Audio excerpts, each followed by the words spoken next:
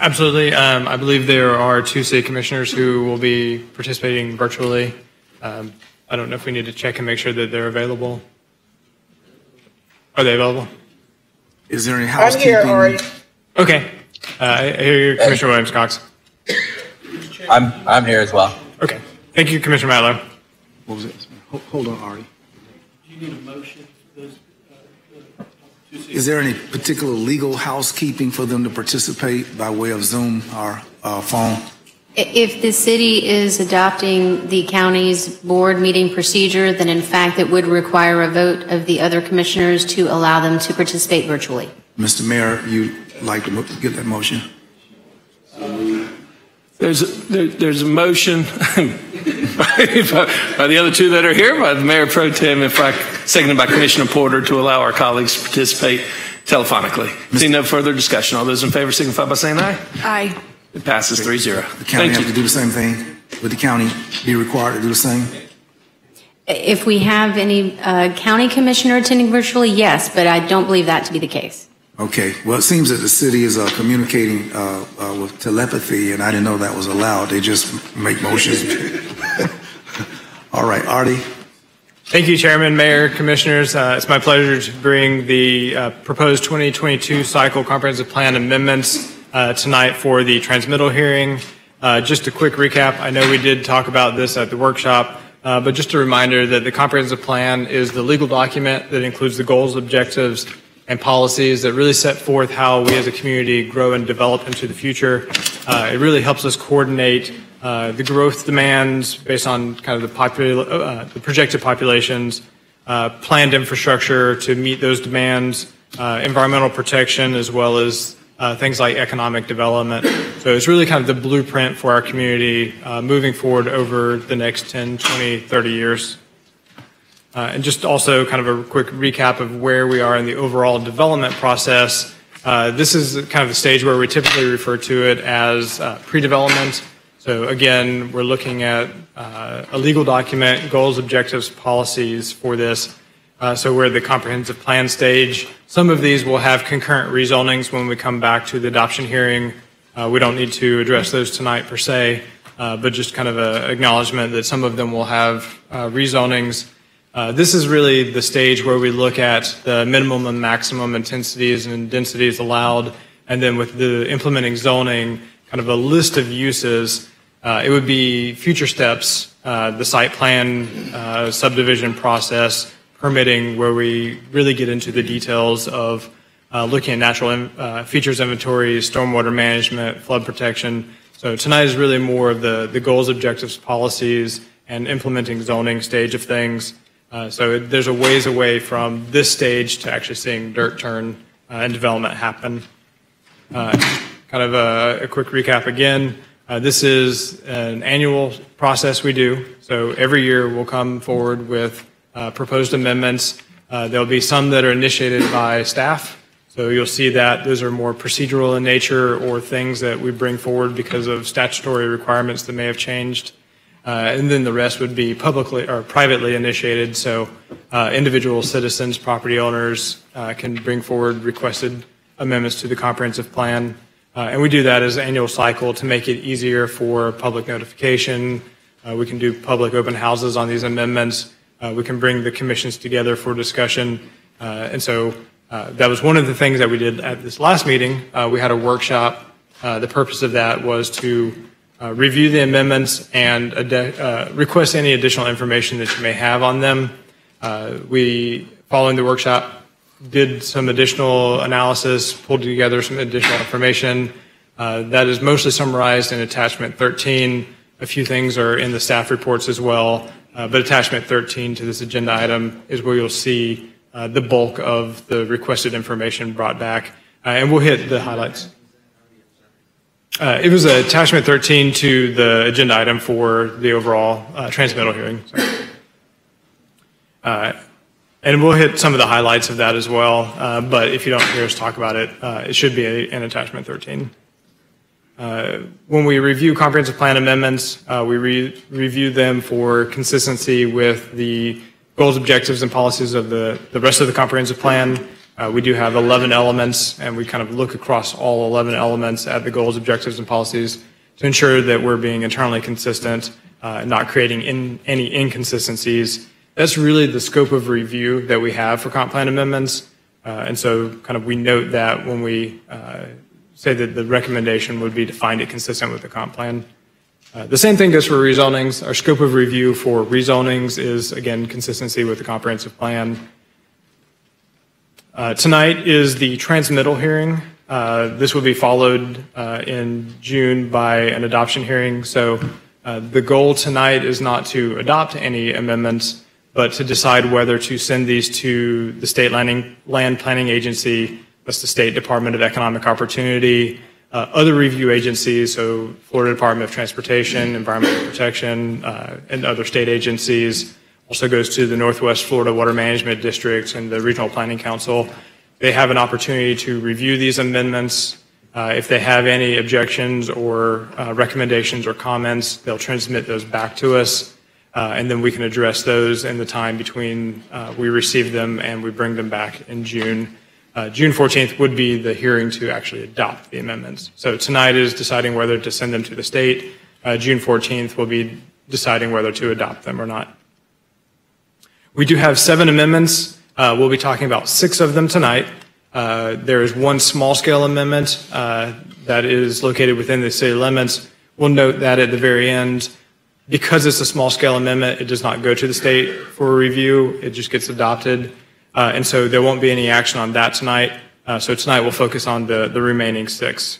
Uh, With that, I'd like to invite Melinda Mormon, the Administrator of Comprehensive Planning, to go through this, uh, but we are both available for questions.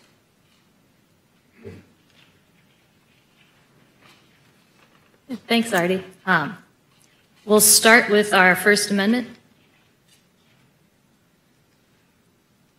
There we go. Um, The First Amendment is uh, to add a property rights element to the comprehensive plan. This is required by uh, State Legislator HB 59, um, requires us to adopt a property rights element before we adopt any additional amendments to the comprehensive plan. Um, This is the suggested language. This is taken directly from the bill. Um, it- This simply reaffirms existing property rights. It doesn't add, it doesn't uh, retract, it just reaffirms property rights granted by federal and state law. Um, We highlighted the text that we changed, and they're pretty simple changes. We changed the words his and her to their, and we added the phrase subject to state law and local ordinances, which was already included in item two. We just felt it was appropriate to add them to all, the- all four items. So that one's pretty simple. I don't believe we have any speakers on this item. Um, So the recommendation is option one, conduct the transmittal public hearing and transmit the proposed amendment to the State Land Planning Agency. And I'll pause for questions and your vote. Um, Mr. Mayor, we defer to the city as our house guest, and we make sure you all weigh in first. All right, it's been properly moved by the Mayor Pro Tem. Is there a second to the motion? Second. Properly seconded by Commissioner Porter. Any, any further discussion? Seeing none. All those in favor signify by saying aye. Aye. Aye. All those opposed? Aye. Passes uh, unanimously on the city side, five Very good. Commissioner Dozier? Okay. Second. We have a motion, a second from the county. Is there any discussion? Hearing none, all in favor, please say aye. Aye. It passes unanimously. Thank you. Next Okay, item. thank you. Moving on. Uh, This is another joint text amendment, so both city and county would vote on it. This is an update to the future right-of-way needs map. Um, The future right-of-way needs map identifies roadway corridors where public right-of-way is needed to implement identified transportation projects. So the update would remove completed projects or projects that have the necessary right-of-way. Uh, The staff report is included in this on, on- as attachment two. And the recommendation for this is option two, to conduct the transmittal public hearing and transmit the proposed amendment to the State Land Planning Agency. I don't believe we have any speakers on this item either, so. All right, thank you. I'll pause for, for discussion and vote. Um, I'll move for the option number two, staff recommendation. All right, Commissioner Porter's properly moved recommendation, option number two. Second. Seconded by the Mayor Pro Tem. Any further discussion? Hearing none. All those in favor signify by saying aye. Aye. Aye. Aye. All those opposed, passes unanimously 5-0. Thank you, Mr. Chairman. Thank you, Mr. Mayor. Uh, County Commissioners, what is your pleasure? Second. Motion second. All in favor, please say aye. Aye. Passes unanimously. Okay, thank you. Moving on. Uh, This is the last joint text amendment that we're going over today, for- so the city and the county would vote on this one. This is the proposed expansion of the urban services area to include parcels related to our three large-scale map amendments. That's April Road, Woodville Highway, and Southwood Plantation Road. This results in a total of about 305 acres of additional area added to the USA. And here's a map that we put together that kind of shows all the properties at one time and, and their relation to the current USA. Um, Woodville Highway is the furthest south. Um, it results in a total of 62.01 acres of additional area.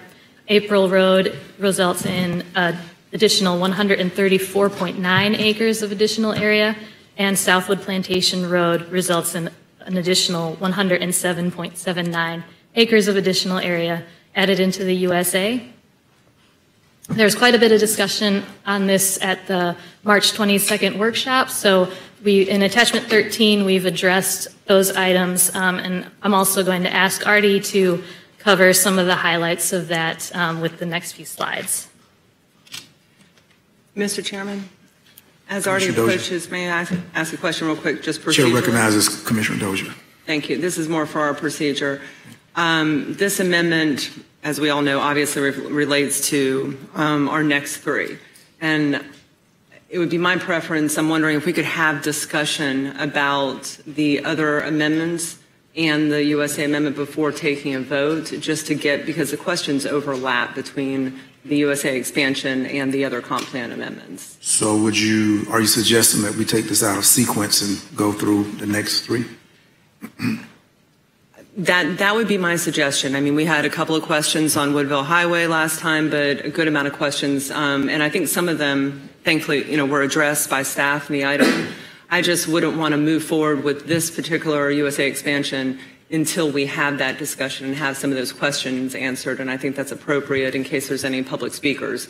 Once this is done, it, you know, it, it, it's a huge move in that direction. So I'm not, I'm not speaking against it. I'm just saying that I, I would like to have that discussion the conversation about those other items in con- conjunction with this one. So, Mr. Mayor, does the city have any objections to uh, the request of which that uh, the chair supports, that we're able to integratively discuss this item aligned with uh, the three subsequent items? Your, Maybe. cha- your chambers. Let's Okay. go forward. Okay, very good. Thank you. Thank you. Uh, House rules suggest that um, the mayor says it's our chamber. Thank you, Mayor. Didn't know that. Thank you.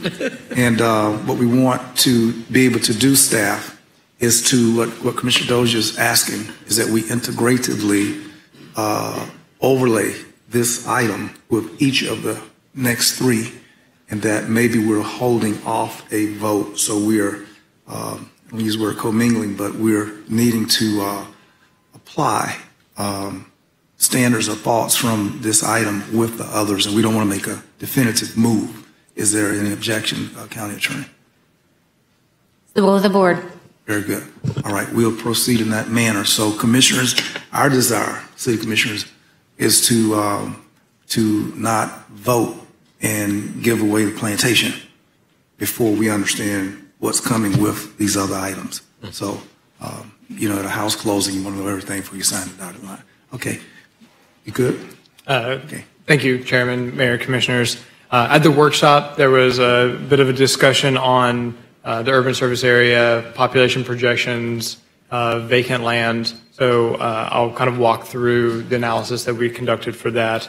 Uh, We'll note that uh, the census in 1990, uh, which was actually the year the comprehensive plan was adopted, to the 2020 census that just happened, saw an increase in the population of Leon County of 99,705 people, which puts the population as of the 2020 census at 292, 100 292,198 people in all of Leon County. That includes the city of Tallahassee.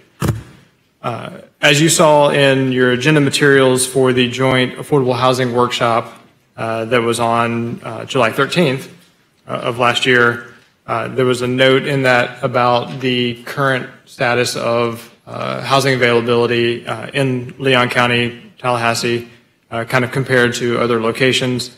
Uh, Those agenda materials noted that uh, in May of 2021, which was when the uh, information was pulled together, that there was a 3.1 month supply of existing and new houses available. Uh, That translates to about 200, uh, 2,222 homes. The, the nation at that time had a housing supply of 5.1 months. Uh, Both the nation and uh, Tallahassee uh, we're behind what the Board of Realtors recommended, which is a six-month supply. So we're looking at essentially a deficit of three months supply of housing uh, at that time. Looking forward, uh, we look at the population projections from the Bureau of Economic and Business Research, Bieber. We call it Bieber. Uh, you could say you have Bieber fever if you'd like, but I know I do.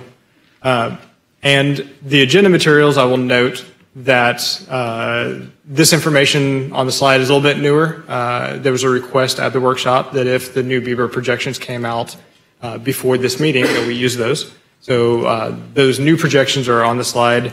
Uh, basically, by 2045, the estimated population of Leon County will be 332,800.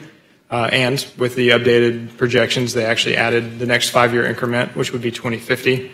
Uh, so we now have estimates for 2050. We're looking at a population of 337,600 uh, in Leon County. Uh, and those are the ones that are reflective of the, the, the last census. This translates to an, uh, an expected need for between 21,876 units to 24,462 uh, housing units by 2050.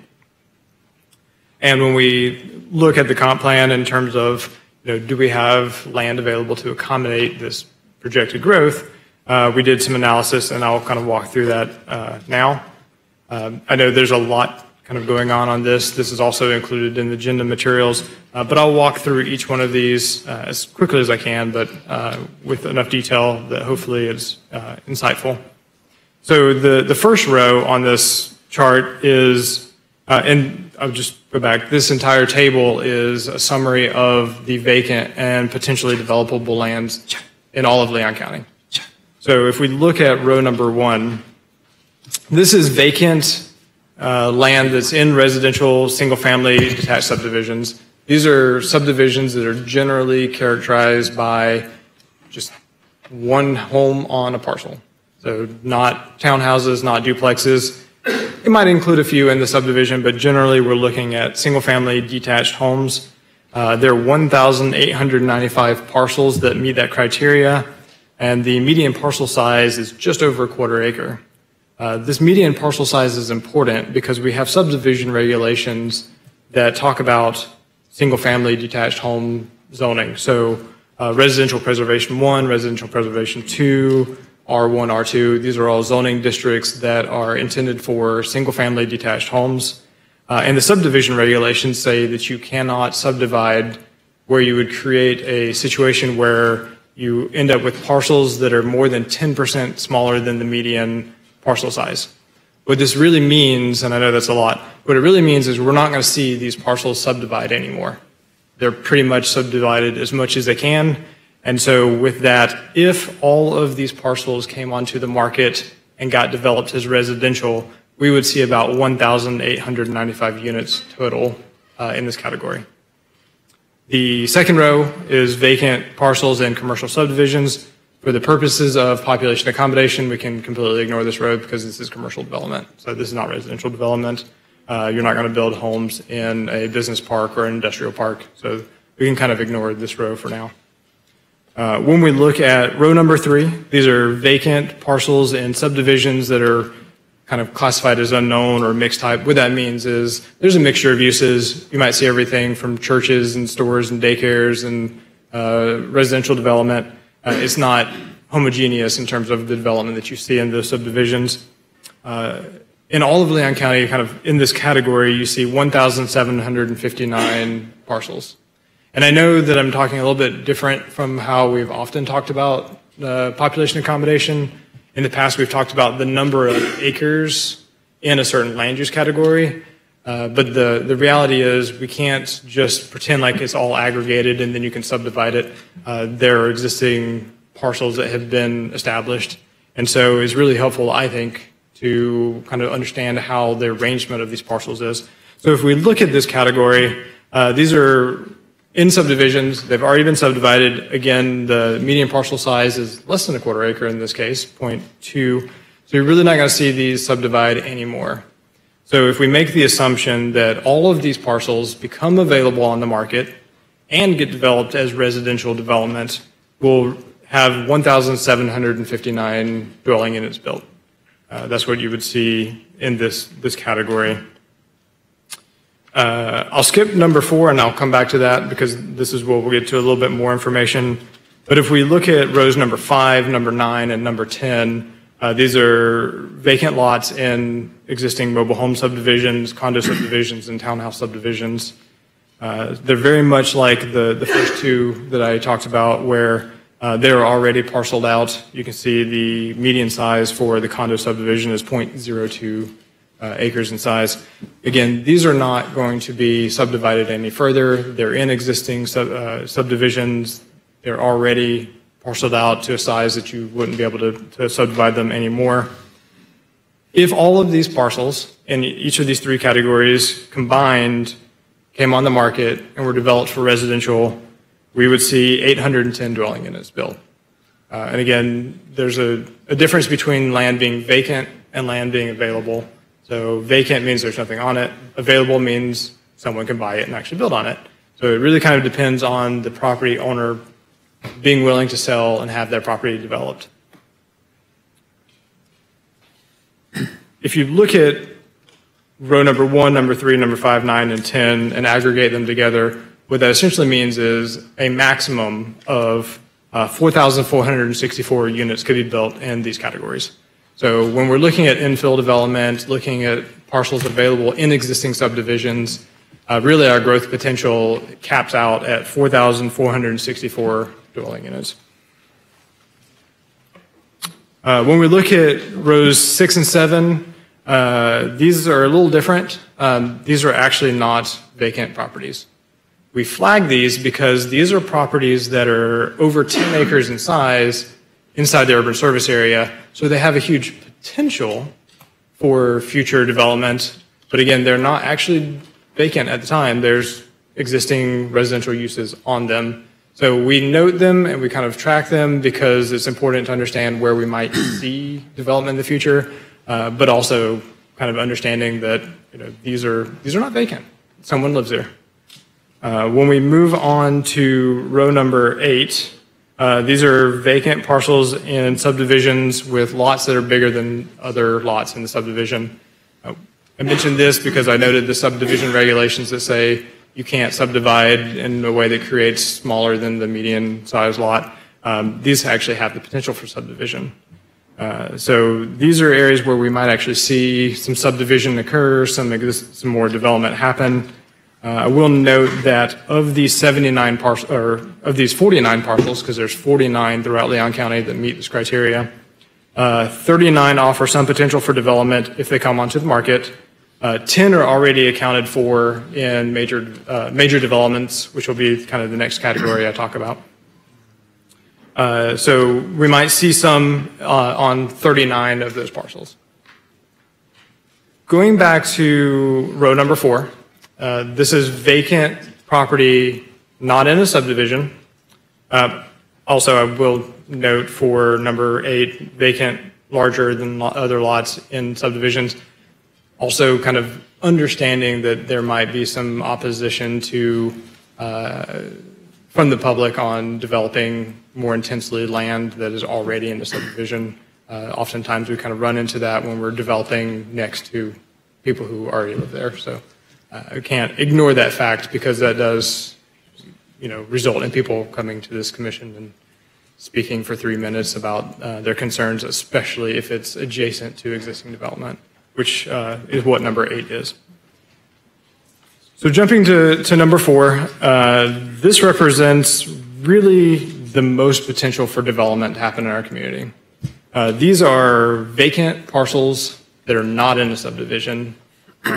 They tend to be a little bit larger. Um, the, the, median is just over an acre in size.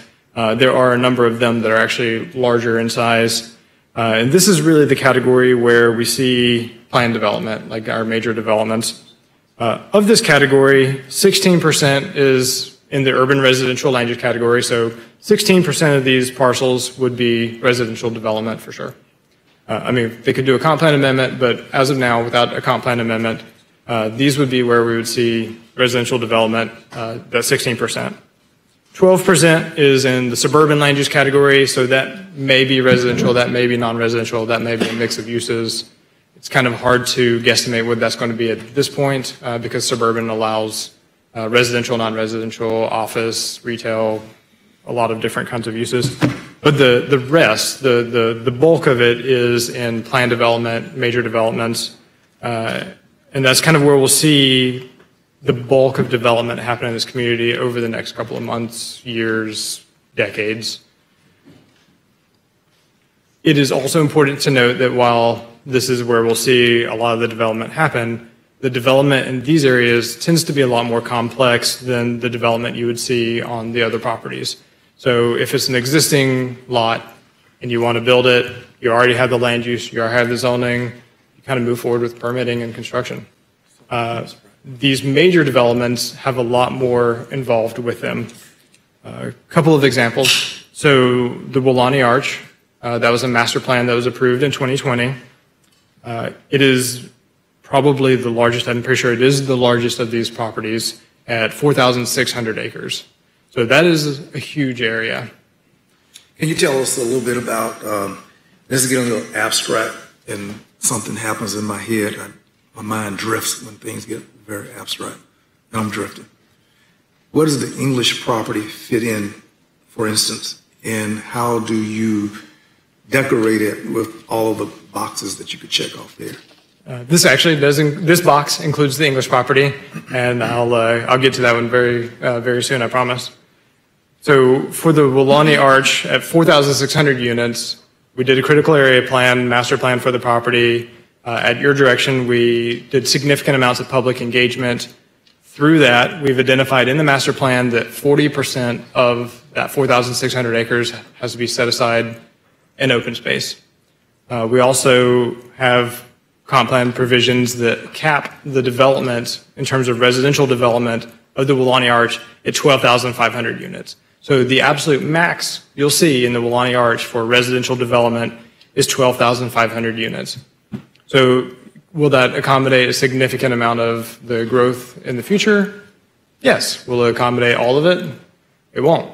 Uh, it will accommodate a maximum of 12,500 units.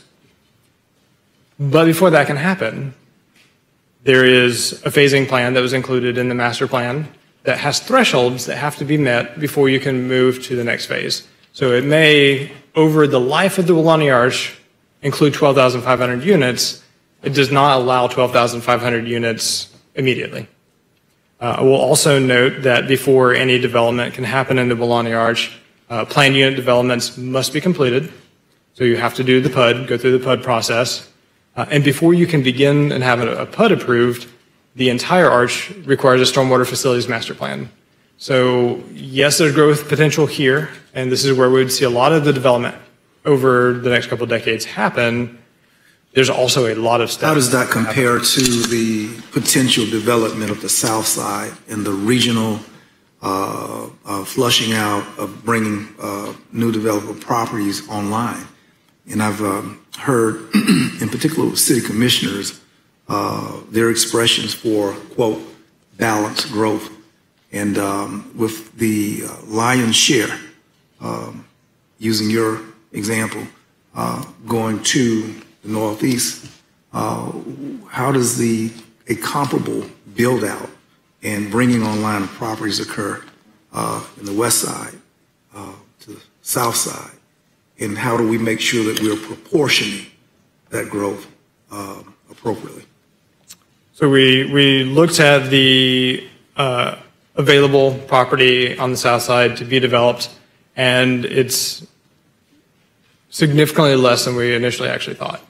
Um, In order to have more development on the south side, it would require the urban services area to be expanded on the south side, uh, quite frankly. Um, A couple of other examples, the Welaunee Hill, that's 811 Let me ask you another question. I feel like you're trying to blow me off, man. Um, Is there a, a uh, metric that you use for a direction of growth that is proportioned? And you just told me that, well, we've under guesstimated the, um, what are we doing? And do we have a policy with the needs that have gone projected to 2045? Will the other parts of our community be in play for this housing?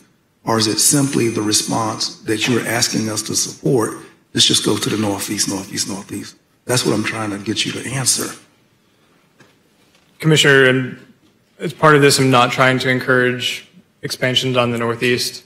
Uh, I'm painting a picture of where development can happen today so that uh, the commissioners at this table can make decisions about where, where growth should happen tomorrow. Uh, There are three amendments to the urban services area uh, that are part of the cycle. Uh, One is on the south side, and two of them are on the west, southwest portion of the, east, southeast portion of the community. As far as other, other things that we're doing, we're currently engaging in the uh, Southside Action Plan, which part of that is doing a lot of the data analysis, looking at what has happened since those policies uh, were originally put into the comp plan, and what should those policies have us do moving forward. So definitely looking at, you know, how do we, how do we get development on the south side the way that we've intended through policy? Have the policies been working, or do we need to revise those policies to move us closer to actually having more development on the south side commensurate with other parts of the community? Uh, Because we have seen the trend that you know, development tends to move towards the northeast, and we do want it to be more equitable across the community. I do too. All right. Mr. Chairman, Yes, sir. Artie, uh, in that same vein, are you looking also at infill development? You know, we talked about uh, uh, housing opportunities on the fairgrounds property, and there may be some others, but are you looking at infill development opportunities also on the south side of town? And could we augment Commissioner Richardson with your question, since it's uh, right contiguous to English property? Yes. That also integrate in your Yeah, response? yeah. I mean, that's what I had in mind, was that English Yeah, yeah. property as well. Right, right. Um, so as part of the, the South Side Action Plan, we are looking at the potential for development, redevelopment in that area, uh, and what policies would support that. Uh, for this, we are looking at land that we know is vacant, uh, or that has a very, very high likelihood of being redeveloped. Uh, It's always possible that someone sells a business or a business closes and then that ha- redevelopment of the site happens organically. That's harder for us to predict or know. Um, But kind of what we're looking at here is what property is available or is vacant, could potentially become available, and what does that mean for our ability to accommodate the the projected population growth? Uh, So the, the Colin English property, uh, that southeast sector plan area, uh, last month, there was a PUD expansion approved. Uh, It added 494 acres to the existing English PUD.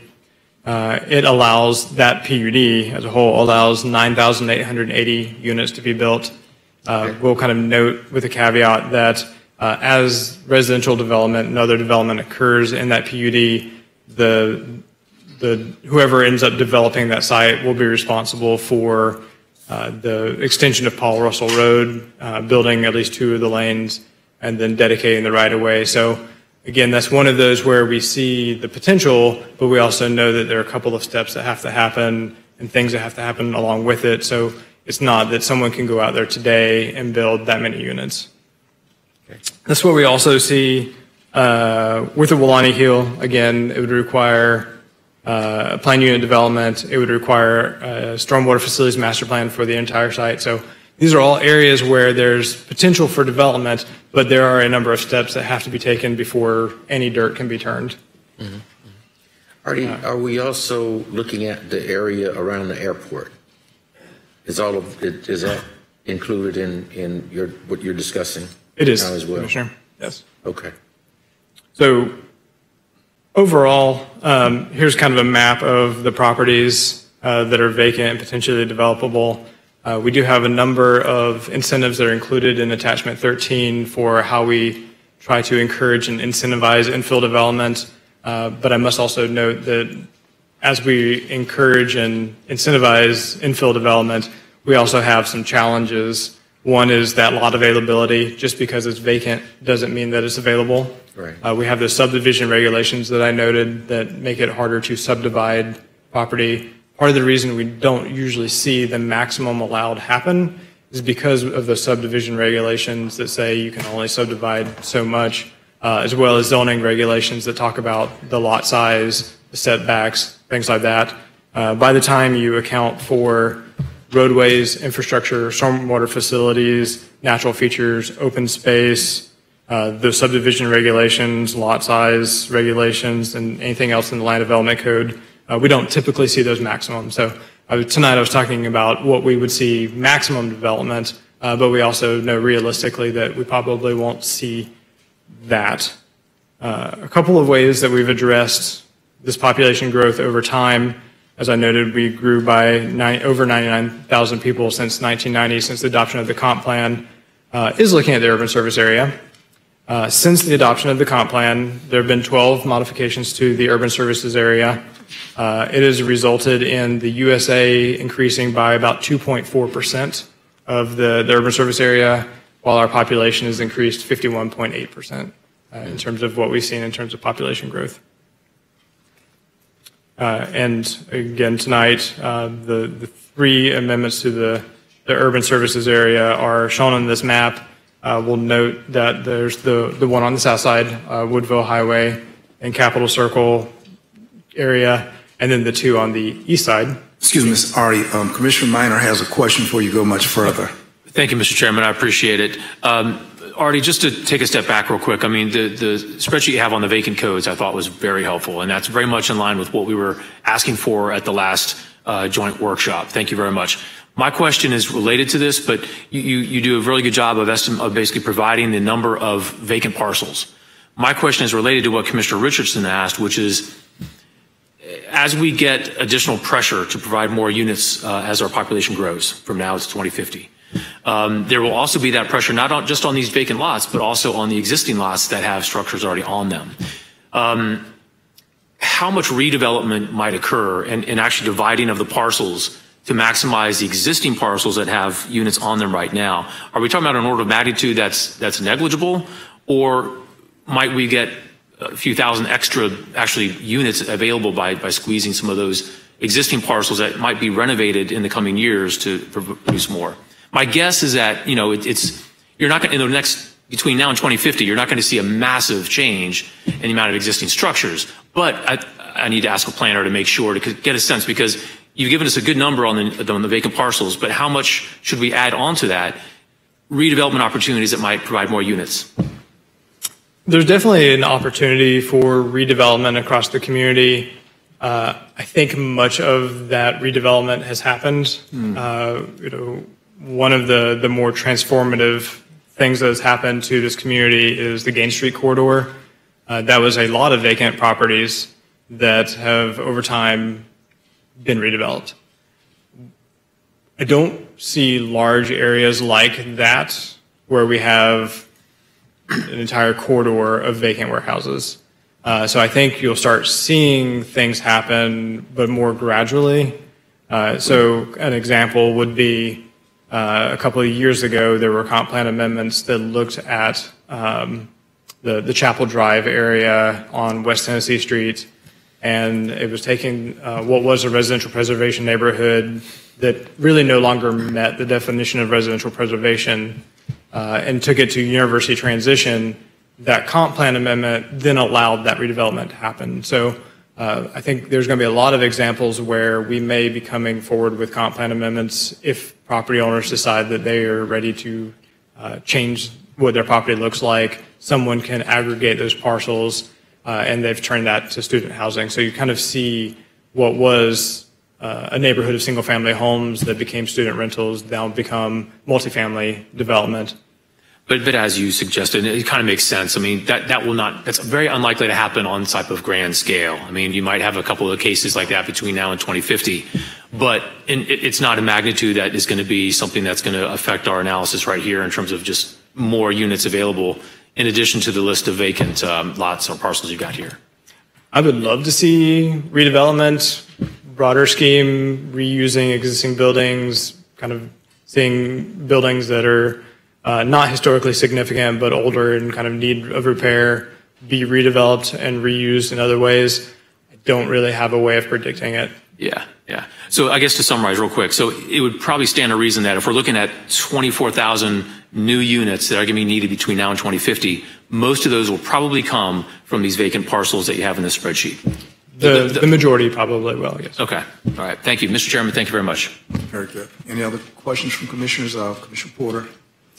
Um, thank you, Mr. Chair. And I mean, I think in response to you, Commissioner Minor, a little bit, you know, I mean, I think whether or not that happens and to what extent is up to us. And, and what kinds of policies we make that, you know, incentivize or encourage that. And not that that on its own could totally change the outcome to be sufficient in and of itself. But, but I do think that is part of what we do here is you know, decide where we want to go and, and do our best to get there. I was wondering, Artie, if you could, you mentioned a little bit about there not being as much to develop in the South Side as we expected, and that we need to expand and that we need to expand the USA in the South Side for those reasons, for that reason. I was wondering if you could just elaborate on that. Right, Commissioner. Um, so a lot of the properties on the south side are developed. Um, you know, we look at the different neighborhoods, Bond Community, Providence, some of those, and for the most part, those neighborhoods are built out. There are a couple of vacant lots uh, that would have been that category. Uh, I think row number one or row number three in terms of uh, vacant parcels in existing neighborhoods. Um, this is also an area where uh, if I'm making a staff recommendation, I would tread carefully with too much redevelopment because we don't want to fuel gentrification in these areas. Mm-hmm. So we want to be very cognizant and very deliberate in terms of how development happens in these areas. Uh, but in terms of having vacant land that is ready for residential development, uh, it's not significant quantities, um, with the exception of the, the PUD that was recently approved for the Colin English property. Um, and, you know, the, the, the, comp plan specifically says that is intended to have uh, residential development uh, encouraged on the south side. So uh, by the approval of that PUD, we've kind of opened up more land than there was. Uh, but with the exception of that, uh, I think we're kind of, you know, a few parcels here and there. Um, they're already parceled out. So uh, when you add up the aggregate of the acreage, it seems like there's more, but once you actually look at how the parcels are arranged, uh, it's actually much harder to fit uh, significant amounts of development. Uh, clearly, nothing as large as, say, like the Welaunee Arch or the Welaunee Hill, like these large parcels. They are small parcels scattered throughout that are available. Thank you. You know, I mean, I think that I definitely agree with the the problem here or the demand and the, and the need. There may be disagreement about, you know, then what do we do? I'm wondering if you could talk us through what alternatives, if any, there are to expanding the urban services area to such an extent. You know, at a certain point, is there anything that you think can be done other than expanding the urban services area or other than expanding it this much that meets this need? Yes, and I apologize for my slight hesitation. Uh, I've actually received death threats in this career, um, and it's usually when I talk about uh, increasing development capacity in existing neighborhoods. That is an option. We can look at exclusionary zoning, zoning that only allows single-family detached homes. Uh, but I don't really want to be the one to bring it up because people don't like it when you talk about doing anything with existing neighborhoods. And I'm kind of afraid to say that, to be honest. So when it comes to the comp plan and making policy decisions, and you know, thankfully I on this side, and I appreciate the work that y'all do on that side. Uh, there are a lot of trade-offs that have to be made. You know, do we build up or do we build out? You ultimately have to build somewhere because if you don't build somewhere, you build expensive because just the law of supply and demand. If you build out, we risk promoting urban sprawl, those kind of things. Uh, and, you know, hopefully if we do build out, we can do things like we did with Welaunee and set aside 40% as open space. If we build up, we're talking about adjacent to people's homes. Uh, you know, I hesitate to bring it up, but there was a glitch bill that came in front of the city commission, and there were people who came and spoke because they didn't want the flexibility to go up one story, one story higher to save the trees, but they want to save the trees. So I very much appreciate the hard decisions that y'all have to make uh, in terms of where these trade-offs are made. You know, do we prioritize protecting trees? Do we prioritize infill development? Do we say, hey, we want to protect existing neighborhoods, so we're going to grow out? Do we want to grow out? You know, as as my job as staff, I can make recommendations, I can run analysis, I can give you this information, uh, but ultimately, I appreciate the hard decisions that y'all have to make. Uh, I also don't want any more death threats. Okay, Artie, um, Commissioner uh, Porter, if Artie missed it, would you restate your question, please? Well, and, and I, you definitely touched on it, of course. And, you know, I, I, I'm sorry that you had to go through that. I'm sure, you know, we've gotten those kinds of emails too. It's not, I mean, it should go without saying that's totally inappropriate and criminal. and, you know, so, you know, that's, we should be able to have a conversation about alternatives without it getting to that point. Um, and I, I agree that in any decision we make, there's going to be give and take and, and growing pains, and that um, I think it's part of human nature to want competing things. Um, you did touch on one, and if that's the main one or the only one, then that's I hear you. I mean, as which it was. I mean, you talked about building up. You talked about. I mean, because when I look at this list and and reading more of the content, which by the way, I mean, I really really appreciate the additional information. It's super super helpful, not only for making this decision, but informing what other steps we might need to take to. Um, maybe remove some of the challenges to infill um, that exist. But I'm wondering, you know, outside of it being something that is politically unpopular in some neighborhoods or angering to people, you know, what practically have we considered in the past? Or, you know, I, again, I'm not trying to make you totally repeat yourself, but building up, you know, whether it's pushing ADUs, whether it's, you know, what else have we considered? Yeah, so uh, there was the uh, approval of the ADU ordinance, as you note. So uh, I believe, I know anywhere within the city limits, I'd have to check with uh, DSM in terms of how the county works. Uh, But, you know, there was a significant relaxation in terms of the ADU policy, uh, and you can do ADUs. And uh, I think that was a, you know, from a planning perspective, a huge win in terms of promoting uh, some affordable options that are not uh, traditional uh, affordable housing. Um, I think the way those work uh, is pretty significant in terms of allowing people to take property and use it to, to help them stay in their homes because they can rent out a property uh, or uh, as they age in place, give them the ability to move into the ADU. Actually, one of my neighbors has moved into an ADU in her backyard and rents out the main house.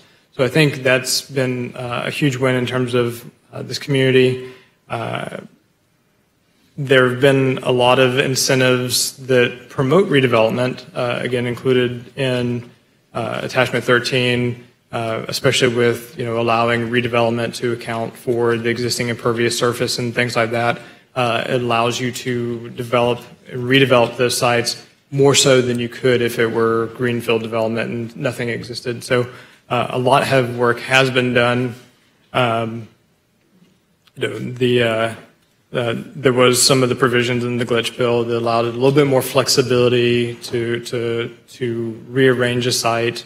Uh, we do have the multimodal transportation district uh, that really helps look at how do we increase density in a very defined area and move towards more sustainable options for transportation. Uh, I think really in terms of what else could be done moving forward, uh, it's the, you know, being a little bit more relaxed in terms of housing types and density allowed in existing neighborhoods. Uh, that's really where the, the next step would be.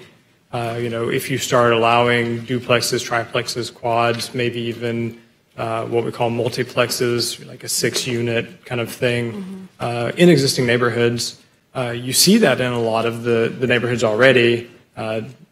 People may not necessarily want to admit it, but you know, if you were in Lafayette Park and you were on uh, Meridian Street, you know, right there's a single family home, across the street it's a quad. The world has not ended. you know, it works. Uh, but I will say that anytime that we've done public engagement and these topics have come up, uh, the, the reaction has been swift and harsh. Mm-hmm. And I from a planning perspective, think that these are really good things, encouraging missing middle, uh, looking at options. I know that the, the city commission has looked at options at taking uh, existing hotels and converting those, mm-hmm. looking at student uh, apartments that have been further out as students move closer in, kind of converting those to more family. Um, but again, if you want to have a, not just a piece here and a piece here, it's going to be looking at existing neighborhoods and what can you do in existing neighborhoods. Mm-hmm. And I really appreciate, I mean, I think this is uh, not that we've never had this discussion before, but a really important discussion to have. You know, I mean, there's a reason you went to get a master's. There's a reason I did. You know, expertise matters, mm. and um, in in having these conversations and balancing that as well with the expertise that people have about what they want. You know, people are usually experts in, in what they want.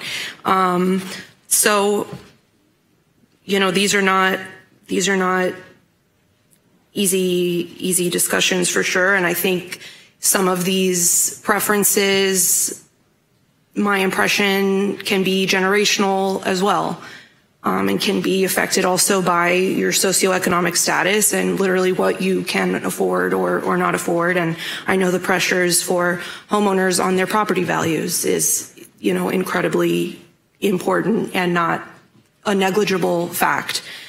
Um, I had a, a couple more questions. Could you talk us through, and this is for my benefit and the, the public, I mean, what happens once you expand the USA? I mean, at what point, I mean, I assume the city does not immediately just start building all kinds of things, or, or does it? I mean, what, what are kind of the next steps? So there's a, a couple of potential next steps. So uh, each of these proposed amendments are uh, small enough that they don't trip a threshold that would require a plan development. So uh, if we were to bring in Uh, in fact, I think there was a 2004 report um, that was done by a number of uh, citizens in the community. Uh, I know the late Pam Hall was part of it, and there was Penny Herman and a, num- a number of other ones that said that we should uh, look at this entire area here uh, as kind of a next area for urban service area expansion, uh, kind of as Southwood grew out. That would be large enough that that would require the same steps that we went through with something like Welaunee and uh, some of the other ones. So uh, the owner or an applicant or someone who you know, has authority over the property would have to go through the process of developing a master plan. That master plan would then get reflected in the comp plan. Uh, then they would do plan unit developments, and if there were other stipulations like a stormwater facilities master plan for the entire area, that would have to happen. And so there would be a number of steps that then led up to them submitting site plans and uh, plan unit um, subdivisions and going for permitting and then construction. Uh, for something a little bit smaller, um, the the three that are uh, proposed amendments for this cycle, uh, they don't trip the threshold for requiring a, a, a master plan. So uh, they would then need uh, the map amendment, which is one of the, the proposed amendments, uh, concurrent rezoning, and then from there uh, they would be able to develop site plans that they would work through, uh, unless it was annexed into the city, it would work through the county's growth management departments um, or department, uh, development, support, and environmental management. They would come in with a site plan. They would come in with their um, natural features inventory. Uh, the staff would review it to make sure that you know any of those environmental cultural resources that are on the site are not being disturbed or messed up. Uh, they would apply for permitting and then kind of move forward with construction. So uh, for the ones that are a little bit smaller, it's a little bit quicker. I won't say it's a quick, but it's a little bit quicker of a process because it doesn't have those additional steps that we see with uh, like Welaunee and the Southeast Sector Plan and some of those other areas, just because they're a little bit smaller. Okay, thank you. And, and I'm going to wrap up soon. Um, what assessment, if any, has been done of sort of the the city's projected fiscal capacity to to manage the increase in services? So uh, most of the services are provided uh, if it's if it's city utilities. Uh, at this location, I can't remember if it's city or Talquin. I know they have access to uh, infrastructure um, because there's developments all around these. Uh, but if it's the city utilities, the utilities, you know, most of it's paid for through those user fees. Mm-hmm. Uh, and then the, the city does regular rate studies to ensure that they're charging enough for uh, the generation, the consumption, and the kind of the maintenance of that infrastructure. Uh, so it's really, it really driven by user fees. Okay. Um, got some more questions? Yeah, just one more um, to kind of bring it home for me. I mean, what can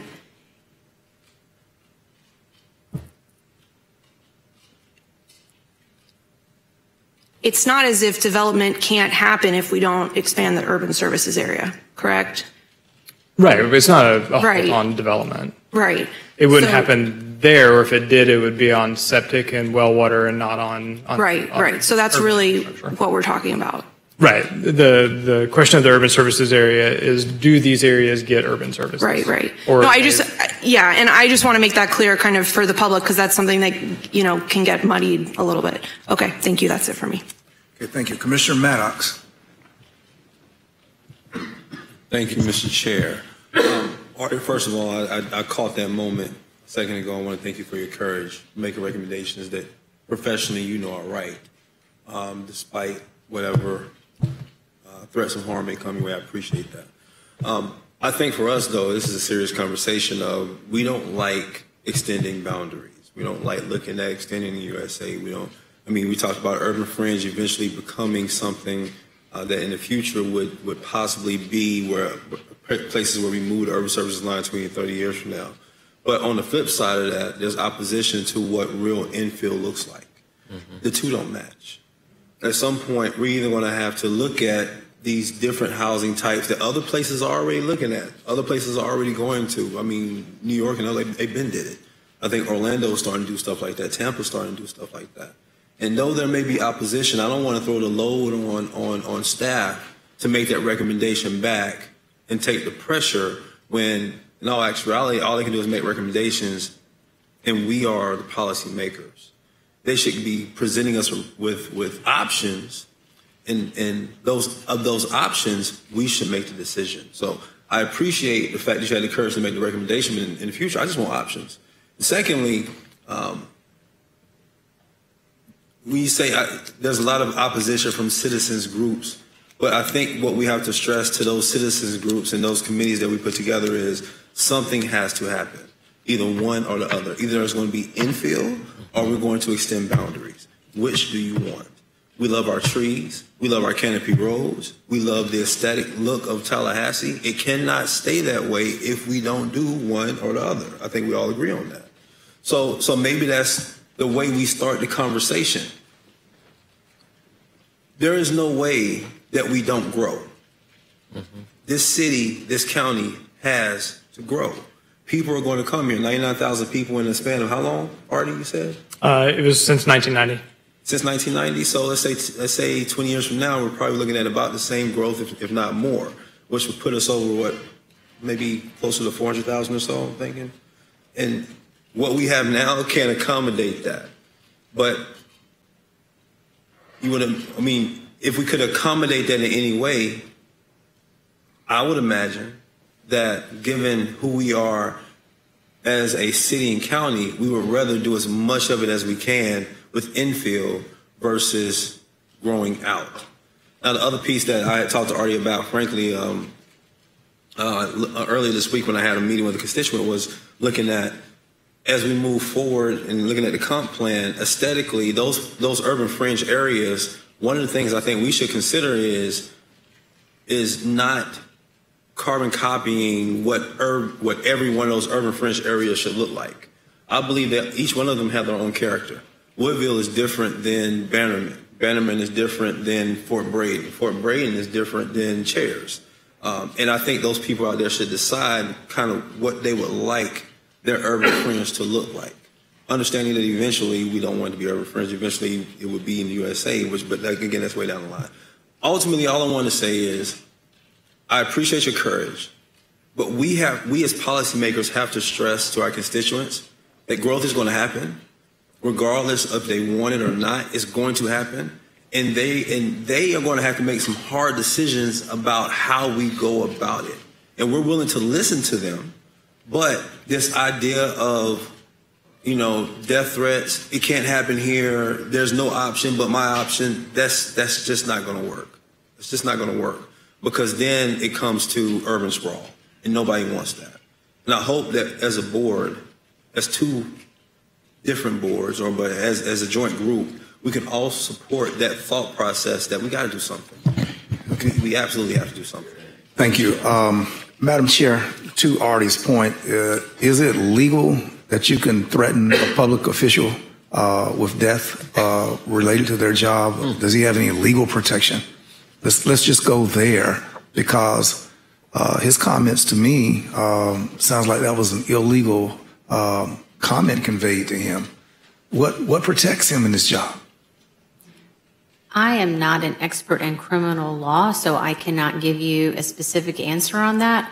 If a member of the staff is receiving death threats, it's my hope and expectation they would report that and it would be investigated to determine whether it in fact is a criminal matter. Very good. Artie, I would commend to you to follow that advice. Commissioner Dozier. Thank you, Mr. Chair. Um, I'm going to echo my colleagues' comments. Uh, this last item in our agenda is robust, it's informative.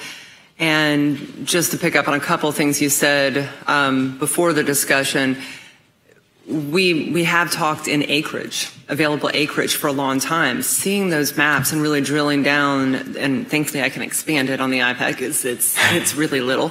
Um, and the parcels and looking at the different land use, I mean that that is extremely helpful, and it's not something I, I think I've seen before. So this is new data, a new way of presenting this information. You all have um, come to and worked hard on, obviously. So really do appreciate that, and I before I get into any other comments, I mean, I, you've just shared something that's really impactful, I think, on all of us, whether we've spoken or not. Um, appreciate you sharing that. And you are in an extremely diff- difficult position, you and your staff. I mean, you take the brunt of a lot of concerns. And we all know, we hear from people who don't like policies far more than we hear from people who do like the policies, right? I mean, that's, that's just the way it goes. Um, but if there is a way, and I think several people have mentioned this, but I'm just going to pick up on Vice Chair's comments. Um, if there's a way for us to get ahead of those conversations, to help develop that and to avoid the public conflict, and I'm not, I'm not trying to pick out any particular issue here, but the one that came to mind was, um, frankly, something, I mean, it's my district, uh, the city's idea to redevelop the Parks and Rec building.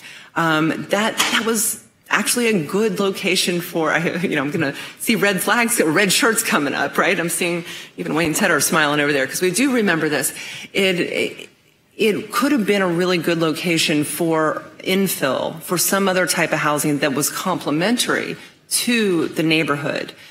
But when people see a design, their, their expectation that this is going to be, the, the, we're already way ahead of them. And there's a fear, there's protection of the neighborhood, and we, we could all understand that as well. So that that's you know I'm not judge making a judgment on that. It was just an example that came to mind that perhaps there is a way for us to back up and have this conversation, and we I think we should perhaps a different workshop. But we're sitting here tonight with a um, amendment to expand our USA 300 acres, and then three amendments to allow, you know, the uh, changes to take place so that these developments can move forward. And they are substantial. And again, this is not a comment on you all, but we are often in a reactive posture. We, we are here in a comp plan workshop and we receive amendments from developers or from interested parties yes, staff is proactive. I think, you know, that you, have cited a couple of things where you all have looked at whether or not the zoning is compatible, the university transition, things like that. You, you have been proactive. We may need to give our staff more flexibility to be proactive, to really dig in before we get to a point where, as you said, Commissioner Maddox, we're facing a massive urban service area expansion, and these are the moments where we hear less from the public right? We only have two opportunities for the public to come and talk to us about these amendments, and they're complicated and they're big and everything else. When the rubber meets the road, and if these move forward, and you know there's development presented, we're going to hear a lot um, once that happens. But the decision's already been made, potentially today or in June. So what I'm, I'm, getting to here is I think we're in a rather difficult position because to question a development like this at this point, when a application to expand the USA or to move forward in something like this comes through staff, through the Planning Commission, and it gets to us and it's said, you know, this is consistent with everything. It is hard for us to sit here and say, oh, God, you know, we need to draw back and look at the big picture now because we, we are preventing a private sector development from moving forward, and there are rights there and everything else. We want to support that growth as well. So I, I, think we really need to take that seriously and perhaps talk about if we want to have a workshop with expanding this discussion, because this is a comp plan transmittal hearing, you know? This is, we, we haven't even gotten into those amendments. We're just on the background information we asked for last time. Um, with that and the build out versus build up, we need to give that policy direction. And I think some of the work the, the city's doing with the Neighborhood First Project, Southside Action Plan is moving in the right direction because really engaging those neighborhoods, finding out what they want, how we can do some infill that is that works with the neighborhood and isn't going towards gentrification. I mean that that's that's what you all are doing, and that's mm-hmm that is a good thing. Um, I think we can build on that. Um, but again, we have three big amendments, you know, four big amendments um, that we have to consider this evening. Um, so getting down to that, and Mr. Chair, I've only got a couple of specific questions that relate to the, the details you've shared in this um, additional information that will connect back to those amendments. Um, I, with the caveat, as you say in the item, that the maximum allowed units on Welaunee English property, uh, Bradfordville Hills, we we probably won't reach that max level, right? Because through the site plan process, through the development process. But if we look at those three, did a little math, and that's 24,256 units. Well, based on the population numbers you put up there earlier, that is more units that have already been approved, already been approved, that would get us to 2045 and 2050 numbers. That's, that's it. And we're not even including the 4,000 unit, you know, the, that you mentioned of the possible infill and everything else. So if I look at our policy direction, the commitment we've made to the community about the urban service boundary, we expand it if it's needed. We're trying to prevent sprawl.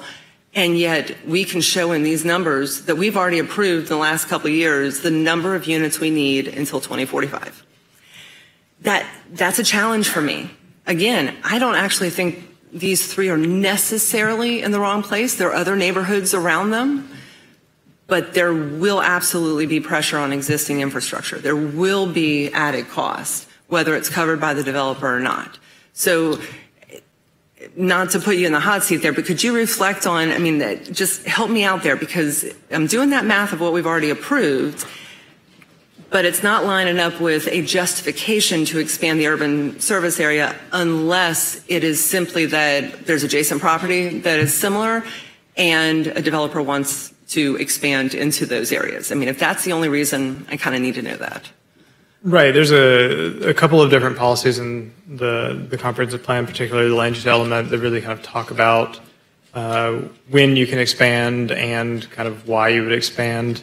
Uh, so kind of the first one is, you know, where can you expand? So uh, there's provisions with urban fringe and rural that says, you, you know, you're not allowed to expand unless you're adjacent to the urban service area, which is kind of the case here. But when we take a step back and look at the urban services area as a whole, there are really three different, it's two policies, but three different provisions in those two policies that talk about the size of the urban service area. So, uh, objective 1.1 talks about how the size of the urban service area relates to the ability to have 90% of new residential development within the urban service area. Again, we want development to be on urban services, not kind of lower density out on septic and sewer, particularly in uh, areas that might be more uh, environmentally sensitive. Uh, But then there's the, a policy under that objective that includes two provisions that really talk about the size of the urban service area.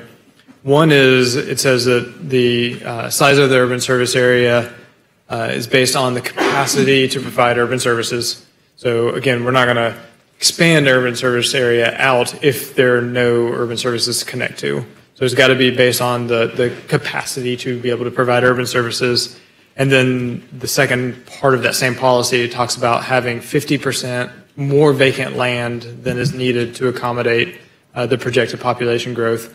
And kind of when we were running these numbers, we were ending up with almost a one to one, like what we're projected versus what we see approved. And so if we're talking about 50% more land than is needed, uh, I think there's some kind of justification there uh, for for doing it from a policy standpoint. Uh, kind of note that the comp plan doesn't necessarily include the methodology to use, so it makes it a little bit challenging, which is why we spent so much time really kind of breaking this data down to be able to provide you as decision makers the best possible data that we can. Uh, so we weren't painting a misleading picture the way I don't want to say we previously painted a misleading picture, but when we did kind of look at the aggregate of acreage and the land uses, uh, it did not account for the assemblage of those properties. So we're trying to paint uh, the most accurate picture we, we can. So, um, but I think if you're asking me from a policy standpoint, consistency with the comp plan, uh, really looking at, you know, are you allowed to expand in these areas? Yes, because it's adjacent to the urban service area. I got it. Uh, Okay. Yeah. I'm sorry, I just didn't mean to no, no, no. repeat. We've, we've been talking for a while. So, okay, so what I'm, what I'm hearing here is, um, based on the current policies and that, that note about the methodology, the fact that you stepped and looked at additional methodology to try to figure this out, I really appreciate that. Push this a little bit farther. But we have a process where we don't have the tools for our staff to address some of the questions that happen at this table earlier in the process before our private sector developers spend a lot of money. It's, it's not easy to get all the way to this point. I mean, you've got, you're, you're developing a lot. I mean, it's more to go through site plan and everything else like that, but they're already invested in this process. So it is, you know, I want to take care of our private sector folks, but also our staff. And if, if we're going to ask these questions at this point, and again, I'm just going to keep citing because you summed it up really simply, Mr. Vice Chair, was um, it, there's tension on both sides. And so maybe we need more tools to build in there. Um, Mr. Chair, I'm going to go ahead and ask one question that relates to Southwood Plantation Road and April Road, just because we've been in this conversation a long time, and I think we've we've all heard a lot of those details. So I'm kind of jumping ahead of your presentation here, but um, the you added some information, the, the traffic counts for uh, St. Augustine, for um, April Road. I mean, for Woodville Highway, Capitol Circle, that was interesting too, but um, I'm looking at District 5 right now. So um, focused on the traffic counts there. It was very interesting. And you added a note about a county policy related to the April Road parcel that if um, a parcel like that has access to a road not a, that isn't a canopy road, Apalachee Parkway, they would not be able to access the canopy road. And you, you bolded that. They will not be granted access to St. Augustine Road from that property. That's correct. I said that correctly? You want me to go back to the paragraph? Is that right? Mindy's got it. Mindy says yes. Mindy wrote it. Okay, I got She it. chairs our Canopy Road She's the one who bolded those two words, will not have access to St. Augustine. So when I've talked to folks in the St. Augustine neighborhoods, that was one of their major concerns was that that property would have an exit on, you know, would have an egress point on Old St. Augustine, put pressure on the Canopy Road. And when I told them that that note showed up in this item, that made them feel a lot better. So those are the kind of that I think that would be helpful to have that kind of information before, um, you know, earlier in the process because it did address a, not all the concerns, but a lot of the concerns. So that is one of my biggest concerns on April and that on that section. Southwood Plantation Road, and you just hit on this. It is not. It doesn't trip the threshold for a PUD. So using your example of the English property and the requirement for the developer when that happens to um, expand Paul Russell Road to pay for that. If we don't go through a PUD process for the parcel on Southwood Plantation Road, there's there's no way to require a developer to help improve Southwood Plantation Road. Is that correct?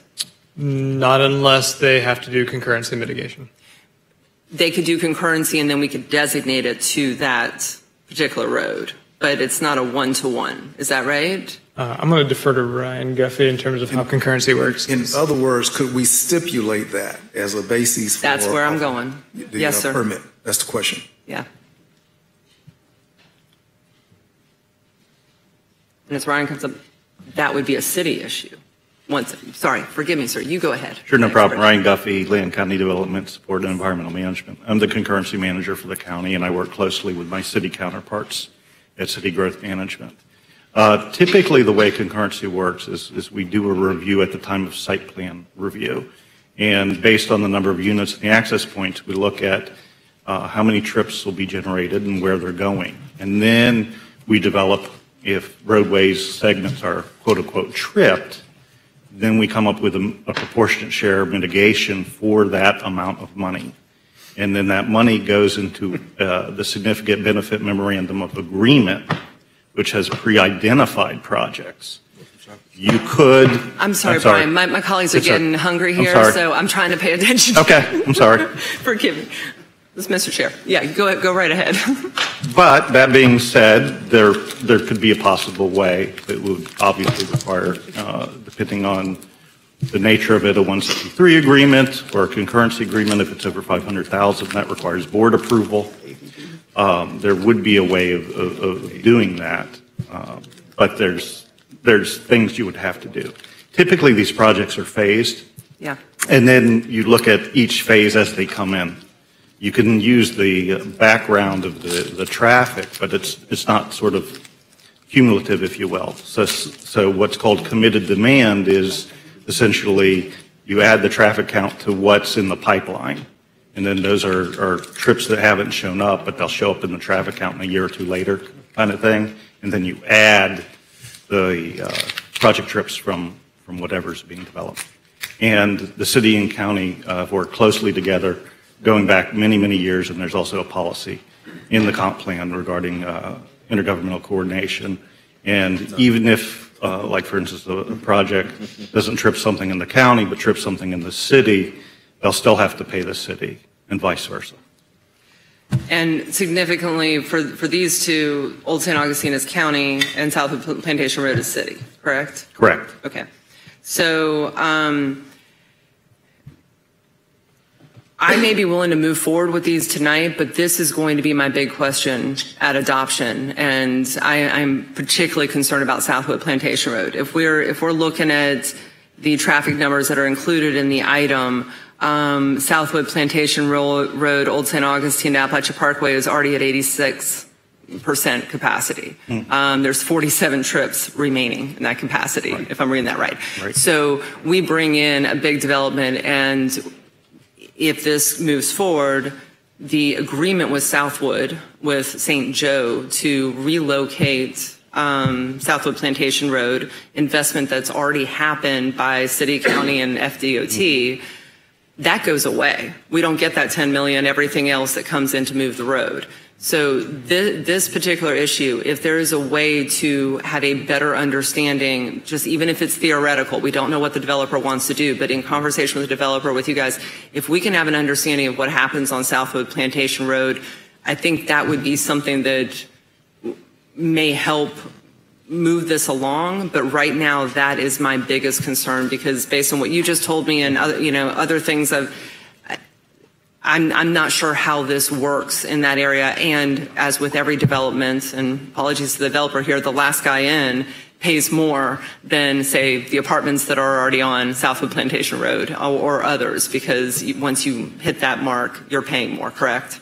Correct. So you could be a free rider. Yeah. In, in, in essence, and that's the issue with concurrency. And then the last, uh, last guy in the door is good, and then, you know, the next project, then they'll have to, you know, presumably pay mitigation if they meet certain thresholds. And that's why we're talking about other options, right? Right. Versus concurrency. So um, forgive me for, I mean, I, I didn't want to just double down on, or come back and ask those questions later, Mr. Chair. I mean, I just thought I'd package them all in right now, but we got through the high level. But those are the two big concerns I've heard from residents in that area. It is about the roads.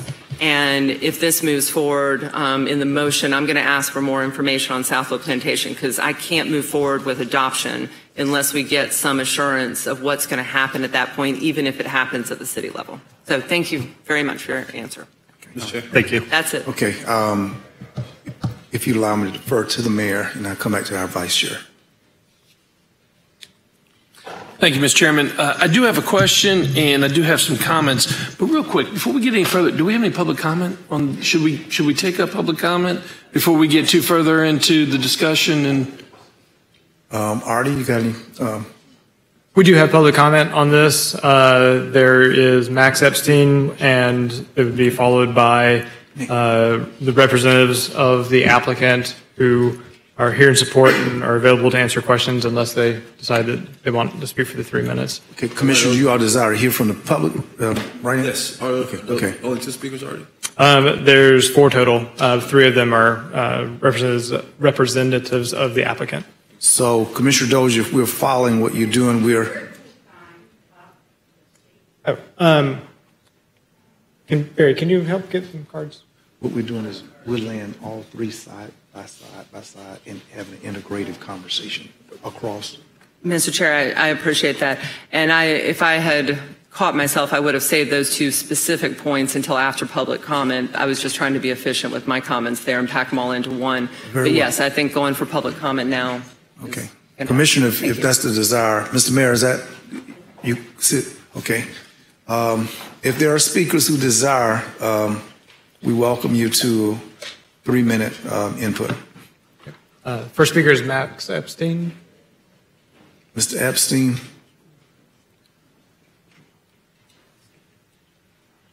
Nick, don't haul all the candy, send it back this way. Yes, sir, Mr. Chair. All right. Hello, Commissioners. Max Epstein, 1001 San Luis Road. I'm glad we're actually having this conversation right now because this is why we get so worked up, is because we're not talking about the expansion of the urban services area. We're not talking about these issues of infill development before we get to this point. And I recently just went through this with the English PUD development. It's only 494 acres, 10,000 units. And then we talk about Welaunee that is 4,000 plus units, acres that only has 12,000 units on it. You know, that starts to become a disparity here.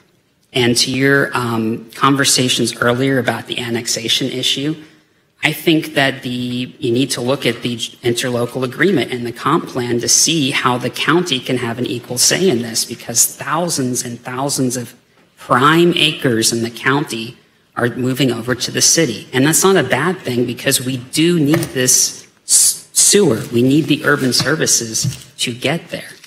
But we need to have a real conversation about this.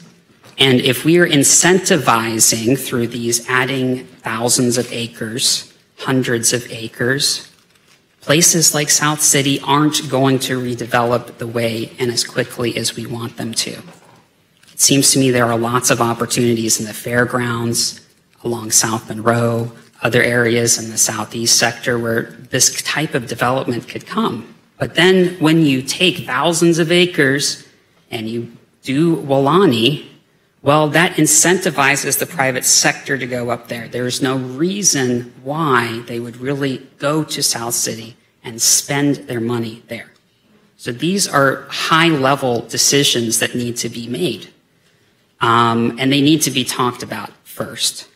And unfortunately, it does seem like that there are disparities in our PUD process. I believe Artie said that in the Welaunee Arch, um, before that PUD or the PUD for the other stuff, a master stormwater plan had to be developed, and also 40% open space.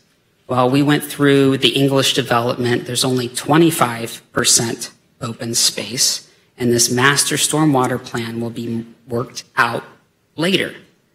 I don't know, maybe you can correct me if I'm wrong, but that's what I just heard.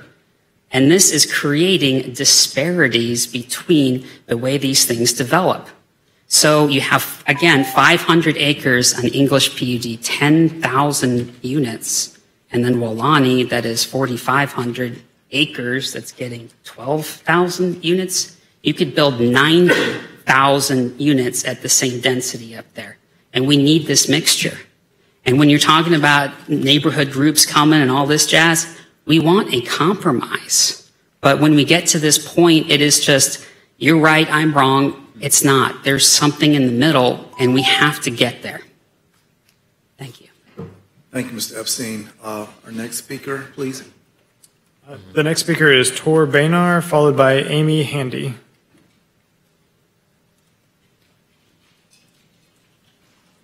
Thank you. My name is Tor Bainar, 2354 Moondance Trail, uh, part of the grassroots community that's off of Old St. Augustine Road.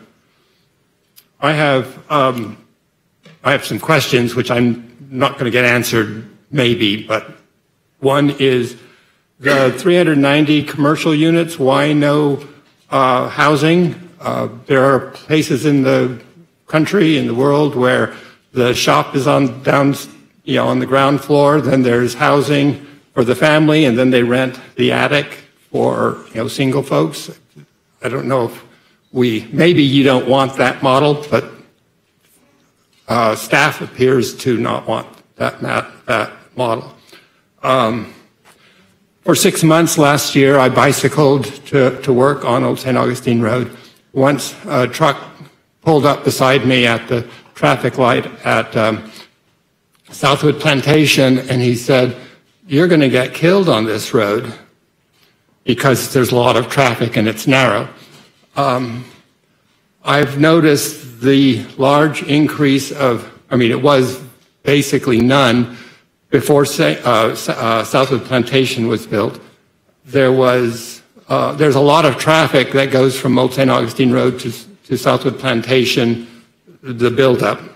And that, it's, it just puts a lot of pressure on that canopy road that um, shouldn't, shouldn't be there, shouldn't happen. And so I very much look forward to, a, you know, the St. Joe building the, the new Southwood Plantation Road that goes to basically Walmart.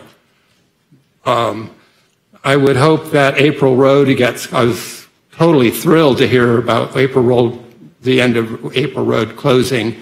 Um, I would love for that to get be clarified that before the first resident moves in, that road is closed. I don't want us, how many years since Southwood Plantation has been there, that we have this extra traffic on Old St. Augustine Road, making it dangerous for bicyclists. Um, you know, I, I want to undo that added burden. I want to keep the nature that, that, that uh, you all, your predecessors, uh, created for the Canopy Road. And the final thing, I'm glad to hear something about St. Joe's concurrency requirements, but that's, I presume that that 10 million is not user fees and that there's reasons for that, which I don't understand, but that when a developer develops, there's uh, community costs that are uh, are very real. So thank you very much for your time. Thank you, sir. Our next speaker. The next speaker is Amy Handy, followed by Bobby Joe Feiner. Ma'am, please state your name and address for our records. Thanks. Uh, my name is Amy Handy, and I live at 2396 Grassroots Way. I've been there for 23 years. I remember when I moved in um, as a renter, as a graduate student at Florida State, uh, the whole neighborhood was gearing up to, you know, protest Southwood development. And I was just like, what? I don't really protest. I just needed to go to school. But here I am. I, now I'm raising kids, living in this neighborhood, loving our neighborhood. Um, we are way out St. Augustine Road. We are a little neighborhood. I think there are several little neighborhoods. We're not giant landowners with 10 acres each. We all have between one and two acres, um, nice little houses. Um, I'm, I'll be honest, I'm most concerned, and hopefully you answered it, I'm most concerned about the April Road development.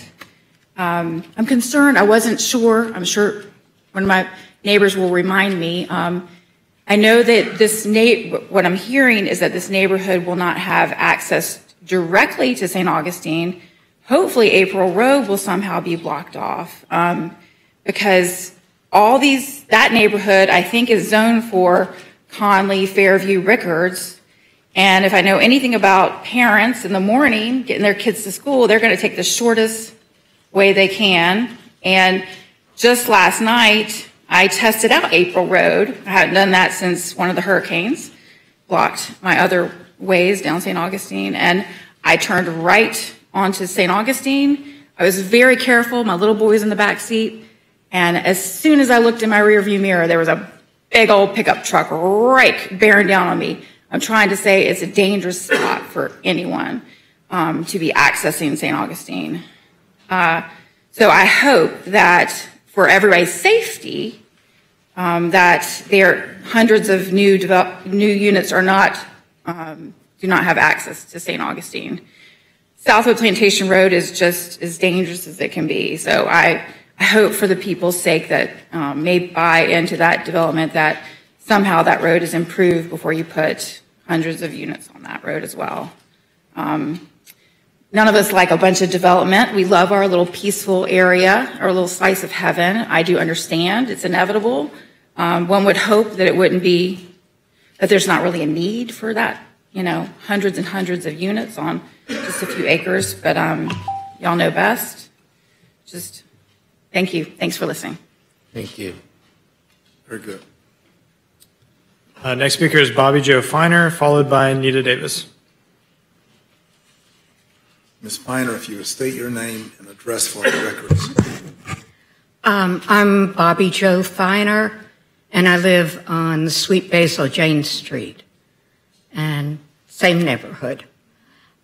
And again, my concerns are primarily with the ability of Old St. Augustine Road and you know, to absorb that. It, if it's true that none of the April Road traffic goes on it, that's a wonderful thing. But I wonder on the Southwood Plantation, there were agreements in the PUD for Southwood that promised that with the building of Southwood, that that intersection of Old St. Augustine and Southwood Plantation would be closed. Another one to connect Southwood with Apalachee Parkway was to be built a little further west. And that, I mean, you say, okay, there's promises, but this is one that is already existing. It was made, it was agreed to. And whether or not you know, St. Joe still owns that land, the agreement, I would think, runs with the land, stays with the land, and needs to continue to be enforced by closing that intersection. And that's, I think, the main concern that I have. The rest, like you said, well, you'll put in, the city will put in sewer and well, we won't have wells and we might even have uh, cable TV. But yeah, the, the thing that can't be fixed by just putting in city money is the way, the safety of the roads. And uh, if we can keep those off of Old St. Augustine, it will be a better thing for everybody who lives in the area. Thank you. Thank you. Next speaker. The next speaker is Nita Davis.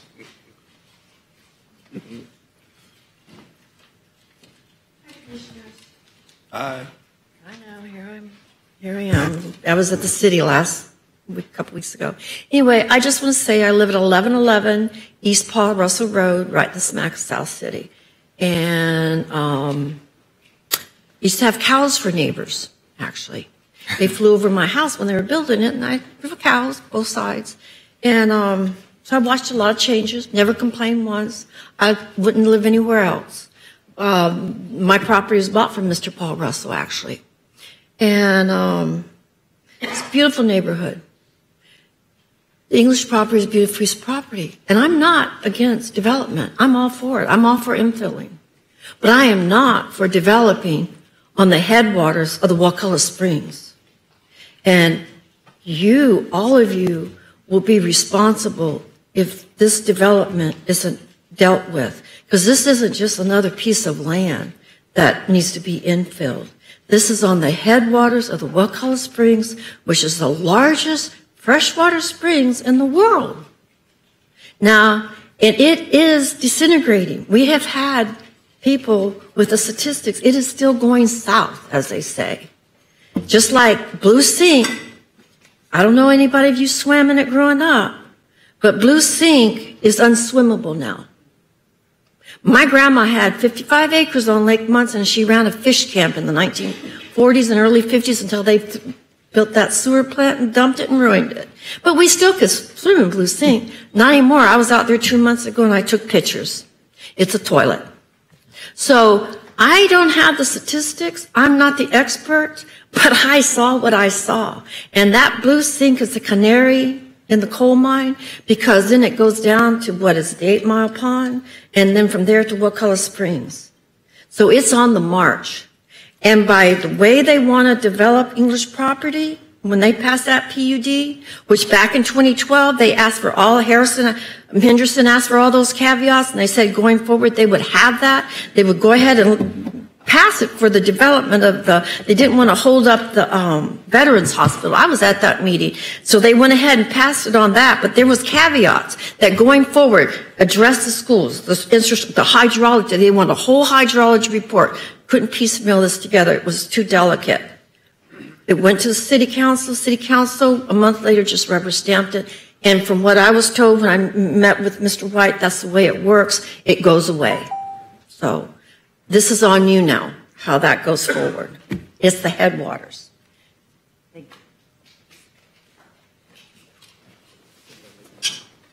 Uh, the remaining speakers are the applicant and agents for the applicant. Uh, did you want to speak or just if you have questions? Okay, they're here uh, if you have questions. Mr. Ch- Mr. Mayor.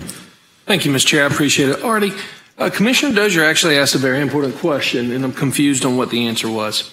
She asked point blank with the study that we've done, the available land for development currently within the urban services boundary, with the actions that we have taken with Welaunee, actions that we've taken with English PUD, have we met the demand? If so, why, why are we here? I mean, if we have met the, the 2045, 2050 demand, uh, as suggested, why are we here? Have we met the demand or not? If, if all of the development happens at the maximum allowable uh, development, then we would be very close to an almost exact demand, supply, kind of meeting together. The comp plan with regards to having the 50% additional vacant land that is necessary is to allow a little bit more flexibility in the market so that we know that our population should not have a one person to one house ratio. Uh, there always needs to be some flexibility in the market. So we don't meet the need to have the additional flexibility in the market. Uh, and we're also not likely to see the maximum development allowed. So the answer to that question is yes and no. Theoretically, yes, Theoretically, but yes, from but practically, uh, no. practically no, and from having additional vacant land uh, above and beyond what you would need to, to meet exactly the demand, um, we probably could use some more. Hence the reason why staff is recommending that we move forward with this, with approval. That's correct. And the planning commission as well. Correct.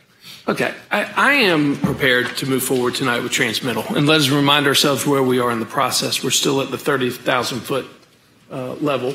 And transmittal is when we send to the state, and the state provides comment and make sure that, that we are in line with our own comp plan, but also provides comment as well on what has been submitted, uh, good or bad, and then it comes back to us. And, and I'm fully prepared to do so. Uh, to my colleagues at the county, you know, last week many of us participated, all of us participated at the city level. I'm sure you heard uh, the meeting at the Richmond Center, uh, two packed houses, um, talking about housing, uh, low income, very low income workforce, affordable, uh, recognizing the sheer the, the, the shortage that we have in this community and the need to move forward to provide a product. I also remember not too long ago, eh, golly, actually maybe it's been a decade now, when we did the community trip to Boulder, Colorado. And one thing that I remember about Boulder was that none of the workforce actually lived in Boulder. The workforce lived an hour away from Boulder and had to travel to and from to work each day because it simply was not affordable. Um, I do not want to get in a situation as a community where our workforce is traveling more than an hour to because that's where they have to live in order to come work in our community. Now is the time to properly plan. Mm-hmm. I'm also a strong believer, and I appreciate the data provided by staff. And I was absolutely astonished by attachment number 13 that talked in detail about the fact that our population has grown by 52, 52% since 1990, but yet the urban services boundary has only expanded roughly 2%, which I do think shows that our infill policies have been working. We have been taking advantage of our infill policies. That's not the end all be all, and that's not the answer to every question. And I, for one, as the mayor of Tallahassee, will continue to push for infill, continue for us to think creatively, as we have been doing, Mayor Pro Tem, with our new policies allowing the conversions of motels, looking at state office buildings and state office complex, uh, and we should continue to do so. However, I do not think that we can turn a blind eye and say there is no need for growth, period. And I think that we need to work continuously as a collaborative body to make sure that we are meeting the needs today, meeting the needs of the future, not just theoretically, but practically as well. Mm-hmm. When we talk about the balanced growth of our community, Commissioner Welch, bless your heart, you're shouldering the responsibility, it seems, of this entire community and the massive growth we have an opportunity to now grow on the south side uh, and to really grow Commissioner Jackson in your district, which I'm very excited about. And when we look at the vision of where we're going and when we talk to the state, keeping in mind, and uh, Mr. Administrator, I know that you're very familiar with the new proposed EOC that the state will be building down outside of Southwood and some of the proposals that they have about new state offices complex. There are going to be great state job opportunities there that I think will complement the proposed housing. From an environmental standpoint, the thought of growth on septic and wells in the 21st century when we have the opportunity and private development would pay for, let's be clear, private development would pay for the expansion of the urban services into planned developments is crucial. Commissioner Dozier, you bring up a good point. Right now, we are at the 30,000 foot level, and that's why I'm comfortable moving forward today with all of the proposed amendments. But I do think that as a body, we should be more careful with our stipulations moving forward. I do think that we should play more of a significant role in making sure that the plan unit developments do take into consideration our citizens that are here. If we're going to focus solely on infill and ignore growth, you think we got transportation concurrency problems now? Will never make it. So I do think it's a healthy balance. My position tonight is I'm ready to move forward and will vote to support for the transmittal. Looking forward to seeing what the state has to say before sending it back. But I do think that we have to have these hard conversations and continue to promote urban infill when appropriate, where appropriate, with the neighborhoods there with us in the conversation, but also to promote smart, balanced growth in other parts of our community when it makes appropriate sense as well. Thank you, Mr. Chairman. Thank you, Mr. Mayor. Um, Ms. Vice Chairman, as our at-large commissioner. Mr. and- Chair, Who's speaking? Commissioner Williams. Commissioner Williams Commissioner Williams Cox. Cox, yes, ma'am. I just wanted to weigh in um, to say that last week someone shared with me that we have 2,000 realtors and 200 homes in the market. So something is going to have to give. Um, well, you know, I'm from Gadsden County, and we, you know, I'm sure Gadsden County would love to have folks move out in Gadsden County. There's plenty of land. I want them to have the opportunity to live here in Tallahassee. And it, it, it is a balance that we have to we have to deal with, but we and we have to take the steps moving forward to make sure that we're doing it smart and we're doing it right. But as people continue to move to the third largest state, to the capital city of the third largest state in the union, we cannot turn a blind eye and turn them away. We must continue to grow, and I've said this many times: if we don't grow, we die. And we can't we can't allow that in the in the capital city. We're we're too we're, we're too um, beautiful and smart for that. So I, I I agree that I want to I want to hear what the state has to say about it, but I'm also listening to what residents are saying as well. And you know, in some places people are saying uh, NIMBY, not in my backyard. Well, on the south side, we have been saying yes in our backyard, but let's do it right for a long time. So we've developed up north. We need to develop in the south, and we want to do it smartly. We want to do it without outpricing folks. And if you don't have homes, then you know, if you don't have homes for people to buy, then the houses that are available will be so so costly and so expensive. We we may not be able to afford them. So we have to figure out how to get more housing in our inventory. We're having to deal with homelessness. We're dealing with, you know, as, as uh, the mayor mentioned, the, the meeting we were in last last week, um, the, the, the uh, re- requirement to, to have more um, affordable housing, rental housing, and workforce. We, if we don't move forward tonight, where do we go from here? And so I'm ready to move forward as well, and let's see where it takes us. But again, we must do it uh, together with our neighbors, and we must do it smartly. Thank you, Mr. Chair. Thank you, um, Commissioner uh, um, um, Williams Cox. Um, Commissioner Richardson. Thank you, Mr. Chairman. And, and this has been a very healthy discussion. This is the one that we probably have, should have had a long time ago, even before many of us were even sitting here. We should have had that this kind of discussion uh, because it brings us to where we are now.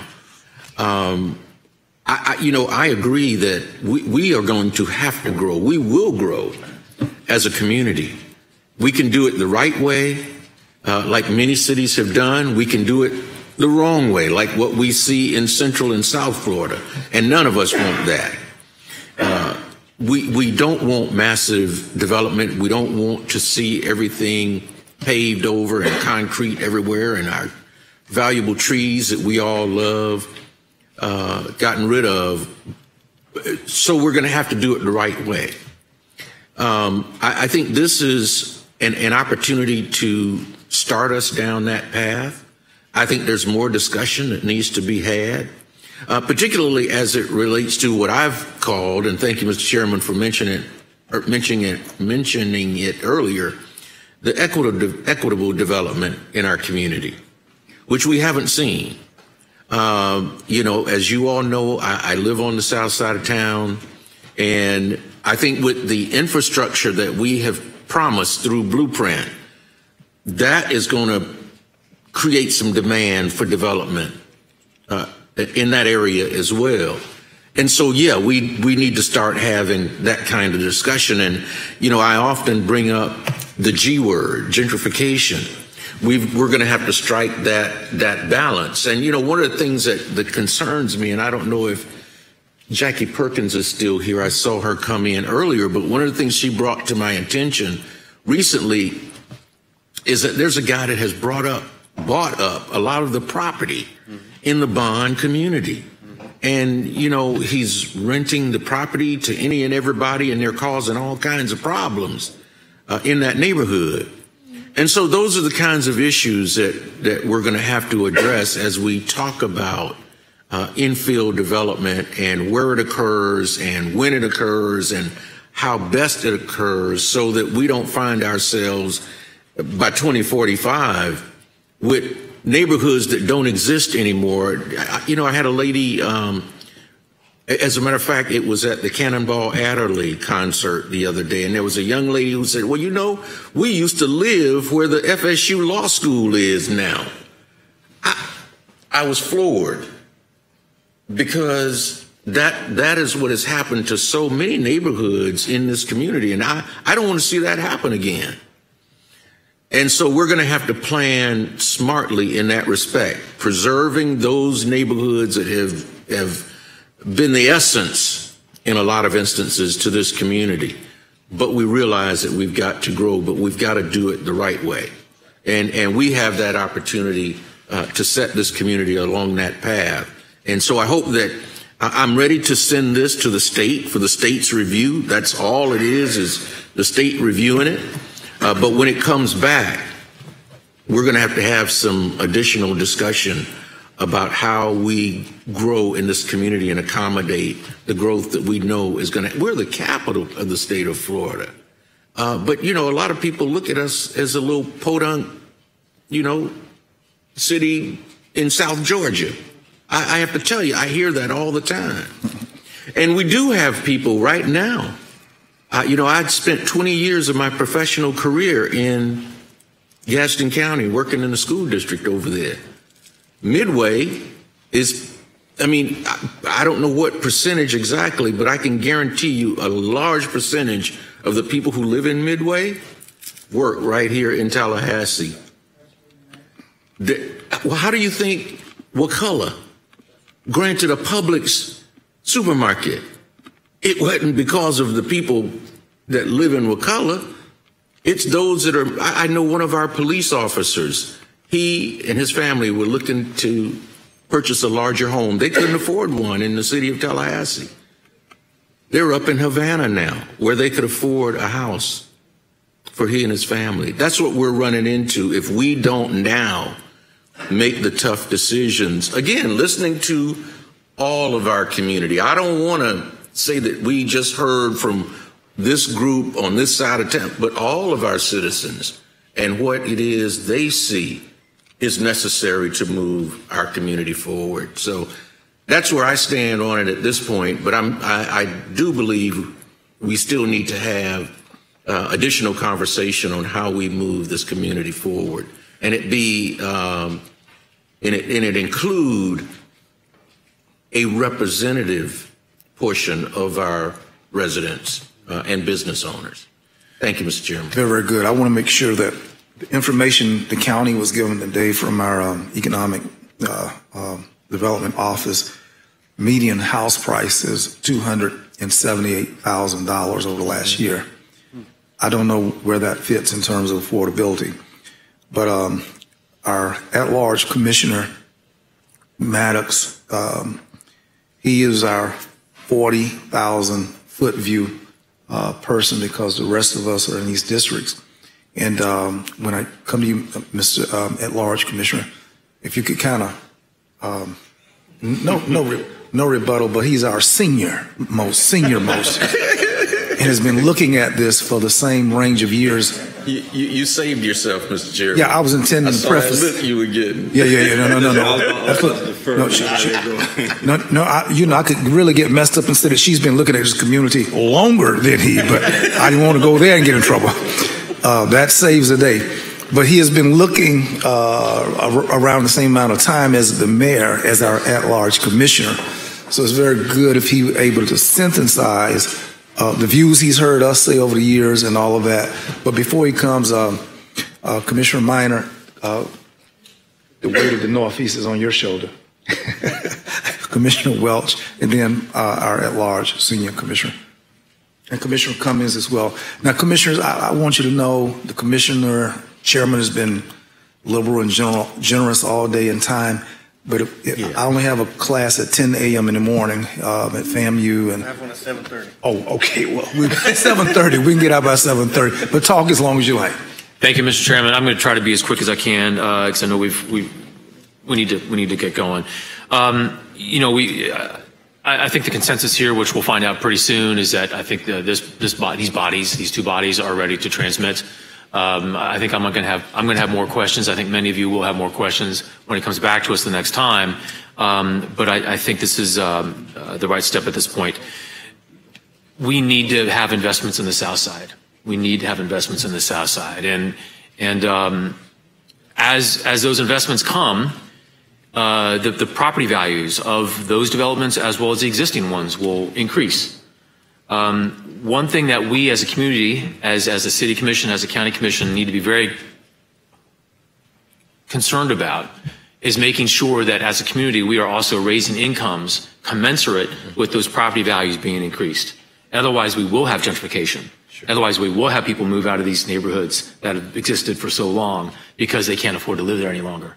So just, I- it's outside the scope of this meeting right now, but whatever we do with the properties going forward with, with the comp plan amendments, we as, as two different bodies need to think about what we're doing to develop our workforce, to expand it and add depth to it, so that as, as those property values increase and the south side is, is improving, uh, we also have incomes of the people who live in the south side that can afford to stay in those homes. Um, one thing I, I wanted to, I, I, the representative from the applicant is here, if I'm correct, right? Would you be, would you please give us as best you can, I know things are very preliminary, um, as best you can, an idea of the type of housing we can expect? Um, I know nothing's set in stone, but I, I, my understanding is that you do have a sense for the types of, of housing you're going to have in these. Thank you, uh, Commissioner. Uh, Thank you. Robert Volpe, 119 South Monroe Street, on behalf of the applicant. I also have uh, Stuart Hare and Sean Marston. Uh, Stuart is with DR Horton and Sean with Urban Catalyst Consultants. Um, I think it would be best if Stuart addresses the, the housing product that they're looking at for this, for these developments.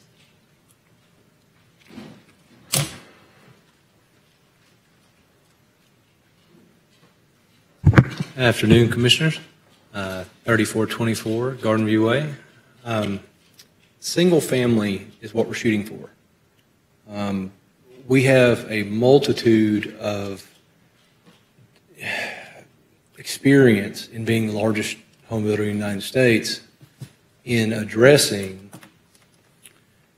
the fact that all over the country it's expensive right now. People are having trouble getting into housing all over the country. Uh, the way we are addressing it ourselves as the largest provider, um, we have down payment assistance to the tune of $7,500. That's huge uh, as far as out of pocket money. You know, if you haven't been able to save up because of COVID or you haven't been able to save up because of just any reason. We also have credit coaching which uh, takes someone with not perfect credit, and we walk hand in hand with those folks and get their credit up so that they can get into housing. Um, the other thing that is really large that we do is we buy federal blocks of interest rates. Nobody else does that. We can say that in this rising interest rate climate, hey, we can provide you a better interest rate, and that lowers your monthly payment you combine all these factors, you're talking, you know, eleven, twelve, thirteen thousand dollars to help somebody that otherwise would not get into housing to get into it. Um, kind of a long answer to your question, but single family is what we're shooting for on April Road as well as Southwood Plantation Drive. We have single family and uh, townhomes so that we can try to get into a lower price point on the uh, Woodville project. But the whole point is equity generation in the part of Tallahassee that needs it the most. These folks don't need um, just housing. They need the profit off of living in the house to move on with life. And if they can take that profit with them, you, have you've, you've really won, frankly, as a uh, city and in a growth uh, area that wants young professionals to stick in town, that wants people to move from Nashville and Atlanta and Texas, um, instead of them going to Tampa and Panama City and you know all these other places. Uh, this city has the potential to be the beacon that, I think it should be. They just need a housing provider that is capable of dealing with lumber prices that are 374%. That's insane over where they usually are. I mean, think about if everything went up 374%. Uh, we're waiting 26 weeks on garage doors, 27, 28 weeks on windows, and we're the largest provider. When we go to Home Depot and say, hey, we need, you know, a window, we need several hundred thousand. So we're first in the pecking order. And with our national contracts, we can get housing down to a certain level. But the truth is, if you get it too far down, there's no equity generation because folks, frankly, don't want to move into it. They don't want to stay in it. Um, so, single family, I guess, to answer your question, but uh, wealth generation is, is the point. We want equity to be built in these homes. It's it's it's going to be mixed, different different levels, different uh, mixed development, right? Do you, have, do you have a sense for the the rough uh, prices that you're talking about here? Correct. Woodville, we're essentially uh, walking up uh, values from townhouses into single family. Uh, there's a another developer, uh, I believe, across the street doing a build to rent. Uh, mm. We do that as well. I mean, all these things, when you combine them, allow a student to go from apartment living, mm-hmm. stay in Tallahassee, and eventually, as they move towards family and you know job and all that, mm-hmm. move up in the housing structure you want them to go from apartment not to Washington or Atlanta or Nashville. You want them to go from apartment to house in Tallahassee. Mm-hmm. And keep, you know, paying into the infrastructure here in Tallahassee, keep growing as a part of Tallahassee. Uh, right now, there's a multitude of multifamily. So you have apartments galore. And then, if you want a house that you think will appreciate that you don't have to spend fifty, sixty thousand dollars to renovate, you're kind of out of luck. I mean, it's as a 38 year old moving from uh, Santa Rosa Beach. where things are quite pricey. That's right by Destin. We were shocked that Tallahassee is competing for parts of 30A, where we've lived for 15 years, and we, we just lost it. We're like, how is that possible? So we uh, ended up in Galarn, but we're renting because we are waiting on a house that we believe is the right value that can grow in equity. You know, we don't want to make a foolish decision that we're just dumping money into. So, I'm sorry, just one last thing, and then I'm done. Just, but just paraphrase back to you and make sure that, that um, I'm, I'm basically capturing what you're saying. So the, the mixed, mixed use housing is really going to be what you're talking about. So in other words, you're not going to have one large PUD, for example, of low income.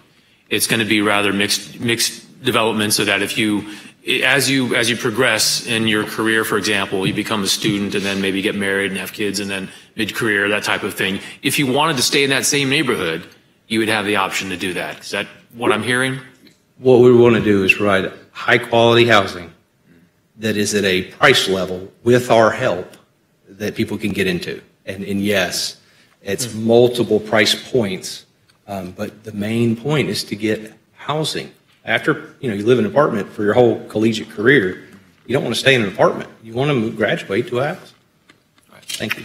Thank you very much for your comment. I really appreciate it. Uh, Mr. Chairman, thank you for the time. Okay, thank you. That definitely exposes a whole new level of um, concepting, and um, those comments were awesome. And uh, um, we've got miles to go before we sleep on this issue. Uh, Commissioner Welch.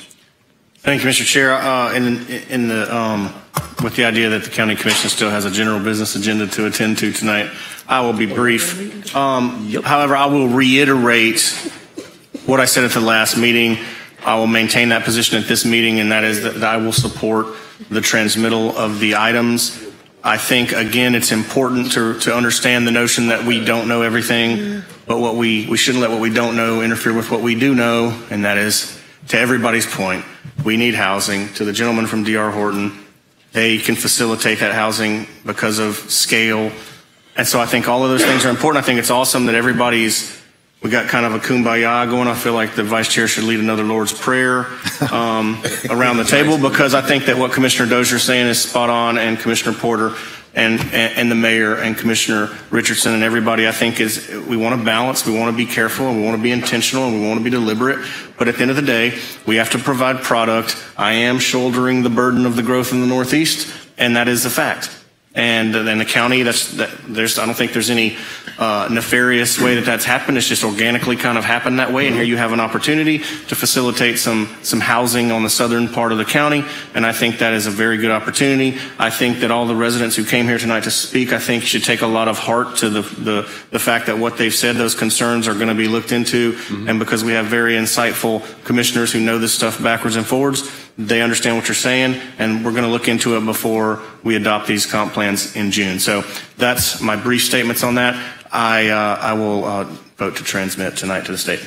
Very good. I've solicited the views of uh, our at-large commissioners, Commissioner Maddox, and uh, those con- thoughts and, and comments from Commissioner um, Cummings as well. Um, Commissioner Maddox, from your lofty view of the whole county, your thoughts? So let's not get in trouble. I'm going to ask permission from Commissioner Cummings if, if I if, if he would like to go or you know would you like for me to speak.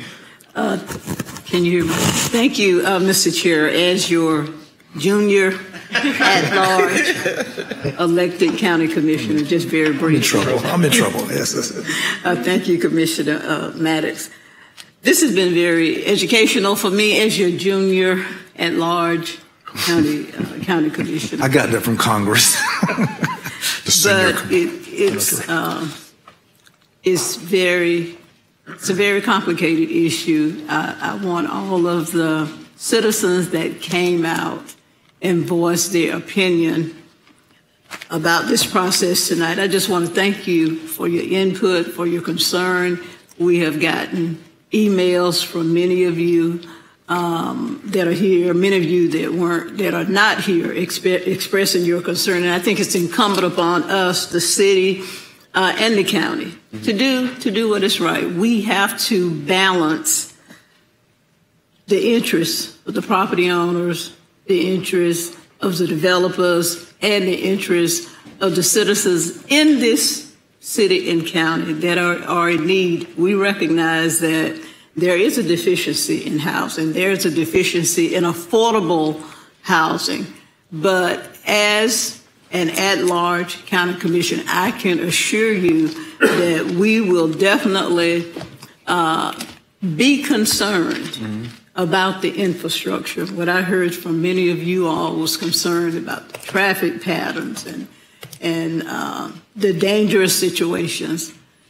We have, in my opinion, our county commissioner and with city staff, I believe we have the infrastructure in place to make sure that our homeowners are protected, to make sure that new developers are protected. We will balance the interests and make sure that we have great growth, make sure that we have responsible growth uh, in this city. We want to avoid uh, a sprawl in the county if we can, and I think we're on the road to that. We've got everything in place to make sure Leon County, and Tallahassee is a place that our children want to live, where hopefully my son will move back mm-hmm. to. We, we want to make sure that not only are we protected, those of us that live here, but we want to be attractive to others that want to move back here. So I can assure you that that we are concerned. We will remain concerned.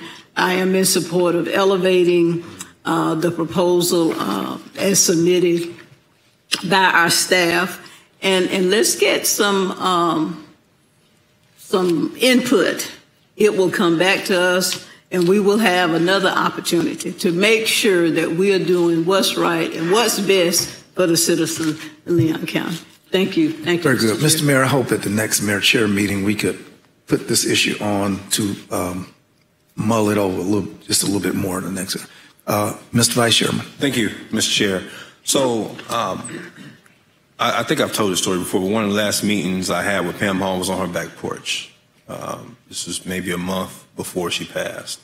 And she had called me over first time I'd been to her house, and we sat back there and we had a long conversation about what she had originally taught me when I first came to commission, knowing nothing about urban development or growth, she taught me everything I knew. And during that conversation, we had this this thought. Uh, we had this conversation about the fact of Leon County in the city of Tallahassee will always be a one city, one county type situation. And the reason for that is because, quite frankly, utilities.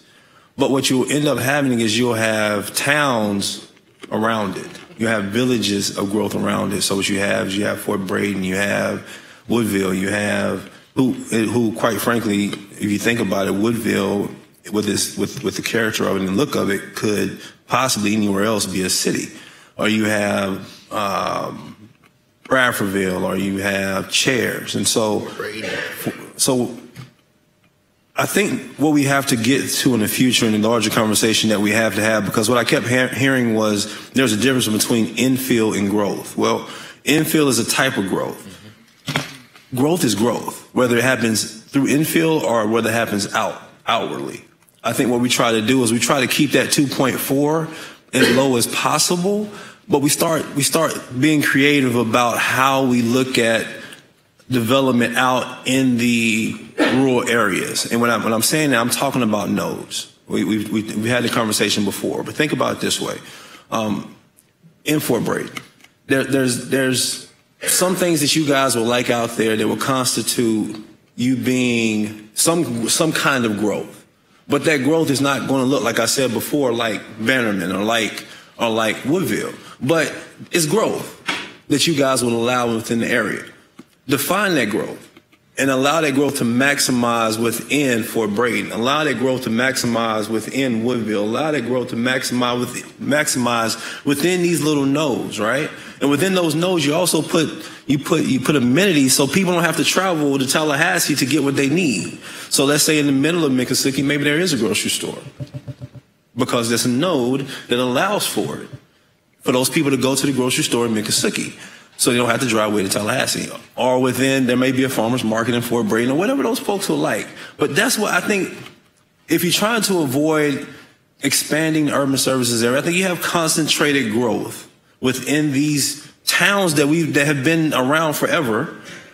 That you allow concentrated growth within those towns, within a small, compact area, so those people can have services that that that mirror something like urban services, but aren't quite urban services, so they still get that rural feel.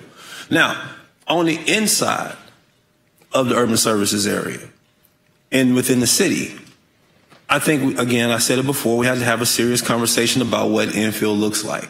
Whether that's us sitting at the table together, I know the, ci- the city is already having a conversation, and we're going to have to have a hard conversation with folks that it's going to have to happen, right?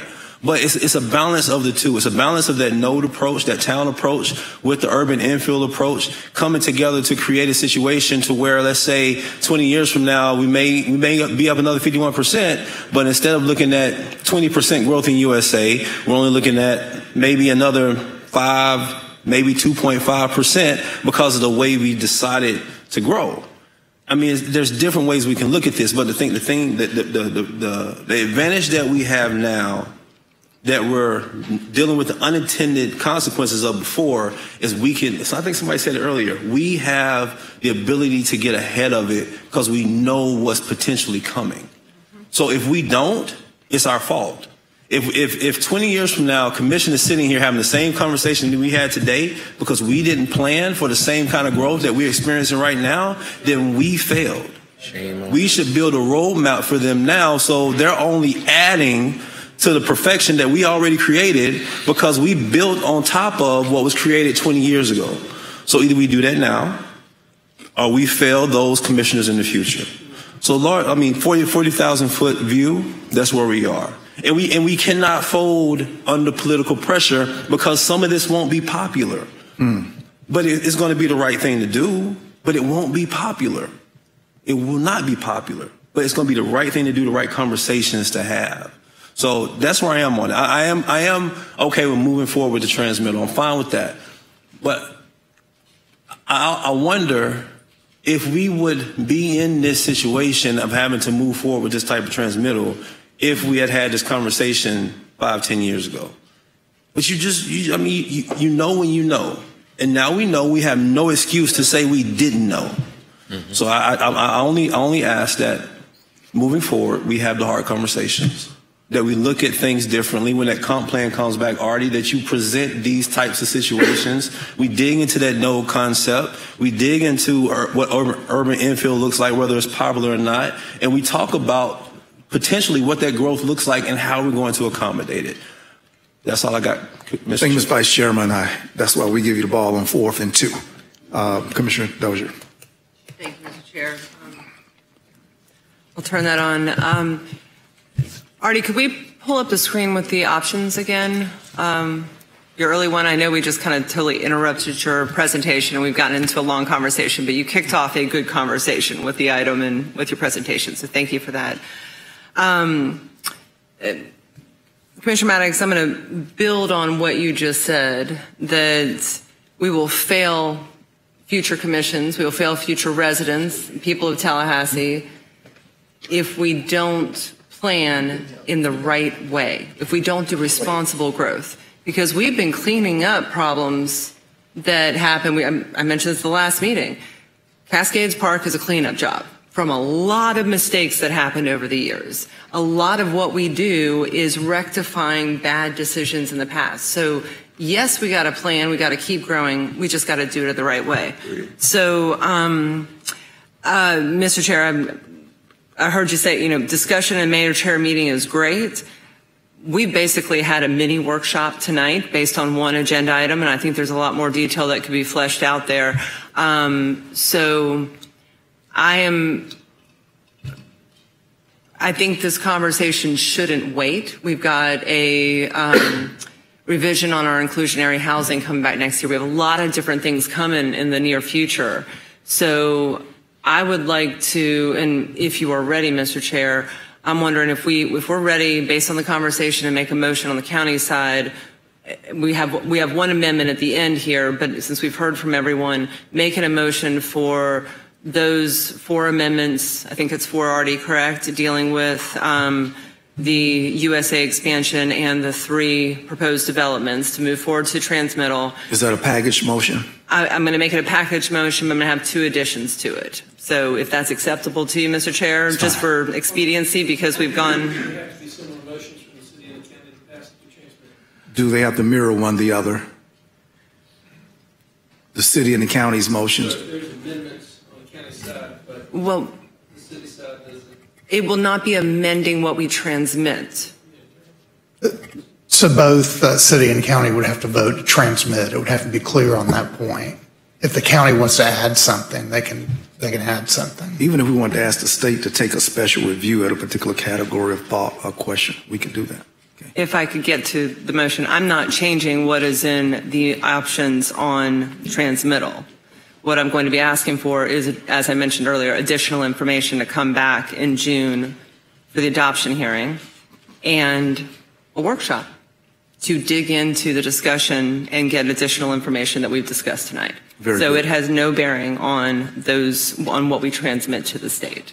Excellent. Um, but I, I want also to say, and I see Artie's hand if he wants to jump in, that we're not prohibited from seeking an advisory request opinion from the state as well if we're in a quandary, can't, you know, we just don't know what. And I think that we have that option. Well, the transmittal is that kind of review. Is that correct, Artie? That's And correct. yeah, so they will let us know if there are any issues. That's exactly what it is before we have the option to adopt or not adopt. Yeah. If it helps commissioners, uh, if you wanted to package them together, uh, for the county, it would be option three, four, five, and six. For the city, it would be options three and four. Uh, City does not need to take action on uh, five and six. Okay, Chair is entertaining that motion from Commissioner Dozier. Thank you, sir. So I'm making a motion for options three, four, five, and six with the addition of bringing back information on Southwood Plantation Road, the concurrency issues, the relocation issues, what infrastructure has already gone in in the past, bringing us that information for our June adoption hearing. And the second would be to have a workshop, I would hope a joint workshop, so I invite my city colleagues to do the same, um, but to have a workshop to develop this conversation, um, infill, urban service area, all of these, you know, these discussions and to expand on the item um, that we, we dug into tonight. I hope that was clear enough. I kind of butchered that last part, but thank you. Thank you, sir. That would be the motion with those, those two amendments. Very good. We, we heard that motion. It was seconded by uh, Commissioner uh, Minor. Was it? Nope. I'm sorry. The Vice Chairman um, seconded the motion. My voice is deep. And um, are there any comments from county commissioners on the motion? The Chair would, would like to weigh in with respect to, in general, comments which were offered tonight. And I think that, Mr. Mayor, at our meeting, one of those concerns is how do we include transportation uh, in concurrency with each of these uh, um, expansions? I think that uh, the policy of kicking the can down the road, um, Commissioner Maddox says we, we can't do that or uh, else we fail. Um, some years ago, it's been told that in 1959, uh, the option was before the county to purchase uh, a broad uh, swath of, of capital circle, and we failed. Many years later, it cost millions of dollars um, because of what we did not do then. The question that also concerns me is that uh, um, in Southwood, for instance, and I'm thinking about the um, the um, a governor, for instance, who desired to create a Southwood and a new um, state center, and um, got with the largest, say, property owner in the state of Florida, just hypothetical. It occurs to me that the state could easily arrest our local powers to make these decisions if the state so choose. And everything from what we've learned recently, from masking uh, to policies related to health and safety, the state has been preempting uh, that rule about don't shoot a gun in a, in a park. The state has told us to stand down. And we've been told multiple times by the state to stand down. And it's occurring to me in particular because this is the state capital that we could easily get a governor with an interest with a specific development company, developer, who would suspend our local powers. I just have to be honest with what And I think that the relationship with um, um, the governor of the years of Southwood um, and having the state component uh, was a, a carrot that made it awfully um, attractive. And because of the huge um, tendency of tendency of the state to occupy that land, it immediately gave it the uh, substantive um, swagger to be an attractive draw with all the agencies that were committed to that land. And I think that we have to think in terms of where we are, the tendencies of uh, government in recent years, that we just don't know how long these decisions will be in our hands. So understanding the dynamic, the unraveling of what we've known as a traditional uh, state local relationship, I think that we really ought to do all that we can to, um, as Commissioner Maddox has said, to set the um, groundation of policy and set the groundation so that the foundation of what we're doing can have a level resting and secure resting spot.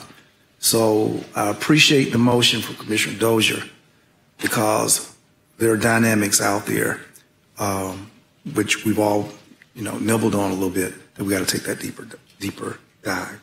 Hearing no other um, comments uh, on the motion coming from the county, all in favor of Commissioner Dozier's motion, please say aye. Aye. It passes unanimously, Mr. Mayor.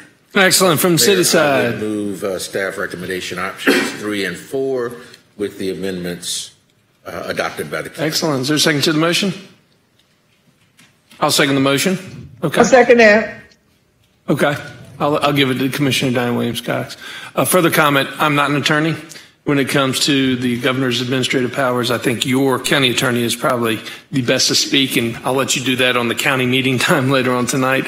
But it's my understanding that even as governor of the state of Florida, unless it's a declared state of emergency police state, he cannot single-handedly observe local powers. That would be a legislative action that would have to go through the session. So that is a whole nother fight. Mr. Chairman, you are correct on that, that we have to watch uh, each and every year, but I'm pretty confident that the governor couldn't do it all on his own unless it's a state of emergency. But I, I'll let the county attorney address that during y'all's meeting later on tonight. We got a motion on the table. All those in favor signify by saying aye. Aye.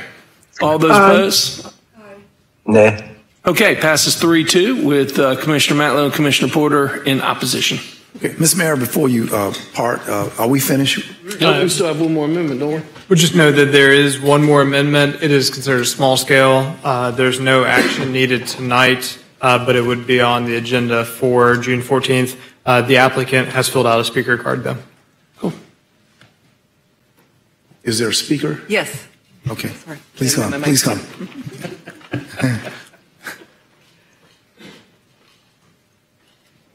Good evening. I'm Jim King. Do you need my address? Six, yes, no? 6650 Havana Highway, Havana. I'm talking about this little piece of land. Uh, survey actually says it's 0.51 acres. It's on Financial Plaza, which is along Maclay Commerce. Directly west of me is a big chunk of land that's going to become an, an urban pedestrian park. Uh, this little piece of land's had an odd history. It used to be part of a PUD, the Maclay Hammock subdivision, back in the 90s. And at some point, the city bought a big part of it, which is now going to become uh, a park.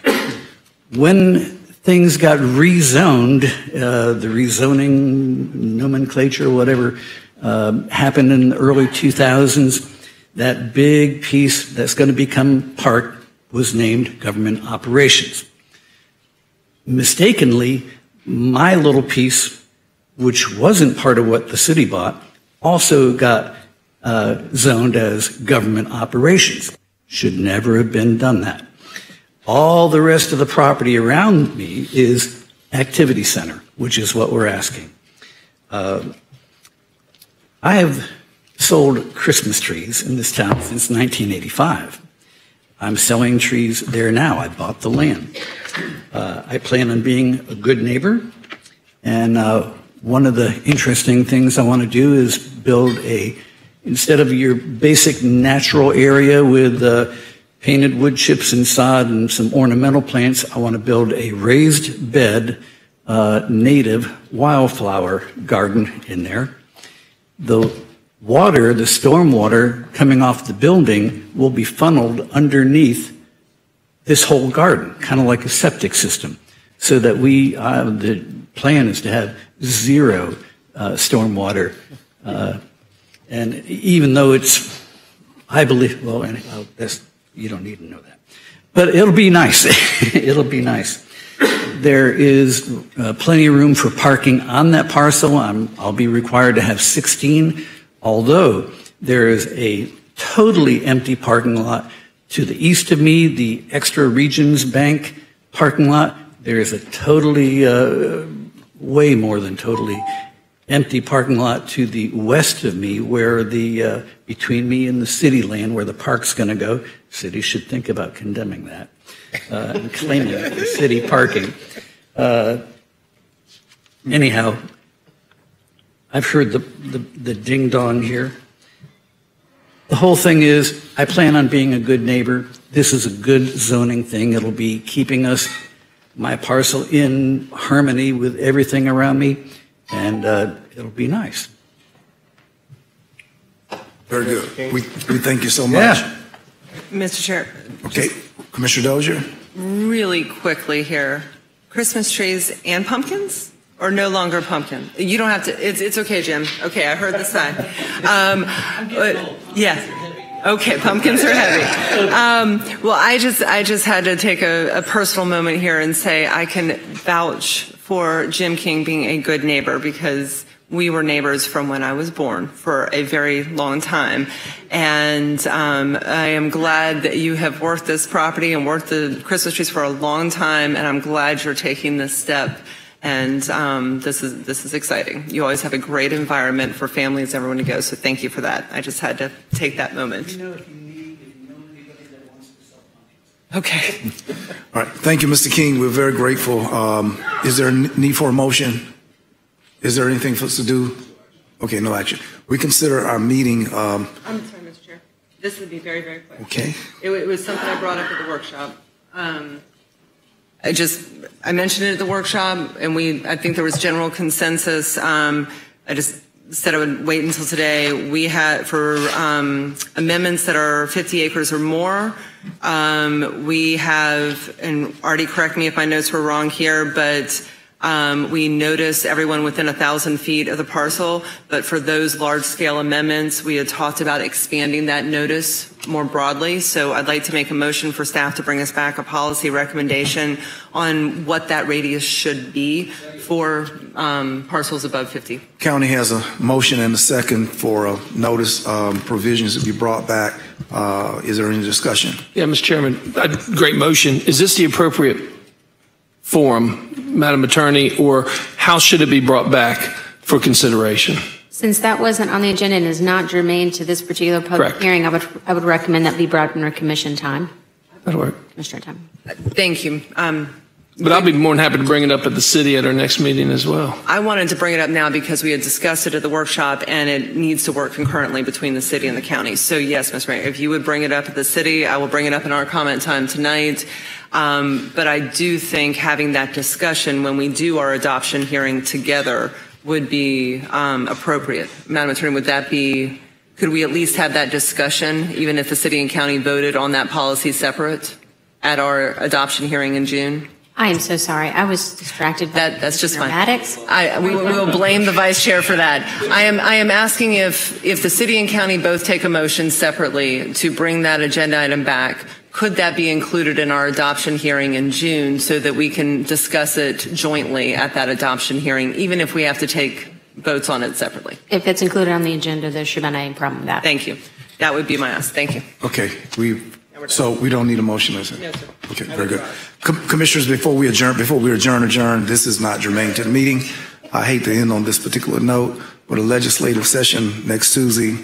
Uh, our community is one of two communities that will likely um, take a hit uh, with, with speculated proposals to annihilate uh, Congressional District 5. Um, It's my hope that um, if you have vocal voices, our community, the capital of- of of Florida, the capital community of Florida, to my recollection, has never not had at least one Democratic voice representing a county community with 58% Democratic voters. Uh, I don't know your sensitivities. Um, I'll be exercising my own personal and individual voice because the citizens in my district will be impacted. And um, I'm hopeful that city commissioners will give um, um, interest to uh, what will happen to us um, without a Democratic representative representing our community. We're a commission that has, um, I think, all Democrats. Thank you all very much. We'll adjourn. public comment yet, and I, I've been waiting for like two and a half hours. Please don't leave. I mean, We have are another public comment? Yeah. Yeah. We're, we're, oh, you guys are just taking a break? No, no, no, this was the joint well, hearing. does she have a card in? My understanding- Okay. County meeting's still going to be Okay, yeah. It's not on the comp plan. the county meeting, we're, we're Oh, you're going back up there? Yes, Yes, up there. Yes, She ma'am. Yeah.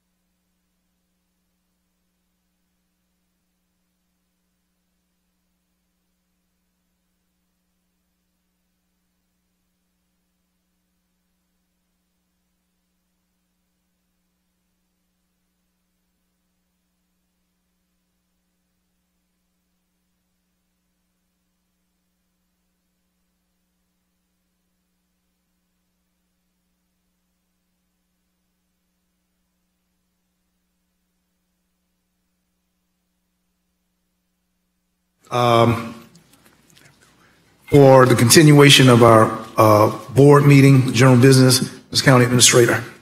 Thank you, Mr. Chairman. This item uh, requests the board to conduct the first and only public hearing to consider a proposed ordinance amending the official zoning map related to the former Coles location on Thomasville Road. The property, including the building and the parking lot, is currently split, split into two different zoning categories.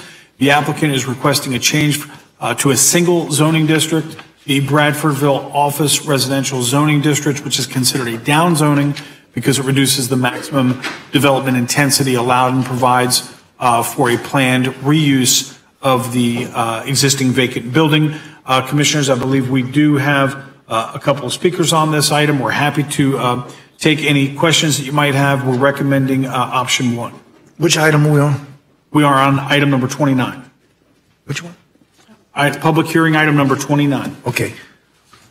Do we have any speakers? I believe we have uh, speakers uh, who are the developers' representatives. I believe they're here to answer any questions if the board uh, pleases. Commissioners, are there any uh, questions of the developers on item 29? We, we, we have no commission questions. Is there a motion for adoption? Okay, we have a motion for staff's recommendation on item 29. Is there a second? Yes, Commissioner Jackson. Okay, Commissioner Dozier, seconds. All in favor, please say aye. Passes unanimously. Our next item. Thank you, Mr. Chairman. Our next item, item number 23, it puts us back on the general business agenda, uh, is, um, as requested at your last meeting, Commissioner, provides an overview of Leon County and the HFA, our Housing Finance Authority's uh, respective roles in conduit financing, uh, including a review of the HFA's public engagement process. Additionally, Commissioners, as requested by the HFA, the item seeks the board approval to authorize the HFA to issue bonds in the amount of $55 million for the Ridge Road development. This is all included in the item before you, Commissioners. Uh, The conduit financing, uh, again, uh, is a means for private companies and and uh, other organizations to raise capital uh, via tax-exempt municipal bonds to fund large-scale projects that will benefit the general public. Conduit financing does not require uh, direct financial support to a project, and, and neither the county nor the HFA is liable or financially obligated for the bonds as a result. Uh, approval does not impact the county's bond rating uh, pursuant to policy and statutes. The board, however, is required to approve any HFA bond issues. Uh, as such, in the last three years, the board has approved the issuance of three affordable housing bonds for a total of about uh, just over $100 million. Uh, For this project, uh, uh, the HFA is requesting the board consider the issuance again of $55 million uh, in bonds. The project would build uh, 250 rental units on vacant property and set aside a portion of the property to build single-family homes in partnership with the Bethel Baptist Promised Land uh, CDC. In response to the board's, the board's concerns raised uh, regarding public outreach for the project, as included in your materials, the developer has uh, memorialized in detail how they will engage uh, the surrounding residents and neighborhoods through uh, multi in-person and virtual meetings beginning in May in coordination with the Promised Land CDC and other stakeholders. Should the board approve the bond issuance, commissioners, no funds would, would be released until the HFA completes its credit underwriting process and is, uh, and closing is scheduled, uh, which is expected to occur in spring 2023.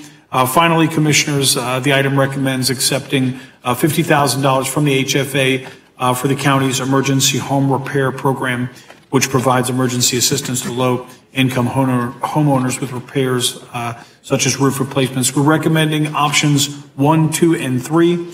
Uh, Commissioners, uh, we have uh, Shington Lammy here. We have the uh, Ridge Road developer, John Shepard, in attendance, as well as Mark Hendrickson with the HFA. All happy to answer any questions that the board might have. And I do have a couple of speaker cards. Okay, uh, Commissioners, before we um, get started, I want to hear from the developer. Uh, I was ill yesterday.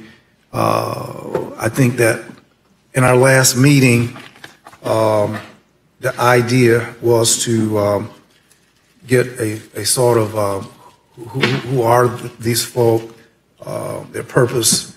I raised the issue of the 250 units um, condensed in that, that, that small property.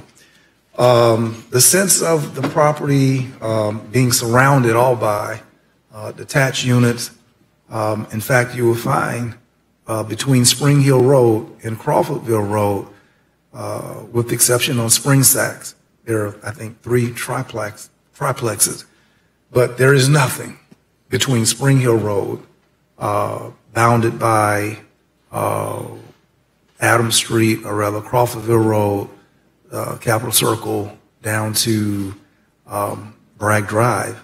Um, There's nothing of this colossal nature.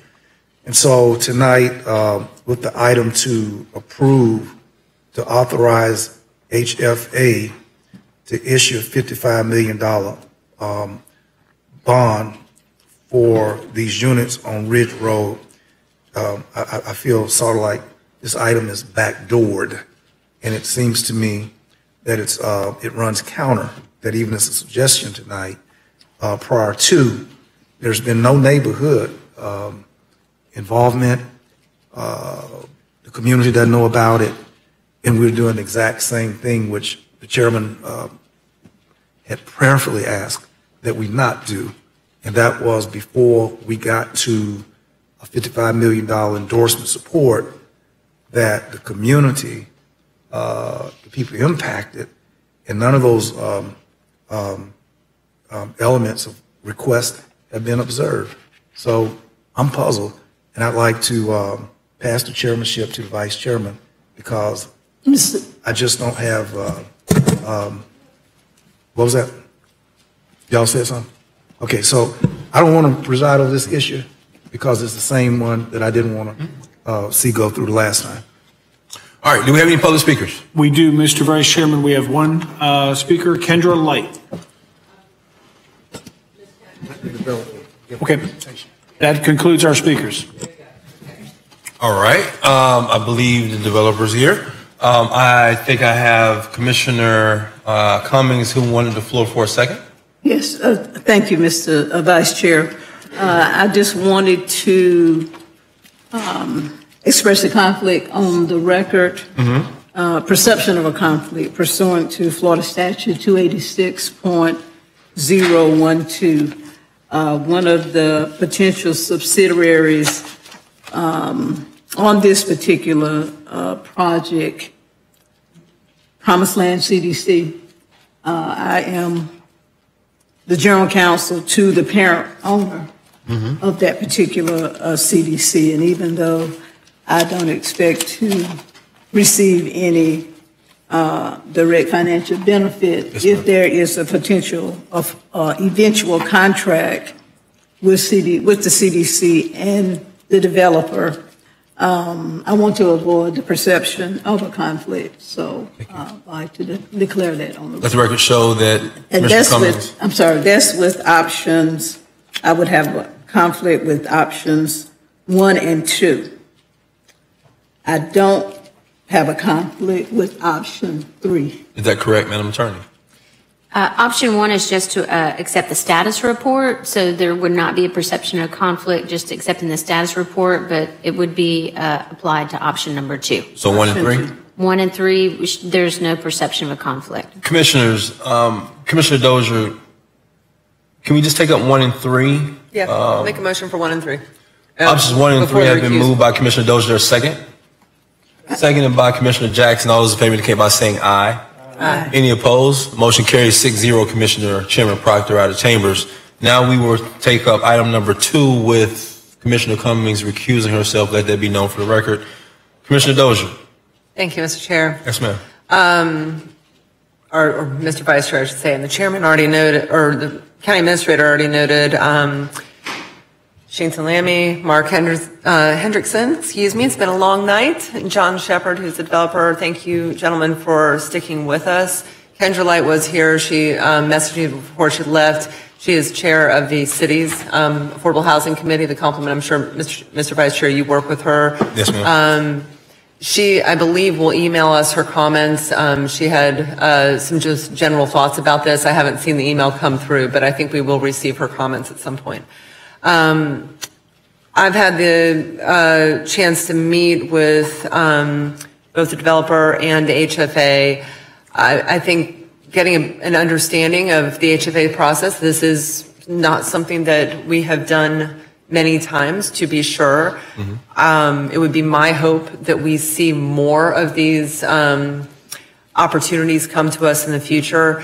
And to the chairman's concern, it is my understanding that getting the financing approved for the bond, and Mr. County Administrator, I believe you said a moment ago that no dollars are, are expended until there, there are many more steps in the process. But we need this approval to show Florida Housing, uh, I believe it's Florida Housing Finance, corporate, others, um, other funders, that the project has the financing so that they can move to those next steps. Is that correct? Mr. Mr. Administrator, before you answer that question, Commissioner Dozier, if you don't mind, at this late hour, I definitely want to go by policy. Would you mind making a motion?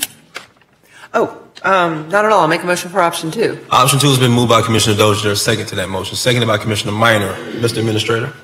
That's Oh, correct. yeah, Mr. Chair. That's correct. Okay, well, thank you. That was the- simply, okay. I'm glad I understand that properly because I do have a lot of confidence that neighborhood meetings, there has been a commitment to neighborhood meetings. And I think the work with Promised Land is very, um, oh boy, I know I'm tired when I was about to say promising. Um, sorry, I had to, I had to do that. Um, and I, I understand the chairman's concerns about, you know, and hey, we just had a multi-hour conversation on pushing through developments and how we're going to engage the public and all, you know, at what point that happens. We just made a la- major land use decision and the specific conversations won't happen. Well, we made one step in that process. The specific conversations won't happen until they get into the development review process.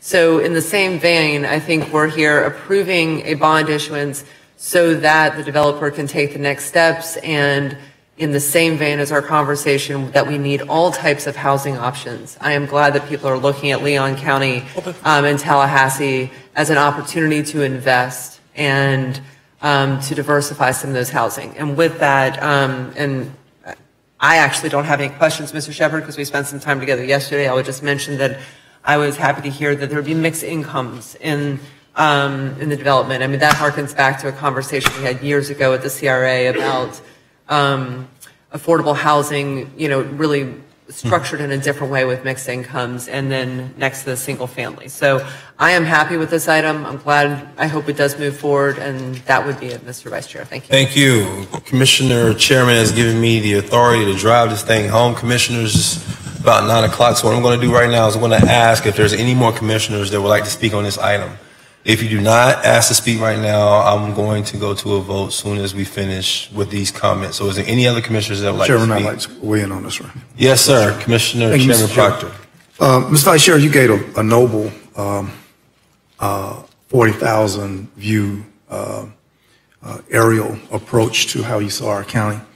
One of the things you mentioned that, uh, resonated and actually, um, um, captured my thought centers was that you said that areas such as Fort Braden, to use specifically your, your reference, um, each area would develop within its own character, its own uniquenesses, uh, and there would be no necessarily a carbon copy of what you do here, would be um, um, forced upon another area. I, li- I like what you said. And to your point, uh, specifically, this project uh, portends to be so far out of character uh, of what exists surrounded by seven, eight neighborhoods. And if, and if we're true to your vision of what you see at 40,000 feet, then we would be, or you would walk back your assertion of how we ought allow different areas of community to develop. Now, 250 units uh, in some areas may work. Let's say Orange Avenue. I mean, I think that's anticipated. But 250 units in this specific location um, is a lot. We don't need to ghettoify the South Side. And I don't care whose money it is. I grew up on Ridge Road. I give a damn. Black Lives Matter. But we can't put any old thing down there. I heard Commissioner Williams Cox tonight say the South Side is open, our doors are open.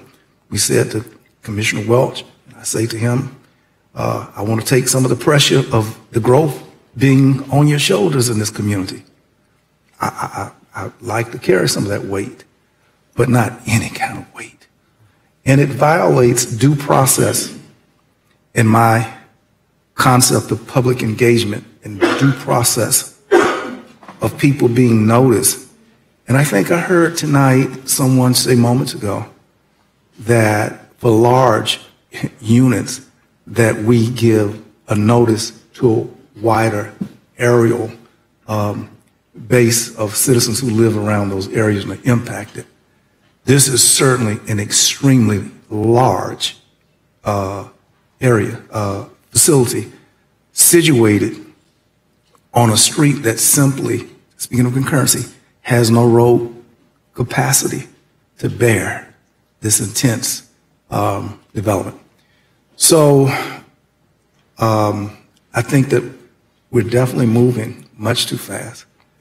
We have not had uh, a basis of scrutinizing uh, the project, and I want to apologize to the gentleman who desired to meet with me, and um, I apologize, sir, that um, I was in the emergency room yesterday morning for the better part of the day, and it's my daughter and my mama's prayers that I'm here right now.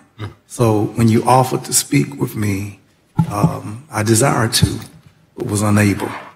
So I have not lost track, though, of my uh, concerns, and I feel like this is a, a runover. I feel like uh, we have not achieved. Um, I did speak with the chairman. Um, I did meet with um, the financial advisor, F- HFA. This still does not, anyway, substantively, speaking with the, uh, the developer or the chair of the HFA or the um, financial person of the HFA still does not subs- substantively uh, meet what I think is due process uh, criterias for the public engagement. And I think that this should really be delayed um, until after, and I think that I was going before the HFA and got a notice last week that that meeting uh, has been moved from, from, and has been delayed, the HFA's meeting. But I think that this should certainly wait until after the HFA has met. We would not treat any, any side of town except the south side and put them in this posture to catch up once you let this horse out the barn. These people can wait if it means anything to them. That piece of property been down there for, well, my family's lived on Ridge Road since 1961. And I don't think that dirt is going anywhere before we allow the community a voice. If you desire to run over those people, not give them a voice, that's your option. You, you're elected from your districts. But as the district's representative from that area, I simply desire for them to get a front end uh, input, conversation, respect, if we could afford them that. I don't know if a motion is on the floor, Mr. Chairman, but I'd like to offer a substitute motion that we delay um, taking this matter up until after the HFA has had their next meeting and until communities uh, have received more than a, a, a two-minute uh, opportunity to public hearing uh, from a public notice that was placed on the website of the HFA. And sir, I don't read that web page myself, and no other members did. So I, I'm strenuously uh, respecting all the voices I've heard about growth and development that we've just shared, housing and all of that. We badly want it. We want something, but we don't know if this is what we want. And I'm asking you to please give the people of the South Side a chance to um, get factored with their voices um, and not just the bigs and us deciding. That's my motion. Uh, Substitute substitute motion, motion's been made by the chair to postpone this item until after HFA has met. Uh, Mr. Administrator, when is, when is that meeting, do you know? Mr. Vice Chairman, I'd have to defer to Mark Hendrickson, who's here with the HFA, to respond.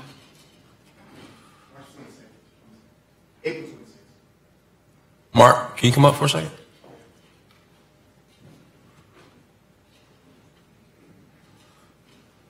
Yes. Um, Mark, you've, you've heard the, the chairman's request. Can you, can you speak a little bit to the logistics there? Uh, Yes, I think that, that um, we would much prefer that you move forward at this time. There's, there are issues unrelated to whether the dirt will still be there in two or three weeks. There's private activity bond allocation that is competitive, and the, there is a region, there's the, it is a first come, first serve, and every day that we wait is a day that someone else from this region could get the bond allocation and Leon County doesn't. We have no idea if somebody will step in front of us, but every day is a chance that we lose that bond allocation and, and it goes somewhere else. So we, we, Understood. Is there a second to the chairman's motion? Motion dies for lack of a second, Mr. Chairman. Can I speak to the motion?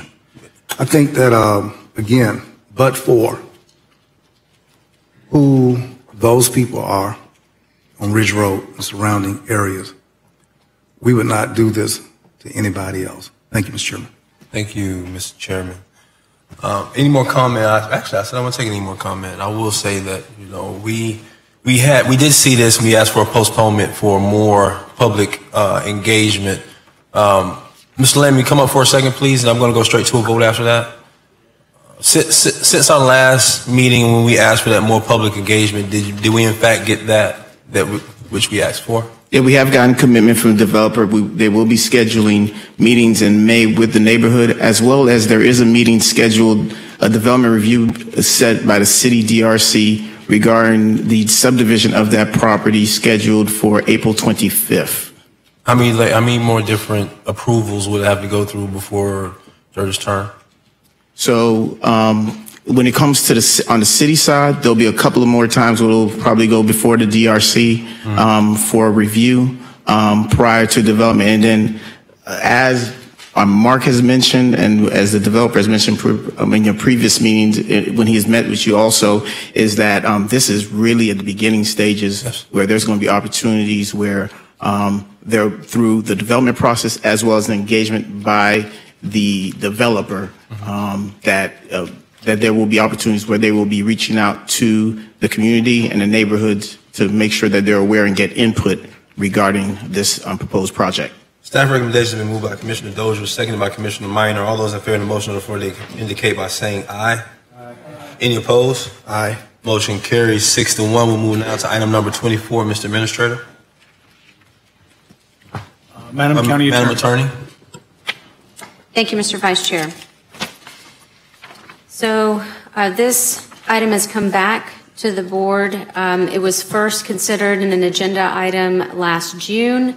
Um, At that point, the uh, board had requested additional uh, analysis, including financial analysis and a determination about what it would take, if possible, to obtain a uh, delegation from the Florida Department of Environmental Protection uh, for a local air pollution control program.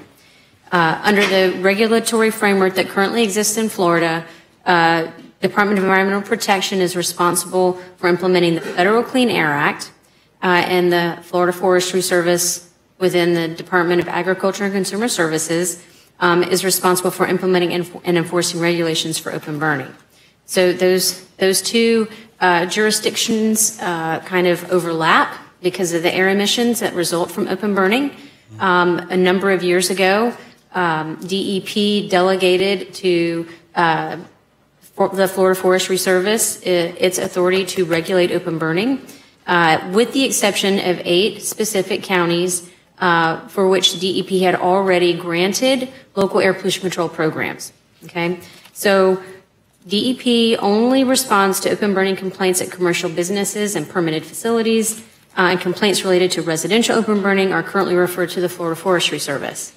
Um, There are uh, state laws and the statutes, but also uh, primarily in rules adopted by DEP and by the Department of Agriculture and Consumer Services that set current standards uh, for different types of open burning. Okay? Um, Specific to Leon County, the Florida Forest Service currently has four fire rangers who are responsible for managing and responding to open burning complaints. They are available 24 hours a day, seven days a week. Um, However, they only respond to complaints when there is an active fire. So if people call when there's not an active fire, they're going to be told, please call us back when there's an active fire for us to investigate. Um, At the July 13th, 2021 meeting, the board did consider that status report that I mentioned before. Um, The list of permissible conditions to burn uh, yard waste and trash uh, are on page 794 of the agenda item. Um, Please note that there are other standards that apply when other types of matter are being burned, so that is not an exhaustive list of the regulations that currently exist uh, in state rule. Um, But right now, um, what is before you is um, information about a delegation from DEP. You could request a complete delegation of the entire air quality program, um, and the financial impact to the county to do that is outlined in your uh, agenda on page 796. Um, The approval process could take several years, after which time the county would be eligible to receive some state dollars uh, to administer the program, but it is not anticipated that that uh, funding would be sufficient to cover all program costs. Um, The other option is to request a delegation of only the open burning portion of the air quality program. Um, That would be permissible for DEP to delegate that.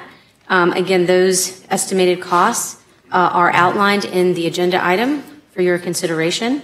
Um, And then finally, Section 18-142 of the code currently includes a statement that the State Forest Service has delegated all per- permitting authority in the county's unincorporated area in accordance with the State Forest Service's outdoor burning and forest fire regulations and law.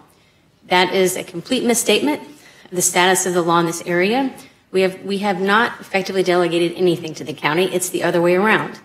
Uh, The state has preempted our authority to regulate open burning without a delegation to the county. For that reason, uh, I have recommended and request uh, that the board uh, approve uh, bringing back an ordinance to repeal uh, that provision in the current code. I'm happy to answer any questions you might have. Madam Attorney, is there anything prevents, prevents us from having a, um, uh, air committee of sorts? I am so sorry. Uh, air committee, is there anything that prevents us from having that just as an ad hoc committee? And do we already have that, Mr. Administrator? We have a- like an air committee, like a, you know, air quality committee?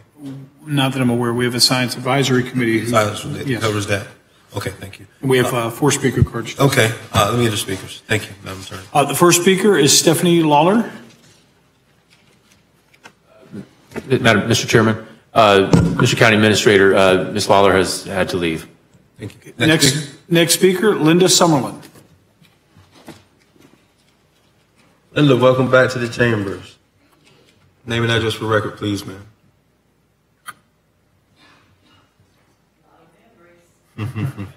Being late's one of them. Commissioners, we just want to simplify this by saying, if we could do something like prohibiting burning in a subdivision that has less than an acre of land. I've looked through, and there must have been a lot of counties that got grandfathered in because I looked at quite a few counties that have burning ordinances. And they all indicated what I wanted to ask y'all to do. And then they went to Department of Agriculture and Department of Forestry for the larger things. Pinellas County has a great burn ordinance. And out of that, one of the things I wanted to ask you to include was a recreational fire is one which is located inside a container such as a grill, a portable fireplace, or designated fire ring. And the total fuel area does not exceed three feet in diameter or two feet in height. We have a really lovely neighbor who has convinced everybody that his burn barrel in his backyard is his recreational burning barrel or burning fire. Or he, he thinks it is no different than having a fireplace outside or a ring fire. And there's nothing to speak against this. So he, he's allowed to do it.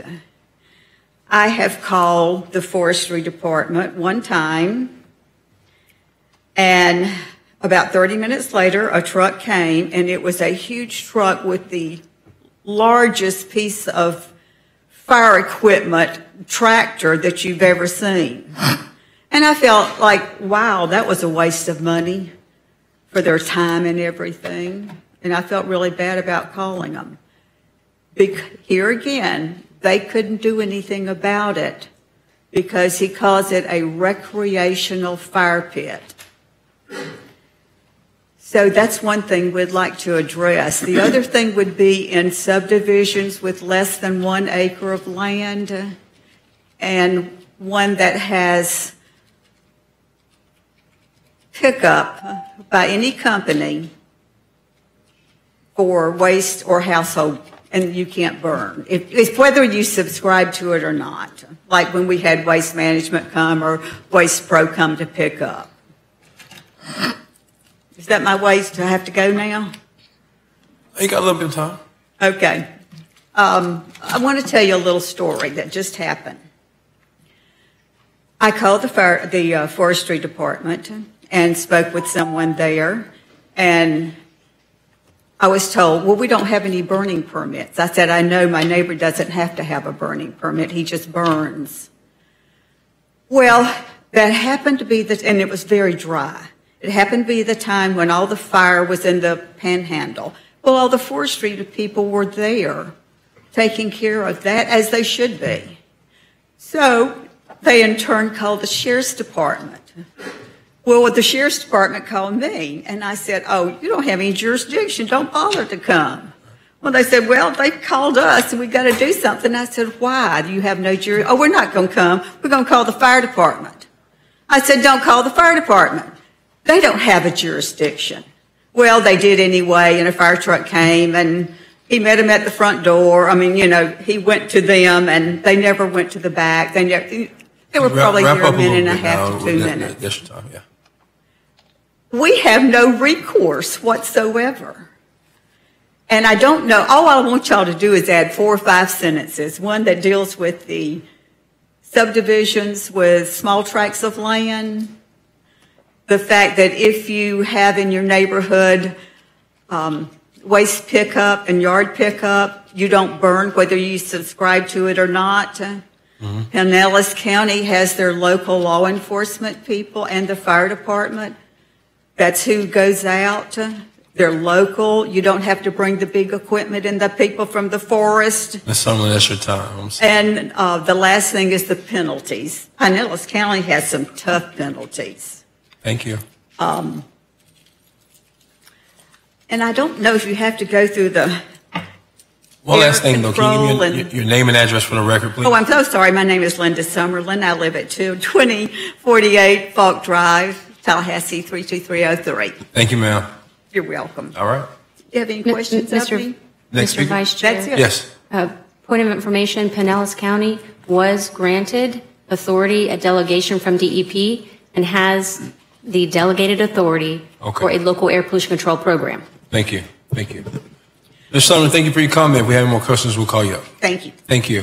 Mr. Administrator, next speaker. The next speaker is Rory Reese. How you Ms. Reese? Name and address for the record, please, ma'am.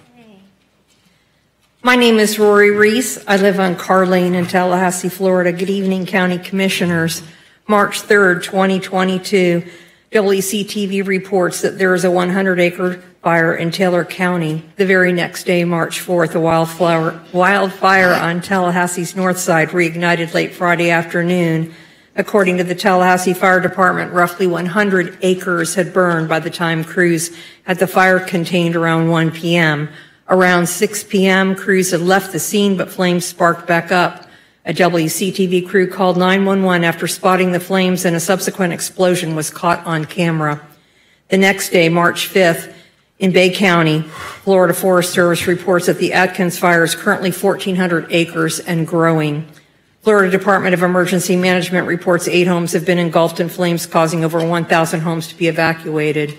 In April, crews also managed to improve containment on the Star Avenue fire, but by Wednesday, the blaze had burned 197 acres.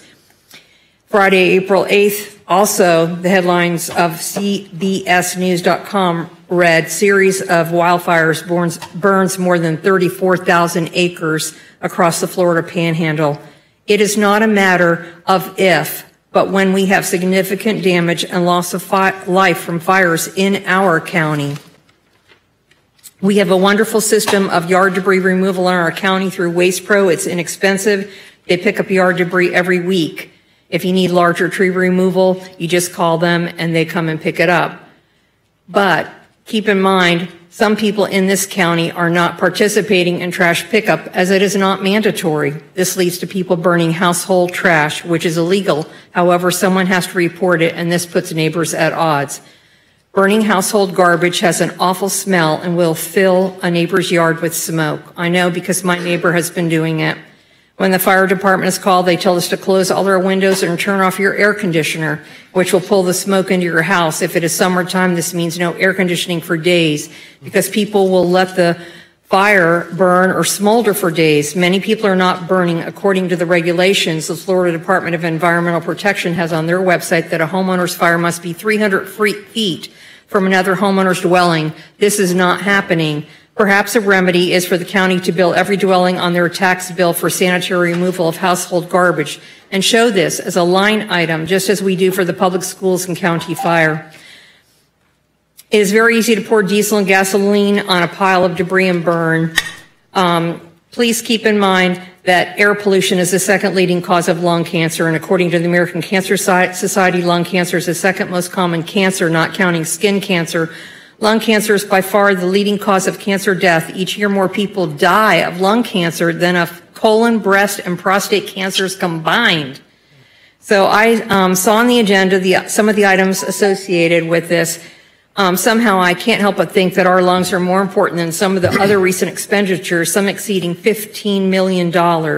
Perhaps a federal grant from the EPA is available to help defray the cost of monitoring our air quality and enacting some measures so that we too may be one of those counties that can ban open burning, which is causing the smoke. I've been in the health professions all my adult life. Leon County passed a mask mandate to protect our lungs from COVID, it is time we pass an ordinance or lobby the state's Department of Agriculture to change the laws to help protect all Floridians' lungs. I thank you for your attention. I have printed copies if you want it. Thank you. Thank you, ma'am. Um, you can give those copies to our recorder over there, and she'll get them. Or you can actually started with Commissioner Minor. Um, next speaker. Uh, final speaker, Kara Fleischer.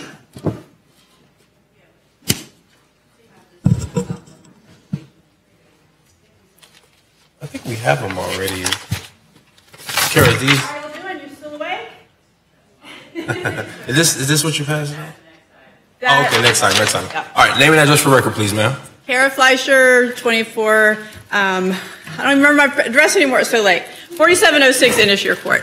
Um, I'm a Leon Soil and Water Conservation District Supervisor and very familiar with the burning situation in our area. I worked with the city for two years um, when they were um, when we were talking about the burning ordinance um, that the city has.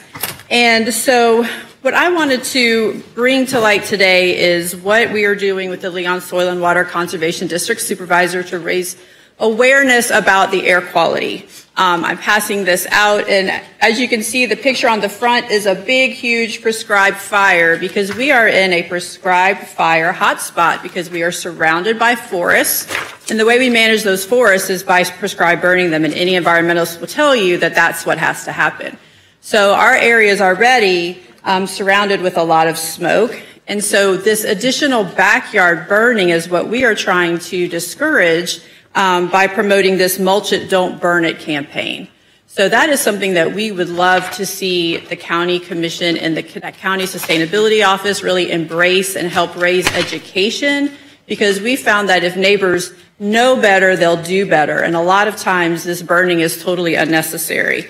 Um, some things that we've done as a board is we put the air quality on Twitter every day, twice a day, so you can go check and see what the air quality is. And this is from the EPA fire and burn map. It goes directly from the fire and burn map to our Twitter account. Um, it is really important to know that when we walked in today, it was smoky outside and it was 130 something PM 2.5, which is red, code red. We had a code red today as we were walking in, which I thought was pretty ironic. Um, and so the thing is, though, schools don't know that, sports um, coaches don't know that, and so we've got kids out there playing um, baseball, running track in these days that have very high PM 2.5 particulates, which is very bad for health, especially for kids and the elderly. And Miss Maisha, Maisha um, Mitchell has contacted me. We work together because the federal government has flagged um, the areas in Tallahassee 32304 and other um, underserved neighborhoods as being an environmental hotspot because of our air quality problems. So this isn't going away, and this is really affecting our community. Um, so what we need is more sensors. We need sensors to be able to um, see what the air quality is in micro um, community areas. So that means like every mile. And um, we are actively putting these purple air sensors in different areas all over town, and we would really love to work with the commission on doing that. These are low quality, uh, low, low price, good quality sensors. They're only $250, and we have some already around town, but we need more. We need a lot more. Um, the reason why is because if you have a backyard burn in one community, in one neighborhood, that neighborhood's covered in smoke but the sensors are not picking it up if they're three miles away, and especially not if they're the EPA monitor way down at TCC. So it really is about getting those monitors out there. So I just wanted to encourage you all to um, look at the pr presentation I sent you. I go to different groups and present about air quality. And what's really interesting is the EPA has a lot of tools for us already. They have these great flag kits so on red days, we can fly these red flags so the community knows. And they're doing this at schools all over the country because they have smog problems. We don't have car exhaust problems. We have burning problems. It's prescribed burning and it's also backyard burning. So I would encourage you all to um, work with us at the Leon Soil and Water District. Let us um, you know, share what we've already done and figure out how we can expand that to raise education. Thank you. Thank you. Thank you, ma'am. Any more speakers, Mr. Administrator? No, that concludes our speakers. Thank you, Commissioners. It's about 30 minutes after. I would like to be done with this in about 10 minutes. Uh, Commissioner Minor, followed by any other speakers? Commissioner Minor? Thank you, Mr. Vice Chair. Um, I I know this board and the county attorney have been working on this for well over a year. Uh, and it's been, it's been frustrating because we've got citizens in the county that have come to us that uh, are, are, really uh, suffering. Um, and um, it, it's not hundreds, it's probably dozens. Wait, Commissioner Minor, you have a motion for me? Uh, I'm getting, I'm leading up to it. I need to explain my motion. Option, one, I move for option one, option two, and then there are a couple of amendments to that. Thank you. Option one and option two has been moved with a couple of amendments. You want to mention those amendments? With a couple of additions to it. You want to mention those? What's that? You want to mention those amendments? I'm getting there. I'm getting there. Option one, option two, go ahead and mention, mention your amendment. And I'm going to add a couple of things to it. Yes, sir. All right. Um, people have a, a right to, to have a recreational fire on their property. Um, what we've found is that there are people in the county that um, are on the, on the receiving end of incessant burning, day after day, months on end uh, where a neighbor is, is either with a barrel or something else burning a fire uh, with the smoke that comes onto their property um, and endangering their health. And um, again, it's not hundreds of people probably, it's maybe some dozens of people uh, in these situations where their health is being affected by, uh, by a neighbor. And there's nothing in, this, in the statutes nor in um, uh, state agency rules that gives these folks any kind of leverage. Um, as, as much as we've tried to explore, and the county attorneys in her office have done a great job trying to figure out some way where we can add some balance to this, uh, not infringing on recreational fires, but infringing, uh, but basically trying to, to give folks leverage when we have cases of that, of that nuisance burning, that nuisance smoke. Um, here's my motion. So I'd, uh, I'd like to move for option one and option two. But uh, after talking with the county attorney on this, what I'd also like to do is request that the county attorney uh, work with FDACS, the Florida Forest Service, and DEP, encourage them, work with them to update, consider updating the rules that exist in those state agencies so that we are able to give some leverage to folks that are on the receiving end of this nuisance burning. Uh, right now, I said there's, there's nothing in the agency rules that helps citizens with this problem.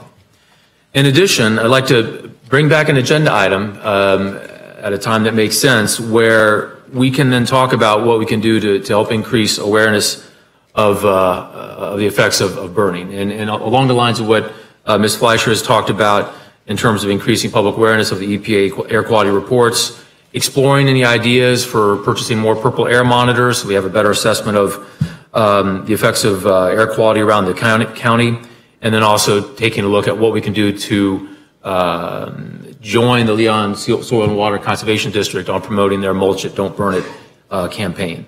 So that's my motion. Um, I, it's frustrating that we actually can't go in and, and have a more strict ordinance that gives folks that are uh, undergoing this problem um, more uh, more ability to you know be able to simply go out in their yard and enjoy their backyard.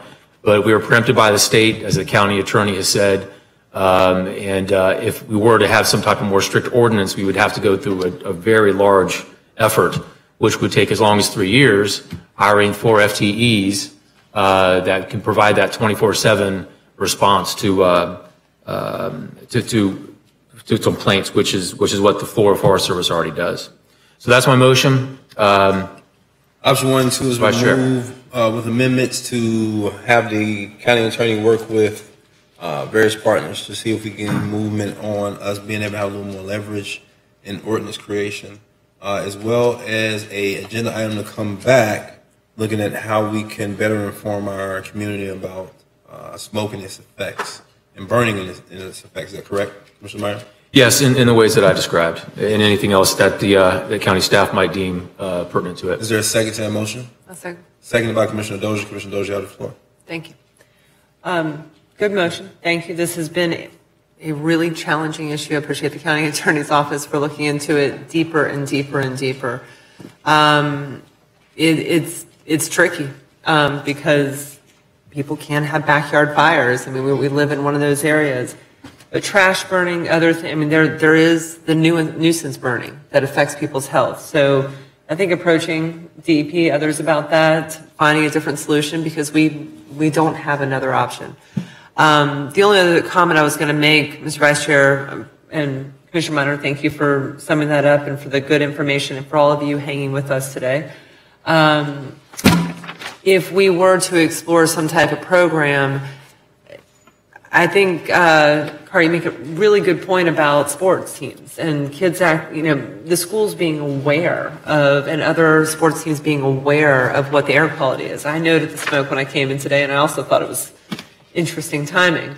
Um, so I would hope that we would look for options to partner with schools, with city, with others, universities, um, I don't think this is solely a county issue when it gets into that public education or monitoring. Um, we could look for the information and come back, but I would hope we would talk with them about uh, how to move forward. That's it. Thank you, Mr. Vice Chair. Commissioner Cummings? Uh, Thank you. Thank you, Mr. Vice uh, Chair. Um, I support um, Commissioner a Minor's motion because there is a, a problem, especially out in the out in the county. Uh, but I understand that we have delegated authority to the Florida Forest Service and Department of Environmental Protection as far as uh, the burn ordinance is, is concerned. Am I correct, Madam, uh, Madam Attorney? No, the reason I'm requesting the ordinance to repeal the existing ordinance is the existing ordinance says we've delegated, but in fact, that's not reality. We've been preempted. So that's why we need to just repeal the ordinance because it's, it's incorrect. Okay, thank, thank you so much. So the sole authority pursuant to Florida statute is on the state level and not on the local level. If we were to try to establish a local program that would involve just the establishment part, over half a million dollars, we would have to have the program in operation for at least three years for, to get sanctioned from the state as an operational program. I believe based on the analysis that we received.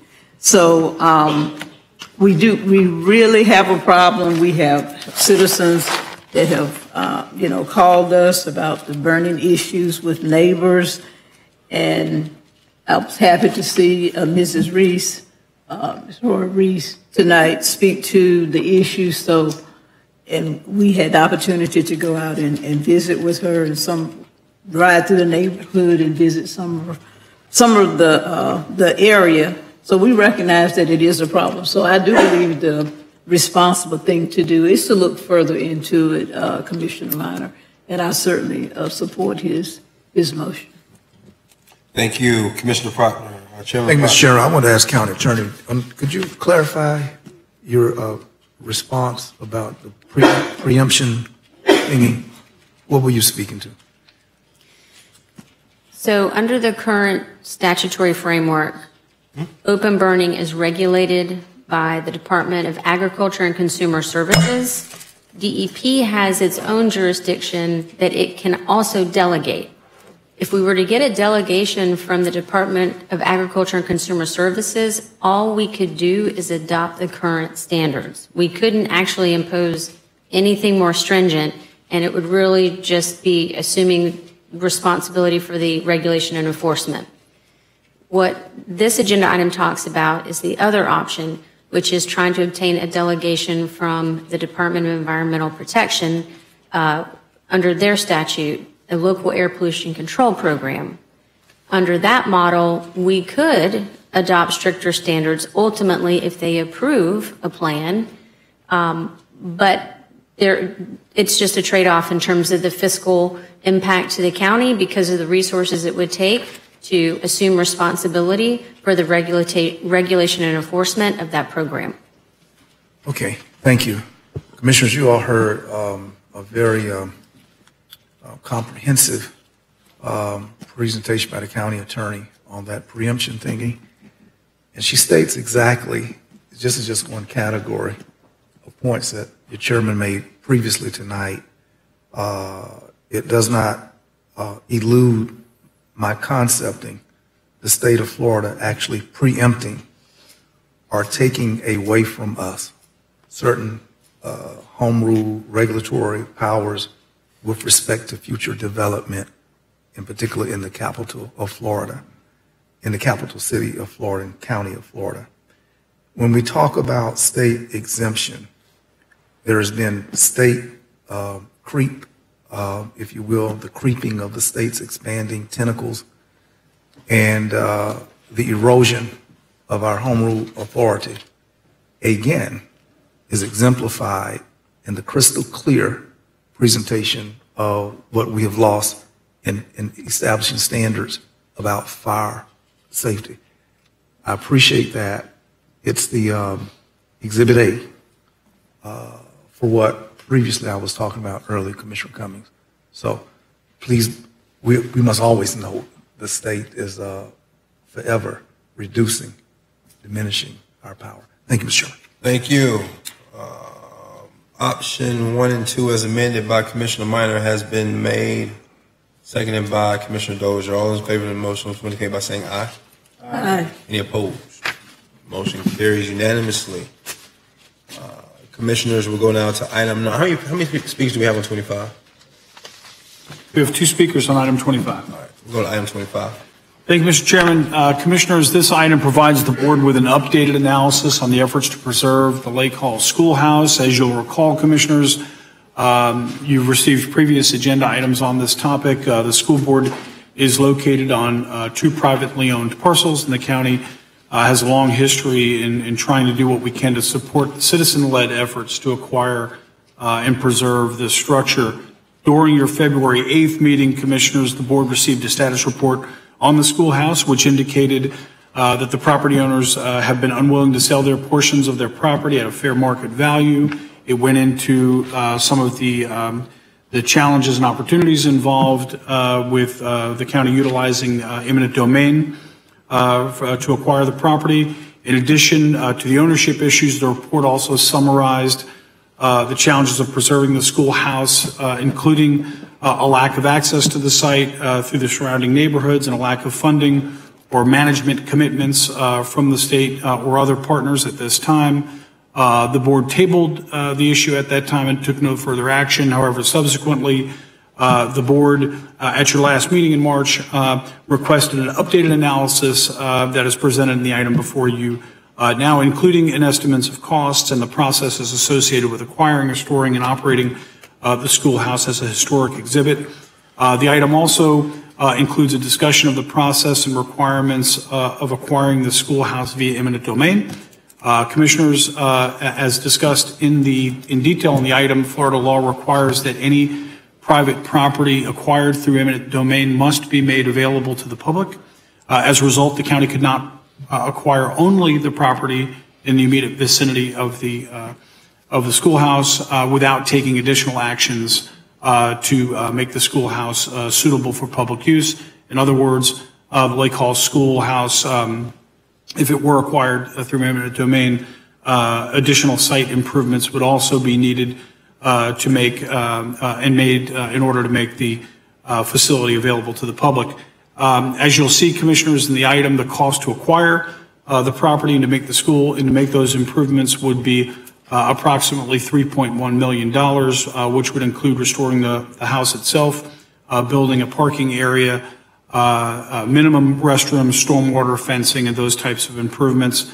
and that estimate would be for a minimal project scope, just to acquire the school, and one additional parcel uh, to the east uh, on Thomasville Road. As you recall, Commissioners, uh, Dr. Jerry C.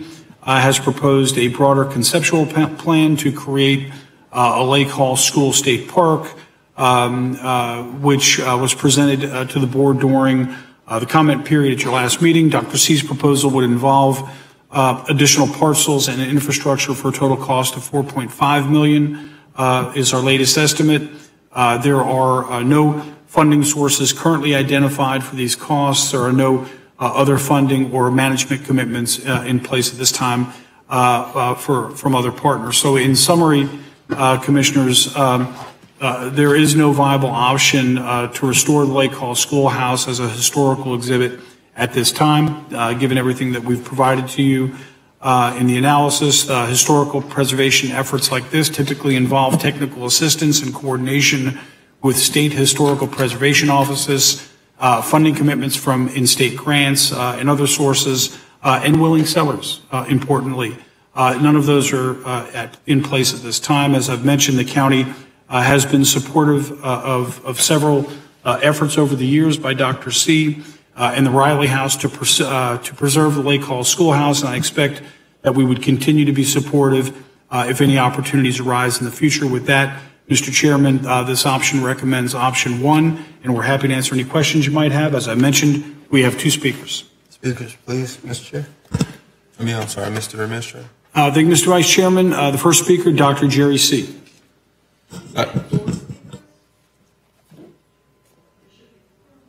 yeah. Yep. Dr. Um, see you're our first speaker unless you don't want to go first. I've got him. Okay. Hi, I'm sorry, guys. I forgot everything, but not really. Um, my name's Nita Davis, once again. 1111 East Paul Russell Road, Tallahassee, Florida 32301. I have been with this project for quite a while, for quite a few years. Matter of fact, the Department of State said I would find a chicken coop if I found anything, but instead I found a school. And um, I think I've said before, that school's been waiting there a long time, and it's still waiting, but it's, it's not going to stand forever. Its days are numbered. And, you know, you came up, these, these numbers you came up with. Well, Mr. Proctor, I don't know if you remember, but back in 1997, I stood up in front of you about Lichgate on High Road, and you pulled in and got some reserve seed money for Lichgate on High Road, and you helped us save that. And I sold, I sold my dad's Marine Corps uniforms from World War II to help pay that mortgage. But we saved it. And we have people from all over the world coming to see that place. And we have a dirt parking lot. The Junior Museum, you know, you're talking about how much this parking lot's going to cost? Well, look at that Junior Museum. They don't have a concrete parking lot. Lichgate people come from all over. We have one little driveway. We have a dirt parking lot. And for you guys to sit here and come up with these big numbers and say, can't do it, but yet you can eminent domain all those people over there on FAMU Way because it wasn't aesthetically pleasing to have that neighborhood there and drive down that road. And for a holding pond when there was absolutely alternatives to that holding pond it wasn't about that holding pond and you know it wasn't. And it's just like that school. You can come up with all these numbers to to not do it but that's all that is. You don't have the heart.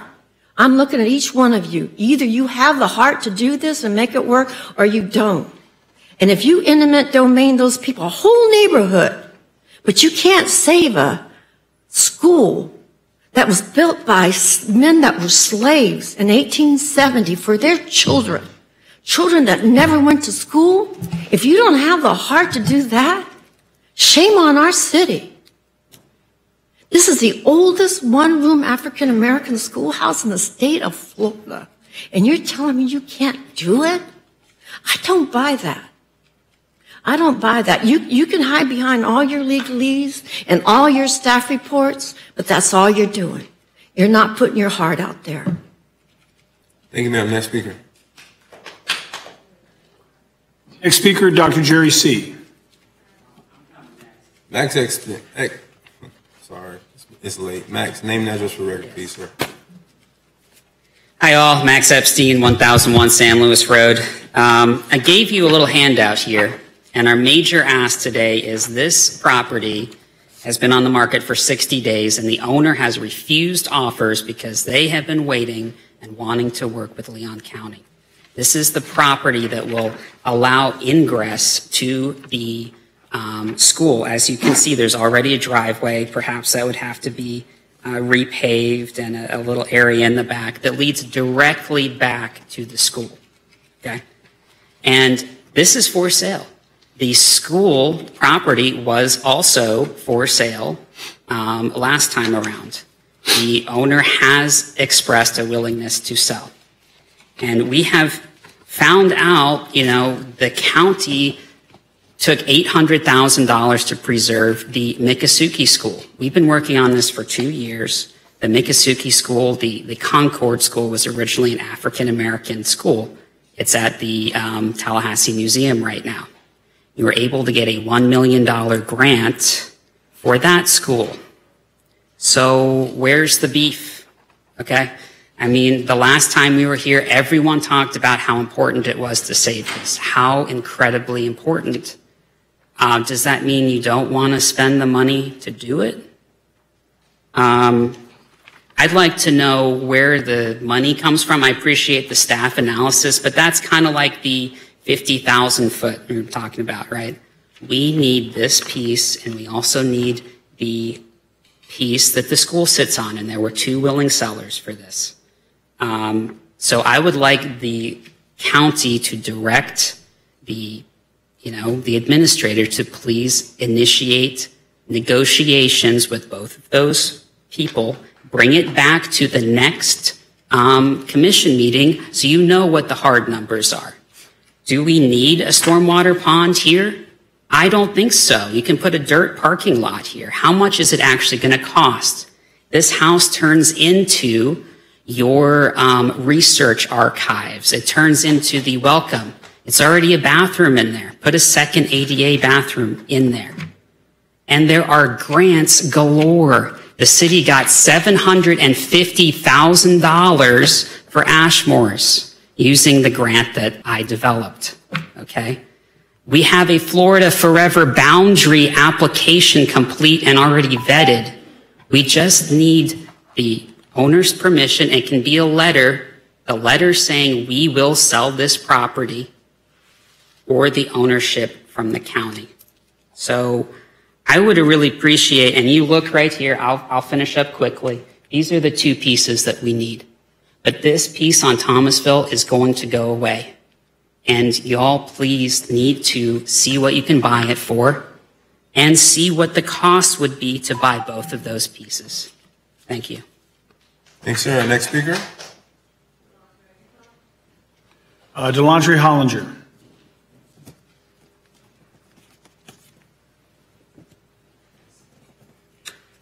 Good evening. Delaitre Hollinger, uh, 501 Alpha Avenue. Uh, Commissioner Proctor, I think you were the only sitting commissioner who was on the board when Mrs. Barnes uh, worked very, very hard to restore and to move Lake Hall School. Um, at the time, she wanted it for the Riley House's Visitor Center. Uh, that was 2006, if I recall. Um, that did not happen. When we talk about funding sources and grants uh, and the fact that none are in place, in order to secure grants for historic preservation, most times the property either has to be owned by a local government or by a nonprofit organization. And if it's owned by private property owners, many of the grants that are available are not going to come through. Um, a lot of work has been done by the many stakeholders and dynamic leadership in our community in reference to the Lake Hall School, uh, which is the oldest remaining African American schoolhouse in the state of Florida. I certainly disagree with the recommended action um, that is before you on this evening, and I implore the board to take into strong consideration how we could be a leader on issues of this magnitude in our state, especially considering the legislative climate in which we find ourselves. Again, we are speaking about the oldest African American Rosenwald schoolhouse that is still left standing in the state of Florida. I've also had the opportunity to review the analysis and conclude that the estimated costs for initiating an eminent domain action, restoration, public access, and other associated costs are far less than many of the other projects that our Blueprint Intergovernmental Agency has subsidized recently. It is far less than the $6.5 million commitments that our CRA board has made to the most impoverished areas of our city. It is far less than the county's annual operating budget, and it is far less than the $200 million in infrastructural investment that has been promised by Blueprint on the south side. And the estimated annual operational costs of $120,000 for a historic state park which would have a statewide positive impact and formally establish this site as a tourist destination pales in comparison to other annual activities that we fund consistently without fail each year. Commissioners, the worst thing that we could do on tonight is take no action on this item. This would be a surefire way to effectively kill this project when we could take this golden opportunity to do something that no other county in our state has done and preserve Florida's oldest remaining historical African American schoolhouse. Thank you. Thanks, sir. Next speaker. Next speaker is Dr. Jerry C. Uh, Dr. C, name and address for record, please, ma'am.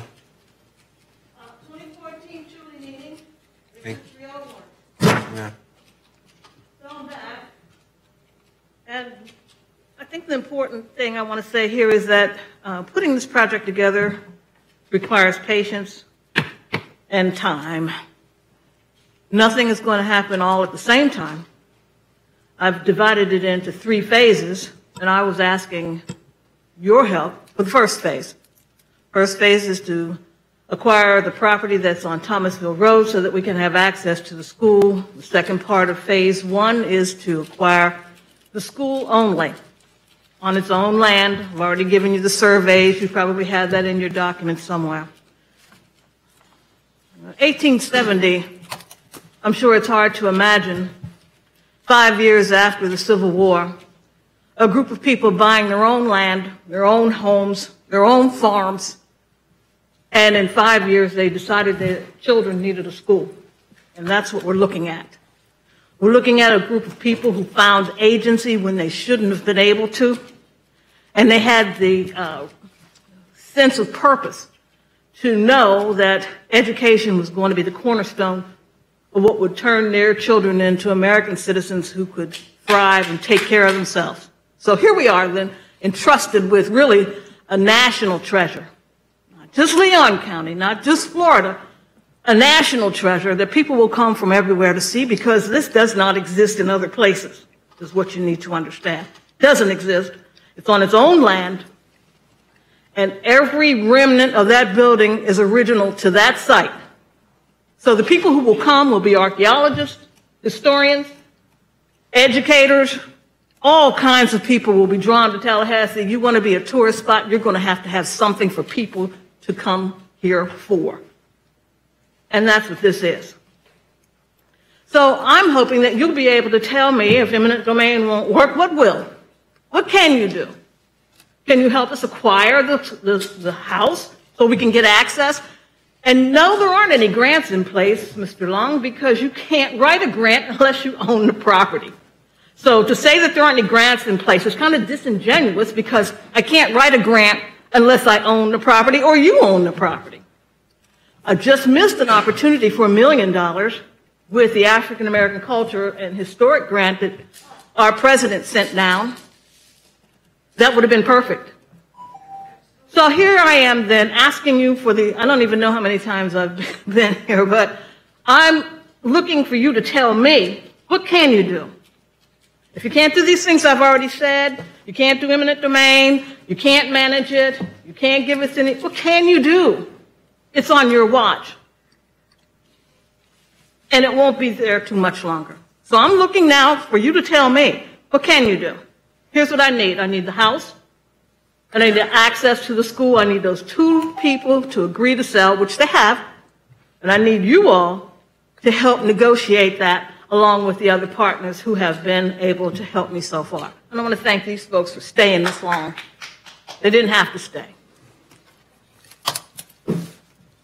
Thank you, Dr. C. Commissioners, discussion. Is there a motion?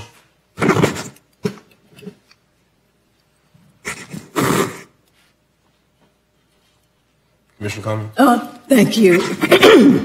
Thank you, Mr. uh, Vice Chair. Um, I want to thank um, the speakers that came up and spoke on this particular item. Um, Thank also staff for the detailed analysis. But I'm certainly in favor of preserving this particular structure as the oldest one-room African-American um, school that was built in, in 1870. And I'm wondering, uh, Mr. Vice Chair, if we can look at this from the standpoint of different phases. I recognize that the report that we have from staff looks at, in my opinion, from the beginning to the end, the acquisition, eminent domain of quite a few parcels. And I would like us to look at this in stages uh, rather than looking at a, acquiring or getting the right of way from several, from seven different parcels. If we could look at, if we would be willing to look at acquiring the perimeters of the property and what's necessary uh, for parking. And if Mr. Epstein is correct, this item 25 he has given us, he's represented, and I don't know, I haven't been out there, I've been trying to get out there, but I haven't, uh, that this particular property owner is willing to sell, and his, his position, his, his um, representation to us, that this would provide access to that, uh, to the Lake Hall Schoolhouse. Uh, So if that's the case, um, Mr. Vice Chair, I think it's incumbent upon us as county commissioners to preserve this, um, this particular structure if we can, any way we can, and look at it not so much from the three or four million dollars that, that we have before us, and, and I'm sure that covers years, because eminent domain can be a, a long process, and even after the judge issues an order of taking and you have the property, litigation can continue uh, if there's a dispute. you know, about the value of the property and, and, and different things. But what I would like to see us do is look at a couple of things initially, and I would call it, like Dr. C indicated, phase one. Phase one would be, let, let's see what we can do to acquire the perimeters of the property and what's necessary from a code standpoint for parking. And if this property is up for sale and if it would provide the ingress and egress that's, that's required, then why not delve into it and explore it and see if that would be the first step to preservation? And I don't think it would be a $3 million uh, price tag to do that initially.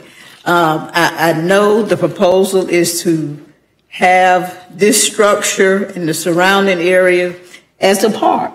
And that might be something that we could uh, realize some years down the road. Uh, once it's acquired, I think there would be grants that could be applied for. Uh, other financial support. Uh, but right now, I think we need to take baby steps, and I think the first baby step would be if we could just look at the at acquisition and look at access um, to to the property, and then take the next step um, with hopefully funding from from other entities, including the county. Uh, but that's my position, Mr. Mr. Vice Chair. I, I just I don't want to throw out the baby with the bathwater. Do you want to make that in the form of a motion, or you just want that just discussion? I'm sorry. You want to make that in the form of a motion, or is that discussion? Well, I, I'm willing to make the motion, uh, Mr. Vice Chair, that we, my motion is that we as the commission look at acquisition of this property in a bifurcated manner, with the first phase being looking at acquiring the property and looking at item 25, if in fact it will allow ingress and egress to the property, and ask staff if they can look into it and bring some information back. Is that proper? So it looks like Bring like- an agenda item back on, on that specifically. Yeah, Commissioner Cummings, it sounds like what you're saying is, is similar to what I heard earlier. You're giving the uh, county administrator the, the ability to negotiate with the property owners of those two parcels to see what the price would be coming back for those two pieces that would give the ingress, ing- egress, and the, the property specifically for the school as phase one. And then once that come back, we have a discussion on that, and then we talk about the next phase. Is that correct? Is that your motion? Is there a second to that motion? Are you going to second the motion? Okay, clarification. Thank you, Mr. Vice Chair. Um, I think number one, there's three parcels. You got that parcel plus the two parcels where the actual building lies. My question to the county attorney and, or the county administrator would be, and I'm inclined, as you all know, which is no secret, to support this activity. But I want to make sure we're not just continually banging our head against the wall here, coming back and back and back with the same result. And so my question to the county administrator is, can the county engage in a real estate transaction hand to hand for a, for a residential property? If, let's say hypothetically that we find out that that piece of property, they want $400,000 for that house. And then we find out that the two owners where the, where the schoolhouse sits want another collective $100,000. So now we got a $500,000 acquisition price, hypothetically. Then the county's got to go through and do the analysis for getting that property up to the code, up to, for parking and stormwater and all that. Maybe that adds another 500,000. A million dollars sounds a lot better than $4.1 million, hypothetically, theoretically. okay? So my question is, does that hypothetical mesh with county ability?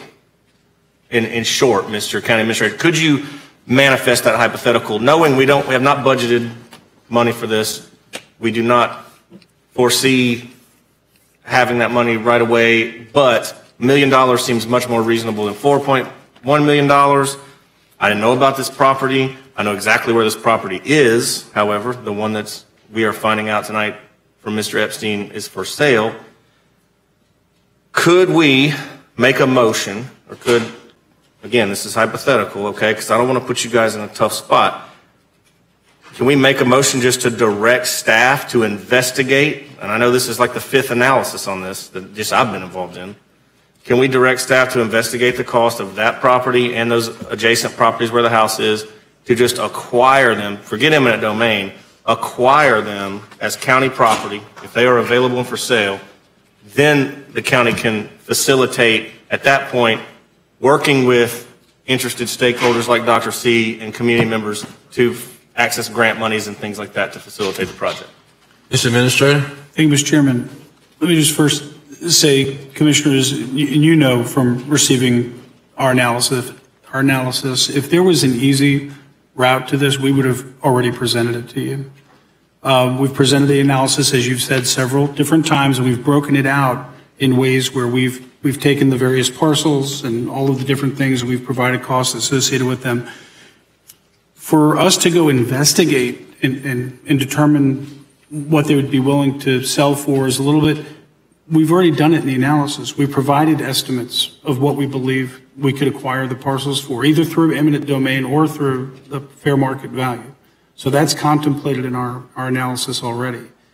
Um, so again, the, you know, now, could we come back to you and say that the, the, the uh, property owners are unwilling to, to sell? We, we could say that, but for the purposes of, of knowing what the cost would be and that sort of thing, we've, we've got those included in the analysis. But again, if, if the, again, if, if what you were looking for was for us to, to verify, and I'll look over here and I'll just check on, on the latest with, with Alan and, and Andy and others in terms of the, the most current status of, of the property owners and their willingness to sell or not sell, we could certainly do that. But as you know, we've, we've been engaged um, with this a while, and we know the numbers. We've got some pretty good estimates of what we believe uh, it would cost, even if they were willing to sell. Uh, any, any updates on the uh, on the property owners? What does that mean? Explain what that means. Thank you, Mr. Chairman, Commissioners. The analysis that's presented to you is the latest information that we have. We have nothing further from the property owners. I have no further information beyond that. Does that include Can I follow analysis of the property that, that Mr. Epstein brought up? Oh, hold on, hold on, hold on, hold on, hold on. Does that include the property Mr. Epstein talked about? That's correct, Commissioners. The parcel to the east of Lake Hall Schoolhouse is currently listed for sale for $425,000. And as Vince mentioned, then there's the, the, the issue of the, the um, uh, two portions of the properties on which the schoolhouse is located. And then the other piece that he talked about, that, that, that's also listed for sale? The parcel on Thomasville Road is listed for sale currently. Right. But he talked about another piece as well. I guess that was the piece. So that one piece is four twenty-five, what you're saying? Correct. All right, thank you. Um, so it is listed for sale, but it's four twenty-five. So for clarity, Andy, that house is listed for 425? Correct, on Thomasville Road. And as far as we know, the two people where the schoolhouse sits are willing to sell, as far as we know. And you know the price. At least as it, I know it's fluctuating, which is unfortunate. But I mean, 425 plus whatever they're wanting for those little tiny carve outs.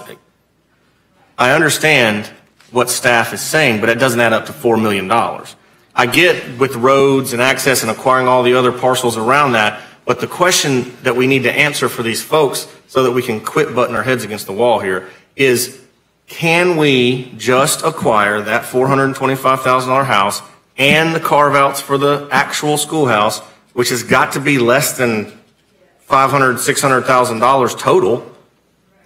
Then you're into this thing for way less than $4 million. Then you have a situation where you can access grant money with stakeholders in the community. I understand what you're saying, Mr. County Administrator and Madam County Attorney. I, I get the, the barriers and the boundaries that we're trying to operate in here, but I, I, I want us to try and be creative and not be, um, not be, you know, too obtuse about it. What can we hypothetically facilitate this thing, which I think we all want to do? I think we all want to do it with just if we know that person's willing to sell their property for $425,000, then the question becomes, can we functionally as a county facilitate that hand-to-hand transaction? Can we direct county staff to go talk to that homeowner and say, the county would like to engage you in a purchase of your property, and then take that information, if we can get a contract, and then go to the people that have the schoolhouse and go, we want to engage you in a contract for your share of the schoolhouse. I know we can do a variance to carve it all back into one piece of property. If it, my understanding is that's, that would be a contiguous property with an act, with a driveway. Obviously, there'd have to be more investment in it, but from Commissioner Cummings' point of segmenting it, kind of stepping it along the way, that seems like a pretty rational and reasonable step in the direction we'd like to go. The question becomes, can we do that? I would, I'm inclined to make a motion to do that, but I want to make sure I'm not crossing you up to the point that you can't, that I put you in a tight spot. Mr. Uh, Commissioner Welch, the, the, the motion's already been made. I'm, it's kind of waiting for a second, but.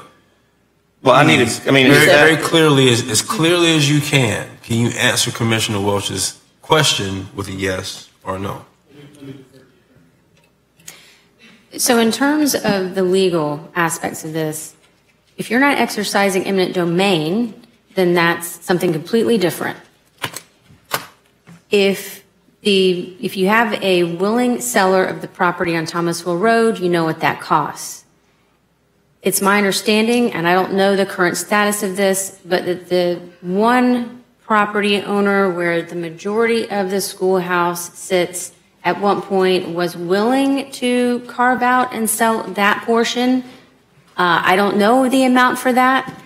It was my understanding the other property owner was not willing to sell that portion that the schoolhouse sits on because it sits so close to their house that they've built on that property. That may or may not have changed. But if you have willing sellers on those two parcels where the schoolhouse straddles, and they want more than fair market value, that is not something staff could do unilaterally under real estate policy. They would bring that back to you for consideration. Mm-hmm. That is the legal landscape that you're looking at. That is my question. Thank you. Thank you. So I, I want to support Commissioner Cummings' motion, but can we reshape your motion, Commissioner Cummings, to sort of capture that reality that it may not work the way we're, we're thinking it's going to work, right? So I would say, if you would allow me the indulgence, uh, Madam County Commissioner, to say we direct staff in this motion, or this would be an amended amendment, we direct staff to investigate the cost of that property in a hand-to-hand transaction at a market, fair market value, and also speak directly, not, no more eminent domain, now we're talking to just acquiring the properties through traditional means as a county government, ask those individuals where the property sits, it's where the house sits itself, to give us a, a fair, tell them can't pay more than fair market value, so you can't, you know, extort more money out of than you, than you normally would. Can we make that, I, I will second that motion, Commissioner Cummings, if we make it that way, that puts staff in a posture where they can be successful, come back and say, we offered fair market value, and these folks didn't want fair market value, they wanted more than that, or they wanted something else, or this or that. I would accept that friendly amendment. All right, the amendment's been accepted. We have a motion and a second. The motion is that we go to the property owners to ask them if they will accept fair market value for the pieces uh, that straddle the schoolhouse as well as the piece of land uh, that's now on the market for 425, which I'm thinking 425 is probably not fair market. But um, that motion is on the floor. Is there any more discussion on that motion? Yes, I have Commissioner Minor and I have Commissioner Dozier. Mr. Vice Chair, just a quick point of clarification, because we haven't been using the parcel numbers that are in the project map in the agenda item. So your motion, uh, Commissioner Cummings, seconded by Commissioner Welch, is to uh, basically investigate um, parcels two and three, which are the two small parcels on which the Lake Schoolhouse sits. Along with the, the parcel for the- Exactly, which is, on- which is for sale, listed at 425,000. Yes, sir. So we're looking at parcel Yep, one, two. parcel two, and parcel three. Yes, sir. Okay, thank you, uh, Mr. Vice Chair. So, so really what we're looking at there is, is one, but Mr. Administrator, ha- do you, do you guys al- already have an estimate of the fair market value? Yes. Okay, yes, and that is the item. Yeah, As- and again, there's been, been a lot of conversation, commissioners, too, about, you know, what we could do in phases, and certainly, we could do a lot of things, and we can bring that back to the board, but just, and I think you all know this, it's absolutely incumbent on us to provide you what we believe the cost will be to acquire this, including access, and what the minimal cost would be to make it available to the public. Hmm. We can make a lot of assumptions on a lot of different things about grants and different things like this, but these are the minimal costs, and that's our role. That's what we, it's a very important that that's incumbent on us. Thank you. That we provide that to you in the analysis. Thank you. Commissioner Dozier? Thank you, Mr. Chair. Um, This is, this is a really difficult issue because, um, well, quite frankly, it makes me reflect on our ongoing discussions about hiring a staff person in conjunction with the city to work on cultural and archaeological resources. Um, he didn't walk with us on that. I I hope, you know, we get there in the future. But it is an effort to never be in this position again. We never need to develop a neighborhood around a resource like this, a, a historic, I mean, just, just such an amazing part of our history, oldest in the state, that we should be able to protect. Once it is locked in with private property, it gets more and more challenging. So I just, I needed to put that out there because I do appreciate this board's, you know, digging into that issue because we're trying to prevent these types of things from happening again and add resources. Um, I'm, I'm a fan of getting creative. I mean, this, like you said, Commissioner Cummings, there's a lot of property listed in this and, um, and there were other concerns that I'm sure you all have talked, that the county attorney brought up in our briefing about using eminent domain. Correct me if I'm wrong, ma'am, but that some grants, if we were to use eminent domain, we, whether it's a nonprofit or the county may be prevented from accessing some grants um, because they need a willing seller. Is that correct? Did I remember that language correctly? That's correct. Okay. And that included Florida Forever? Is that, I may, I may have had that wrong, but I thought That included the Florida Communities Trust Program. the, I'm sorry. The Florida Communities Trust Program? Okay. But not the Florida Forever program? It, thank you, ma'am. It- I thought that was in the item that Florida Forever, they try to get willing sellers. I wasn't sure if that was requirement for the grant. Yeah, okay. So I, I came into today hoping that we would have had a creative solution, and maybe we will stumble onto that. But the fact that using eminent domain, which requires a public purpose and may prevent us from getting some grants, well, I'm looking at a scenario where the county may be on the hook for improving the property and using it for that public purpose. Now, there's value in that to be sure. I take some issue with comparing it with Concord School and others. I mean, certainly the original is at Tallahassee Museum, but the existing in Miccosukee, that's where I went to school, and it's been used by Boys and Girls Club, and I mean, it's a valuable asset in that community. So, I mean, these are apples and oranges, in my opinion. So, we need to focus on this particular project. So, I was concerned about the eminent domain. If there were a way to acquire the parcels that are part of this motion, just the one fronting on Thomasville Road and the schoolhouse itself, is that enough um, in both items, you, in particularly the last one, Mr. County Administrator, but you and the county attorney have, have really gone to lengths to explain how much we need to do to be able to open it to the public. I, I understand, you know, maybe some people think it wouldn't need a stormwater pond, but their land use um, or there's development rules that we have to follow. We impose them on others and we have to follow. So would that one parcel and the schoolhouse be enough to get started to apply for grants and to meet that public access requirement? You may not know that at this point, but um, We wouldn't know it at this point. Okay. We'd have to do some more research on it, and we'd have to, again, ours is to present you sort of the big pictures. There's a lot of things that could happen with result, as a result of this, but again, uh, we can't take any of that to the bank. And, and by the way, we've, we've done a lot of this before. Yeah. Yeah. This isn't the first time we've done this. Dr. C, I I appreciate the fact that you want to speak and you're excited about it, but it's it's 10:20 and I cannot concentrate on too many voices at one time. Commissioner Dozier, finish your comments. Thank you, sir. Um, I am with you all. I would like to find a way to get this done. But we have so many needs in this community.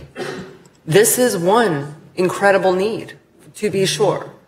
But if Leon County is left with property on Thomasville Road and with a historic structure that needs improvement and we cannot make, meet those requirements with that limited amount of property, or we can't get the grants, that gives me pause. We are sitting on other property and not necessarily the county. There is other property out there that city and county have acquired a lot. Okay, I'm going to take the county out of that. I'm really thinking about city property. Forgive me, Ms. County Administrator. I don't want to toss you in there.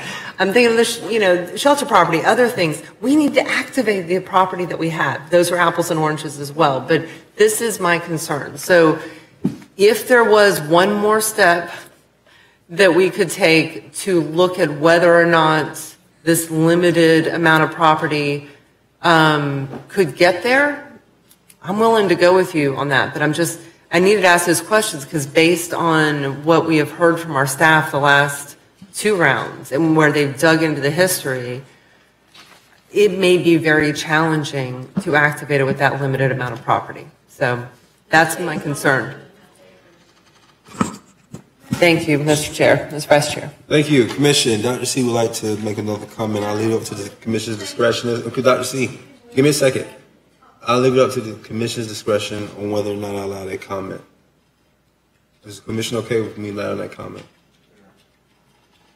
Dr. C? Yes, I wanted to make sure you understood the council microphone?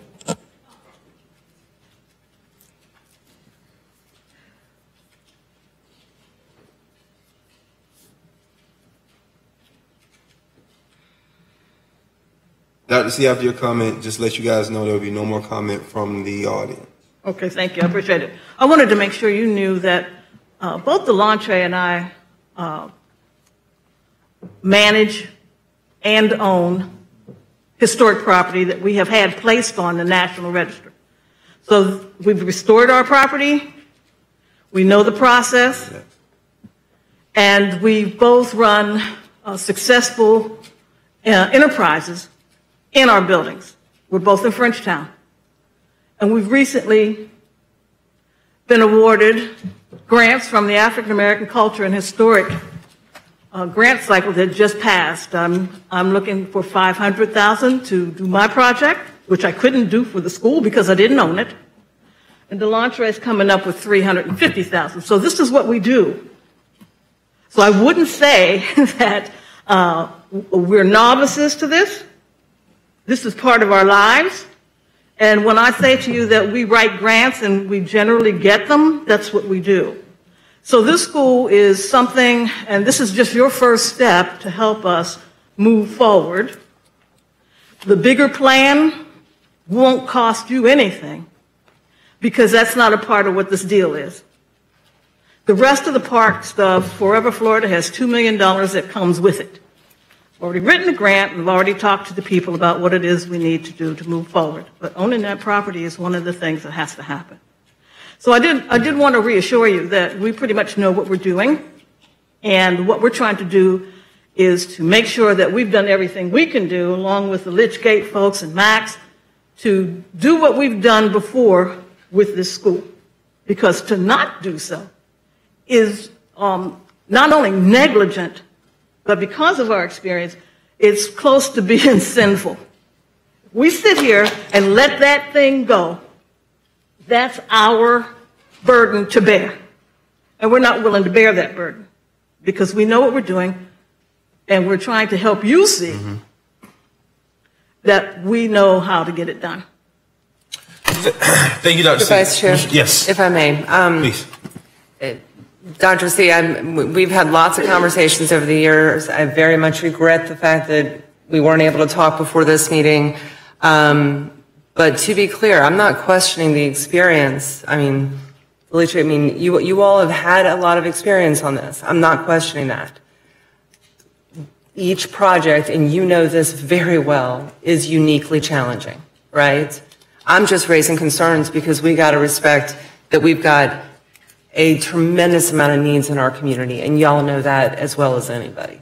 So that's, um, we're doing our due diligence. That's what we have to do. As much as personally we would love to get it done, it's a hard thing to get done, or else we wouldn't have been talking about this since 2006. It's hard to get done. So I appreciate the efforts. Just wanted to say that, Mr. Ch- Vice Chair, because everybody's working hard. Our staff has worked hard on this. There may be disagreements, but this is a hard thing to get done because we didn't protect it in the first place. And nobody on this dais is responsible for that, but we can try to do what we can at this point. Thank you. Thank you. Motion on the floor made by Commissioner Welch, seconded by Commissioner uh, Cummings to, yeah. Motion on the floor made by Commissioner Cummings, seconded by Commissioner Welch, where we will look at giving the administrator the- and staff the ability to uh, offer for- fair market value to the property owners that straddle the school and the property owner that would give ingress and egress to the school plus a parking lot. Um, That motion has uh, been made and seconded. All those in favor of the motion on the floor indicate by saying aye. Aye. Those opposed? Okay, carry, motion carries objection.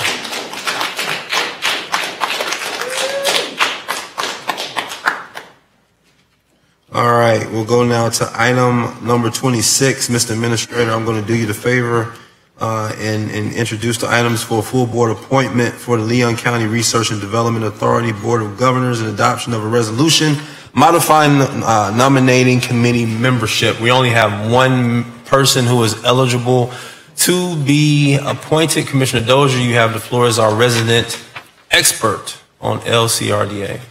Thank you, Mr. Chair. Um, I did not say this earlier. Um, well, first, because you're going to ask me if I start talking, I will make a motion. Thank you. For a staff recommendation option. Staff recommendation has been moved by Commissioner Dozier. Is there a second? Uh, uh, seconded by uh, Commissioner Minor. I want you guys to know that Mr. Uh, Mr. Brian there has sat through this whole meeting just for this item. Raise your hand and wave to us. This man has sat through this whole meeting just to see that he could be appointed and answer any questions that we may have of him. So we can make good use of this time and ask him at least one question. Brian, could you come up, please, sir? Give your name and address for the record. Commissioner Dozier, the floor is yours. Thank you. Um, well, you beat me to that because, yes, sitting here for the entire meeting, and I didn't even get to engage with, talk with you before, I mean, just to say hi. So thank you for staying here, and um, we, we have talked, thank you for your interest in the board. Um, so before we get to um, Brian's comments about his interest, if, if you don't mind, Mr. Vice Chair.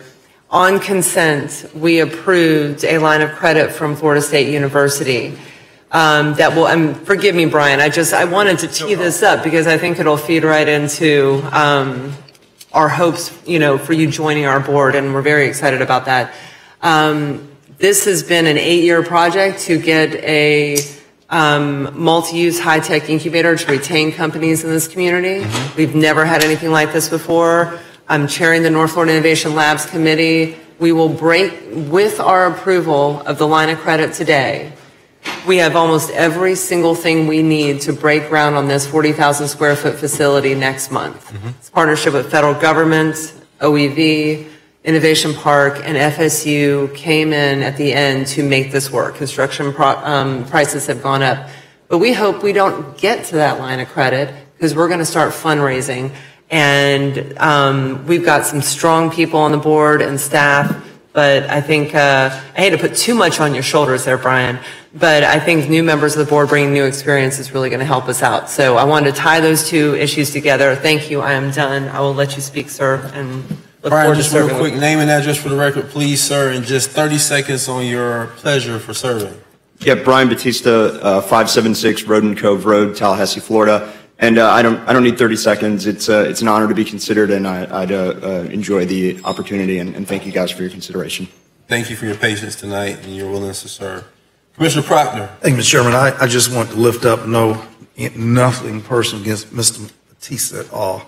Um, but as a matter of process, uh, that this particular board is allowed each member to uh, nominate its successor. Um, I was just pondering this, um, I know that democracy is on life support, and it's a dying um, model of, of, of, of um, governance.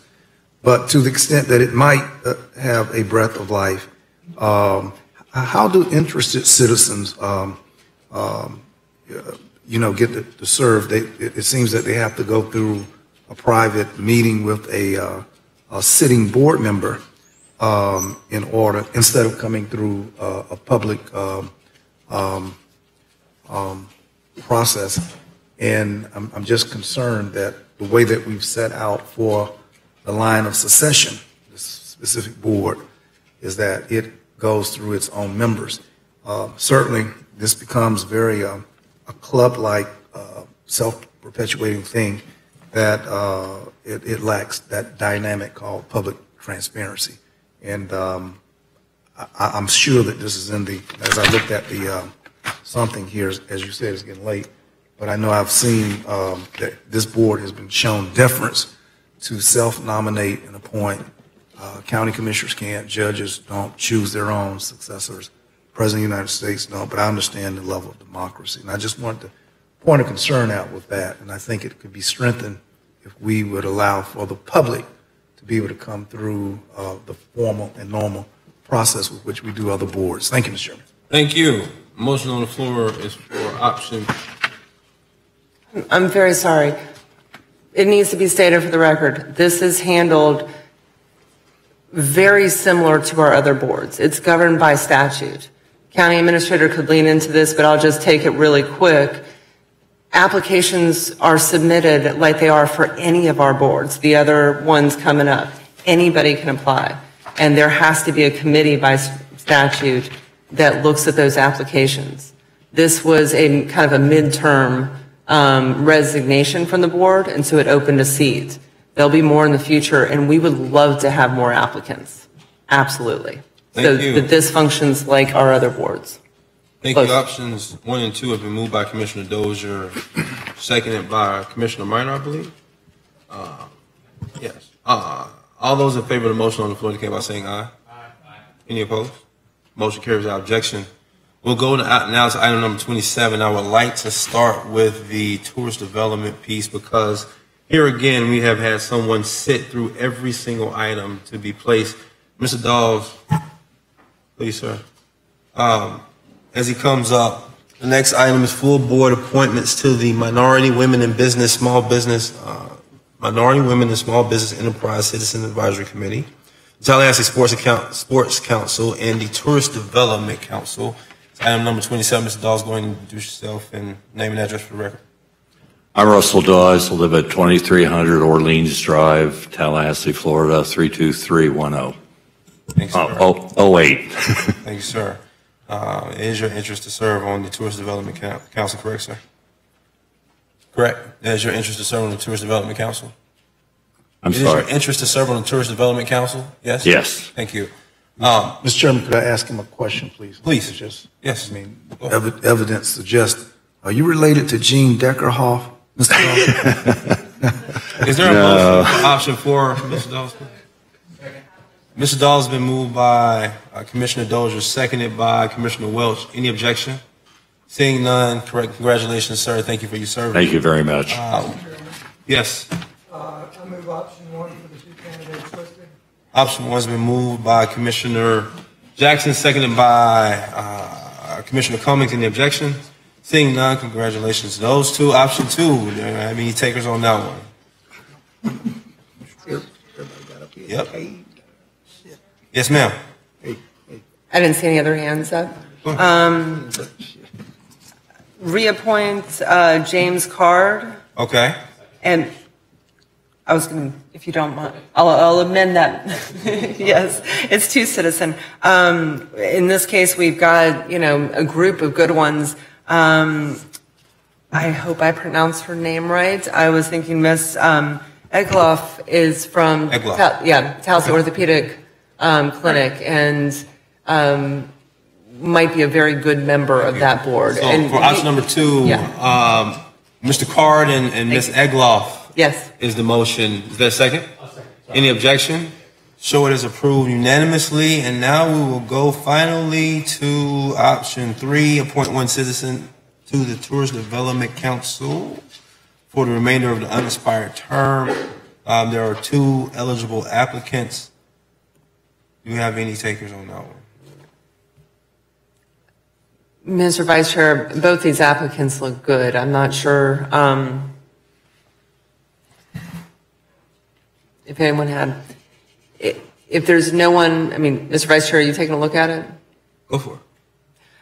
I would, just picking one out of uh, thin air here, I was going to go for um, Caroline Savage. I really didn't pick it out of thin air. I read both applications. They do both look very good.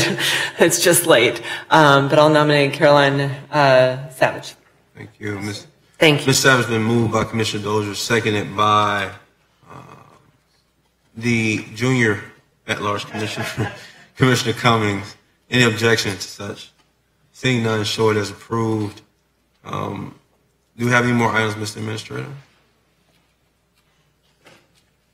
There are no other items, uh, Mr. Vice Chairman, just a speaker to be heard on non-agenda items. Please. Uh, Erica DeGlopper? Thank you for your patience, ma'am. Name and address for the record, please. Okay.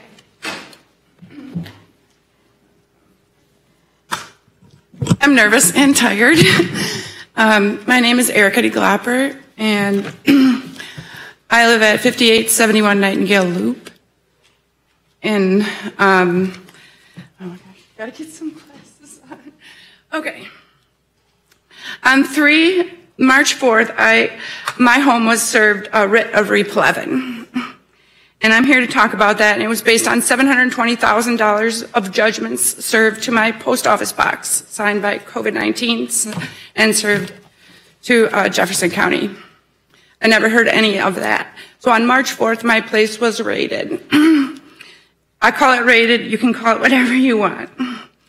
Um, but Leon County on March um, March 2nd, um, so, uh, the court commissioner saw something, signed it, that they could come into my house. I was never served anything. A $6.8 million archive of the famous USA photographer Art Shay was in my home. I've been his archivist since 2005. Okay, um, just to introduce myself, I'm Erica DeGlopper. I was born in Milwaukee. I went to Iowa for a year, Madison, Milwaukee Institute of Design, and then I graduated from the School of the Art Institute of Chicago in 2005. I started working for the famous photographer Art Shay. I fell in love with his work in the year 2000. And um, we put out many books. I fell in love with him with this book. He's a great friend of Nelson Algren, the guy who wrote about, he won the first National Book Award. Um, we put out this book in 2007 on Nelson Algren, this book in 2015 on his wife, and in 2020 we put out this book with University of Chicago Press called Troublemakers, Chicago Freedom Struggles Through the Lens of Art Shay. And I moved to Kenosha, I moved to Tallahassee because it is beautiful. And I wanted to be near the Black News Channel and Florida A&M to try to integrate this archive with them. And on um, January 28th, 2018, Art Shay, four months before he died, notarized me to be the archivist of his collection.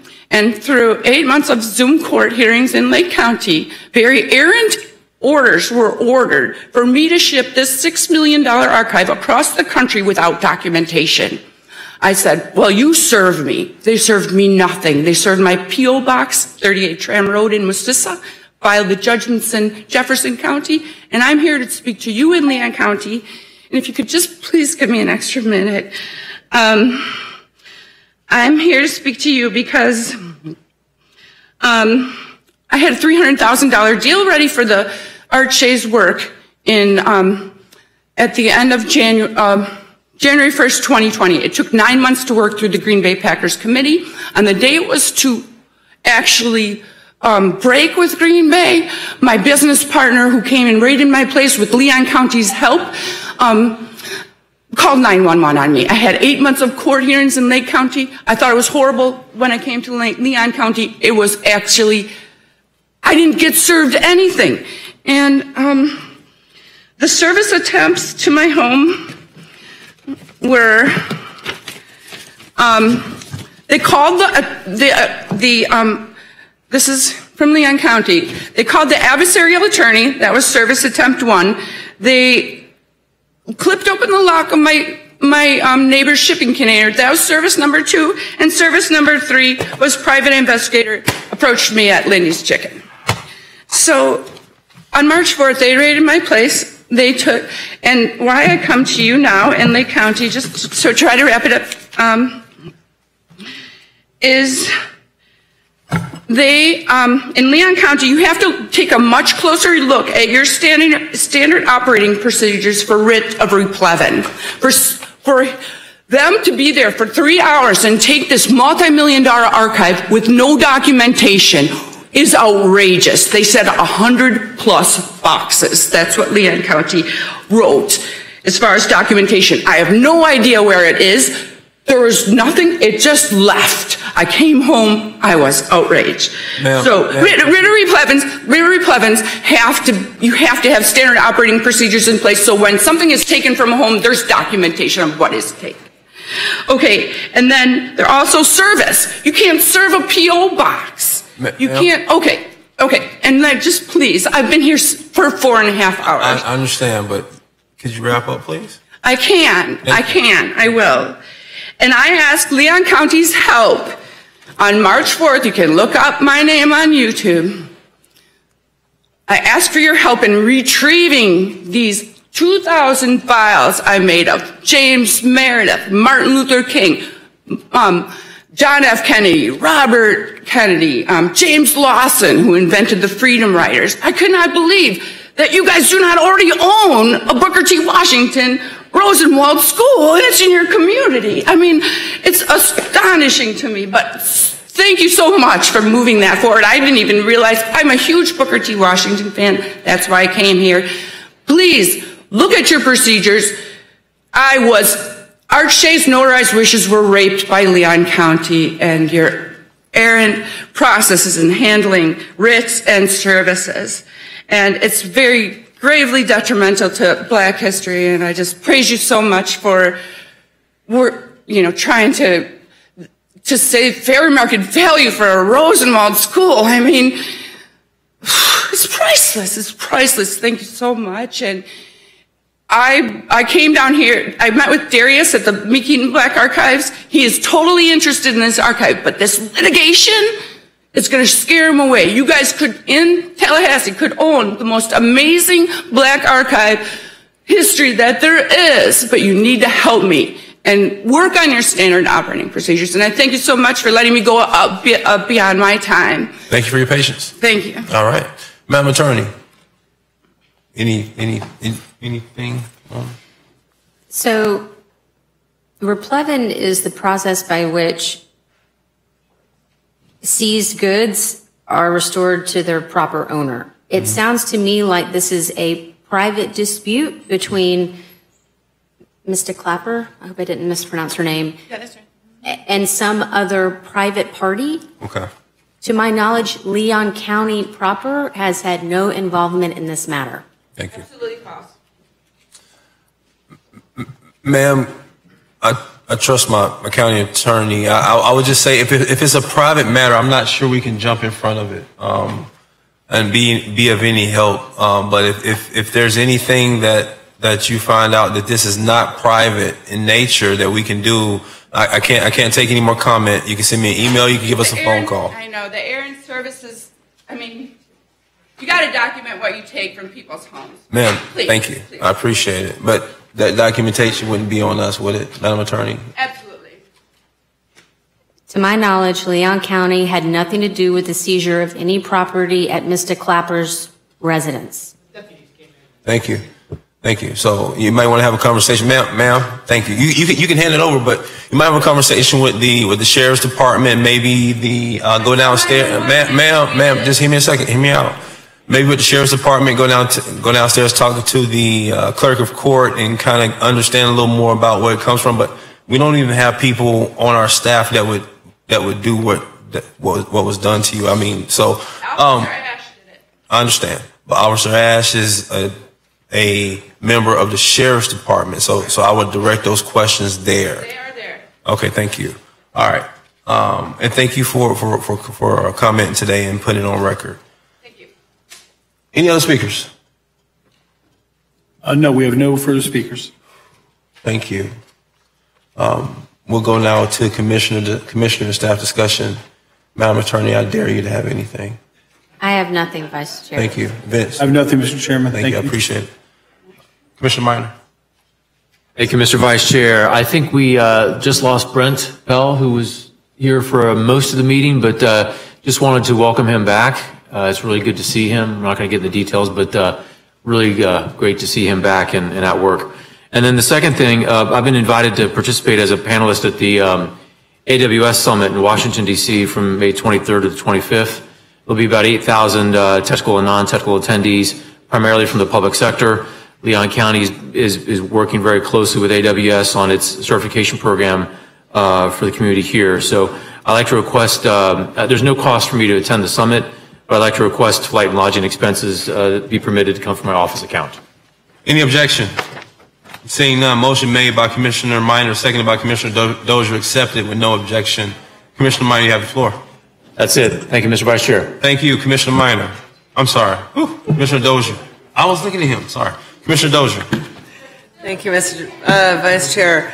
Um, it is very late, and we could probably discuss this issue a good bit, but I'm going to make it really short. Thank you. Um, in advance of next week's special session, um, encouraged by the governor's veto of the congressional um, district, the maps for congressional districts this year, mm-hmm. Um, I would like to ask Two things. One, the board waive our policy so that we may consider adopting a resolution this evening. Um, it's my understanding from the county attorney that to waive the policy would take a unanimous vote. I'm just teeing this up here. Vice Is there any objection to waiving the board's policy to accept a resolution tonight? Any objection? Seeing none, Well, we motion made by Commissioner Dozier, seconded by Commissioner Minor with no objection. Okay. There we go. Thank you. So the motion would be to have sta- staff draft a resolution, and for the record, just a few bullets. Um, these congressional districts, or and particularly Congressional District 5, was affirmed by the Florida Supreme Court in 2015. Um, after a special session, they had rejected others, and it's in line with the Fair District um, Fair Districts Amendment. Boy, it is late. I had this down a few hours ago. Um, we have probably all been tracking this news a good bit, but I think for our purposes, um, the Florida House and Senate passed maps that preserve this district. Um, this is a bipartisan, basically supported map at this point, and the courts have affirmed it. Um, I don't think any of us want to see um, the voters of Leon County impacted, their representation reduced, and particularly the important minority representation that District 5 provides for the state. So with that, I've discussed this with staff. Mr. County Administrator, you said you all could pull some of this information and the information from our legislative updates to draft that resolution um, in advance of the special session. All right, motion been made by Commissioner Dozier for a resolution as she has described. Thank you. Written by staff that will be approved tonight. That motion been made. Is there a second to that motion? Motion seconded by Commissioner Cummings. Any objection to that motion? Seeing no objection, show it as approved unanimously. Commissioner Dozier, you have the floor. Um, the only other thing I've already did my little happy dance for for the uh, new project at Innovation Park. Um, look forward to a groundbreaking in May, but I am also looking forward to um, the Regional Planning Council's Hemp Summit. This is an industrial hemp summit focused on a new economic opportunity for our region. It will be April 26th through 28th. We've got some national speakers coming in, so if anyone's interested, registration is still open, and you can find the 850 Hemp Summit. This is for any entrepreneurs, any researchers, anyone interested in a new economic development opportunity um, to create jobs in the region. Thank you. Thank That you. is it, Administrator has said if we go past 11, that we have to make a motion to extend. I don't plan to go past 11. Commissioner Dozier, I want to let you know, I I appreciate the work you did, you've done over the 12 years at Innovation Park. I was very envious when you got the appointment over me when we first got on this board, but you have served us well on that board, and I really appreciate the work that you've done and the leadership that you provided. Thank you. Um, Commissioner Welch. Thank you, Mr. Chair, Vice Chair. Uh, I just wanted to real quickly thank the county attorney for helping us finally land the plane, so to speak, on the uh, Manawar and Pimlico Parks uh, um, acquisition from Killearn Acres. Those parks are going to be now brought into the county inventory and maintained at the most excellent, highest county standards. And uh, the county attorney's office worked really diligently on that acquisition, and I just wanted to give her a big public shout out because I think she's great. Dan Rigo. Dan Shout out Rigo. further to Dan Rigo. For Dan Rigo, who works, I assume, for the incredible county attorney of, of, of Leon County. So thank you, Dan, and, and thank you all your staff, Chasity. Thank you, and Madam Commissioner Welch. Uh, Congratulations to our county attorney staff. Um, Commissioner Cummings? Nothing. Look at you. Principal. Thank you, sir. Um, I intentionally stayed quiet during the um, transmittal hearing so I could at least uh, mention two important items to me. The first one is, um, Mr. Administrator, I I would hope that I could ask for an agenda item to uh, come back to us regarding uh, Lake Talquin and uh, drawdown efforts. That hasn't been done since 1992. It's a way that the uh, Army Corps of Engineers, Game and Fish Commission, and our local county um, can uh, improve the banks along Lake Talquin shorelines. Right. Isn't that right, uh, Commissioner uh, Proctor? Yes, sir. I told him I'd take him fishing, but I have to blindfold him so he couldn't mark the spot. Uh, motion been made by, by uh, Commissioner Jackson for agenda item. Is there a second? Second. Motion's been second. Is there any objection? So it is approved, Commissioner Jackson. And secondly, um, I didn't want the moment to slip, Commissioner Minor. Uh, Brent just came back in from his two-mile nightly run. Brent Pills, good to see your face back in the, the uh, crowd. It's good to see you here. Appreciate your work. Brent welcome back, man. That's it? That's all I got. Commissioner Pryor, you got 10 minutes. Thank you, Mr. Chairman. You're a good man. You hadn't been able to say anything in 10 minutes, but you got 10 minutes. Mr. Chairman, I'm going to just say that the Lantry Hollinger is out there, and he's given to us the Leon County Division of Florida Civil Rights Museum. That's right. So in the interest of him not getting up, I'm asking can we uh, adopt this uh, as a uh, uh, agenda item for a future meeting, and that we can give. All right, agenda item for, to, for us to look at the Leon County Division of the Florida Civil Rights Museum. That agenda item will come back uh, at a, at a later date. Thank you, Mr. Hollinger, for this information. Is there a second? I will second that. Any objection? Carries without objection. Thank you. Chairman. Good night, ladies and gentlemen. Yes, yes, yes, we are adjourned. Thank you so much for your patience.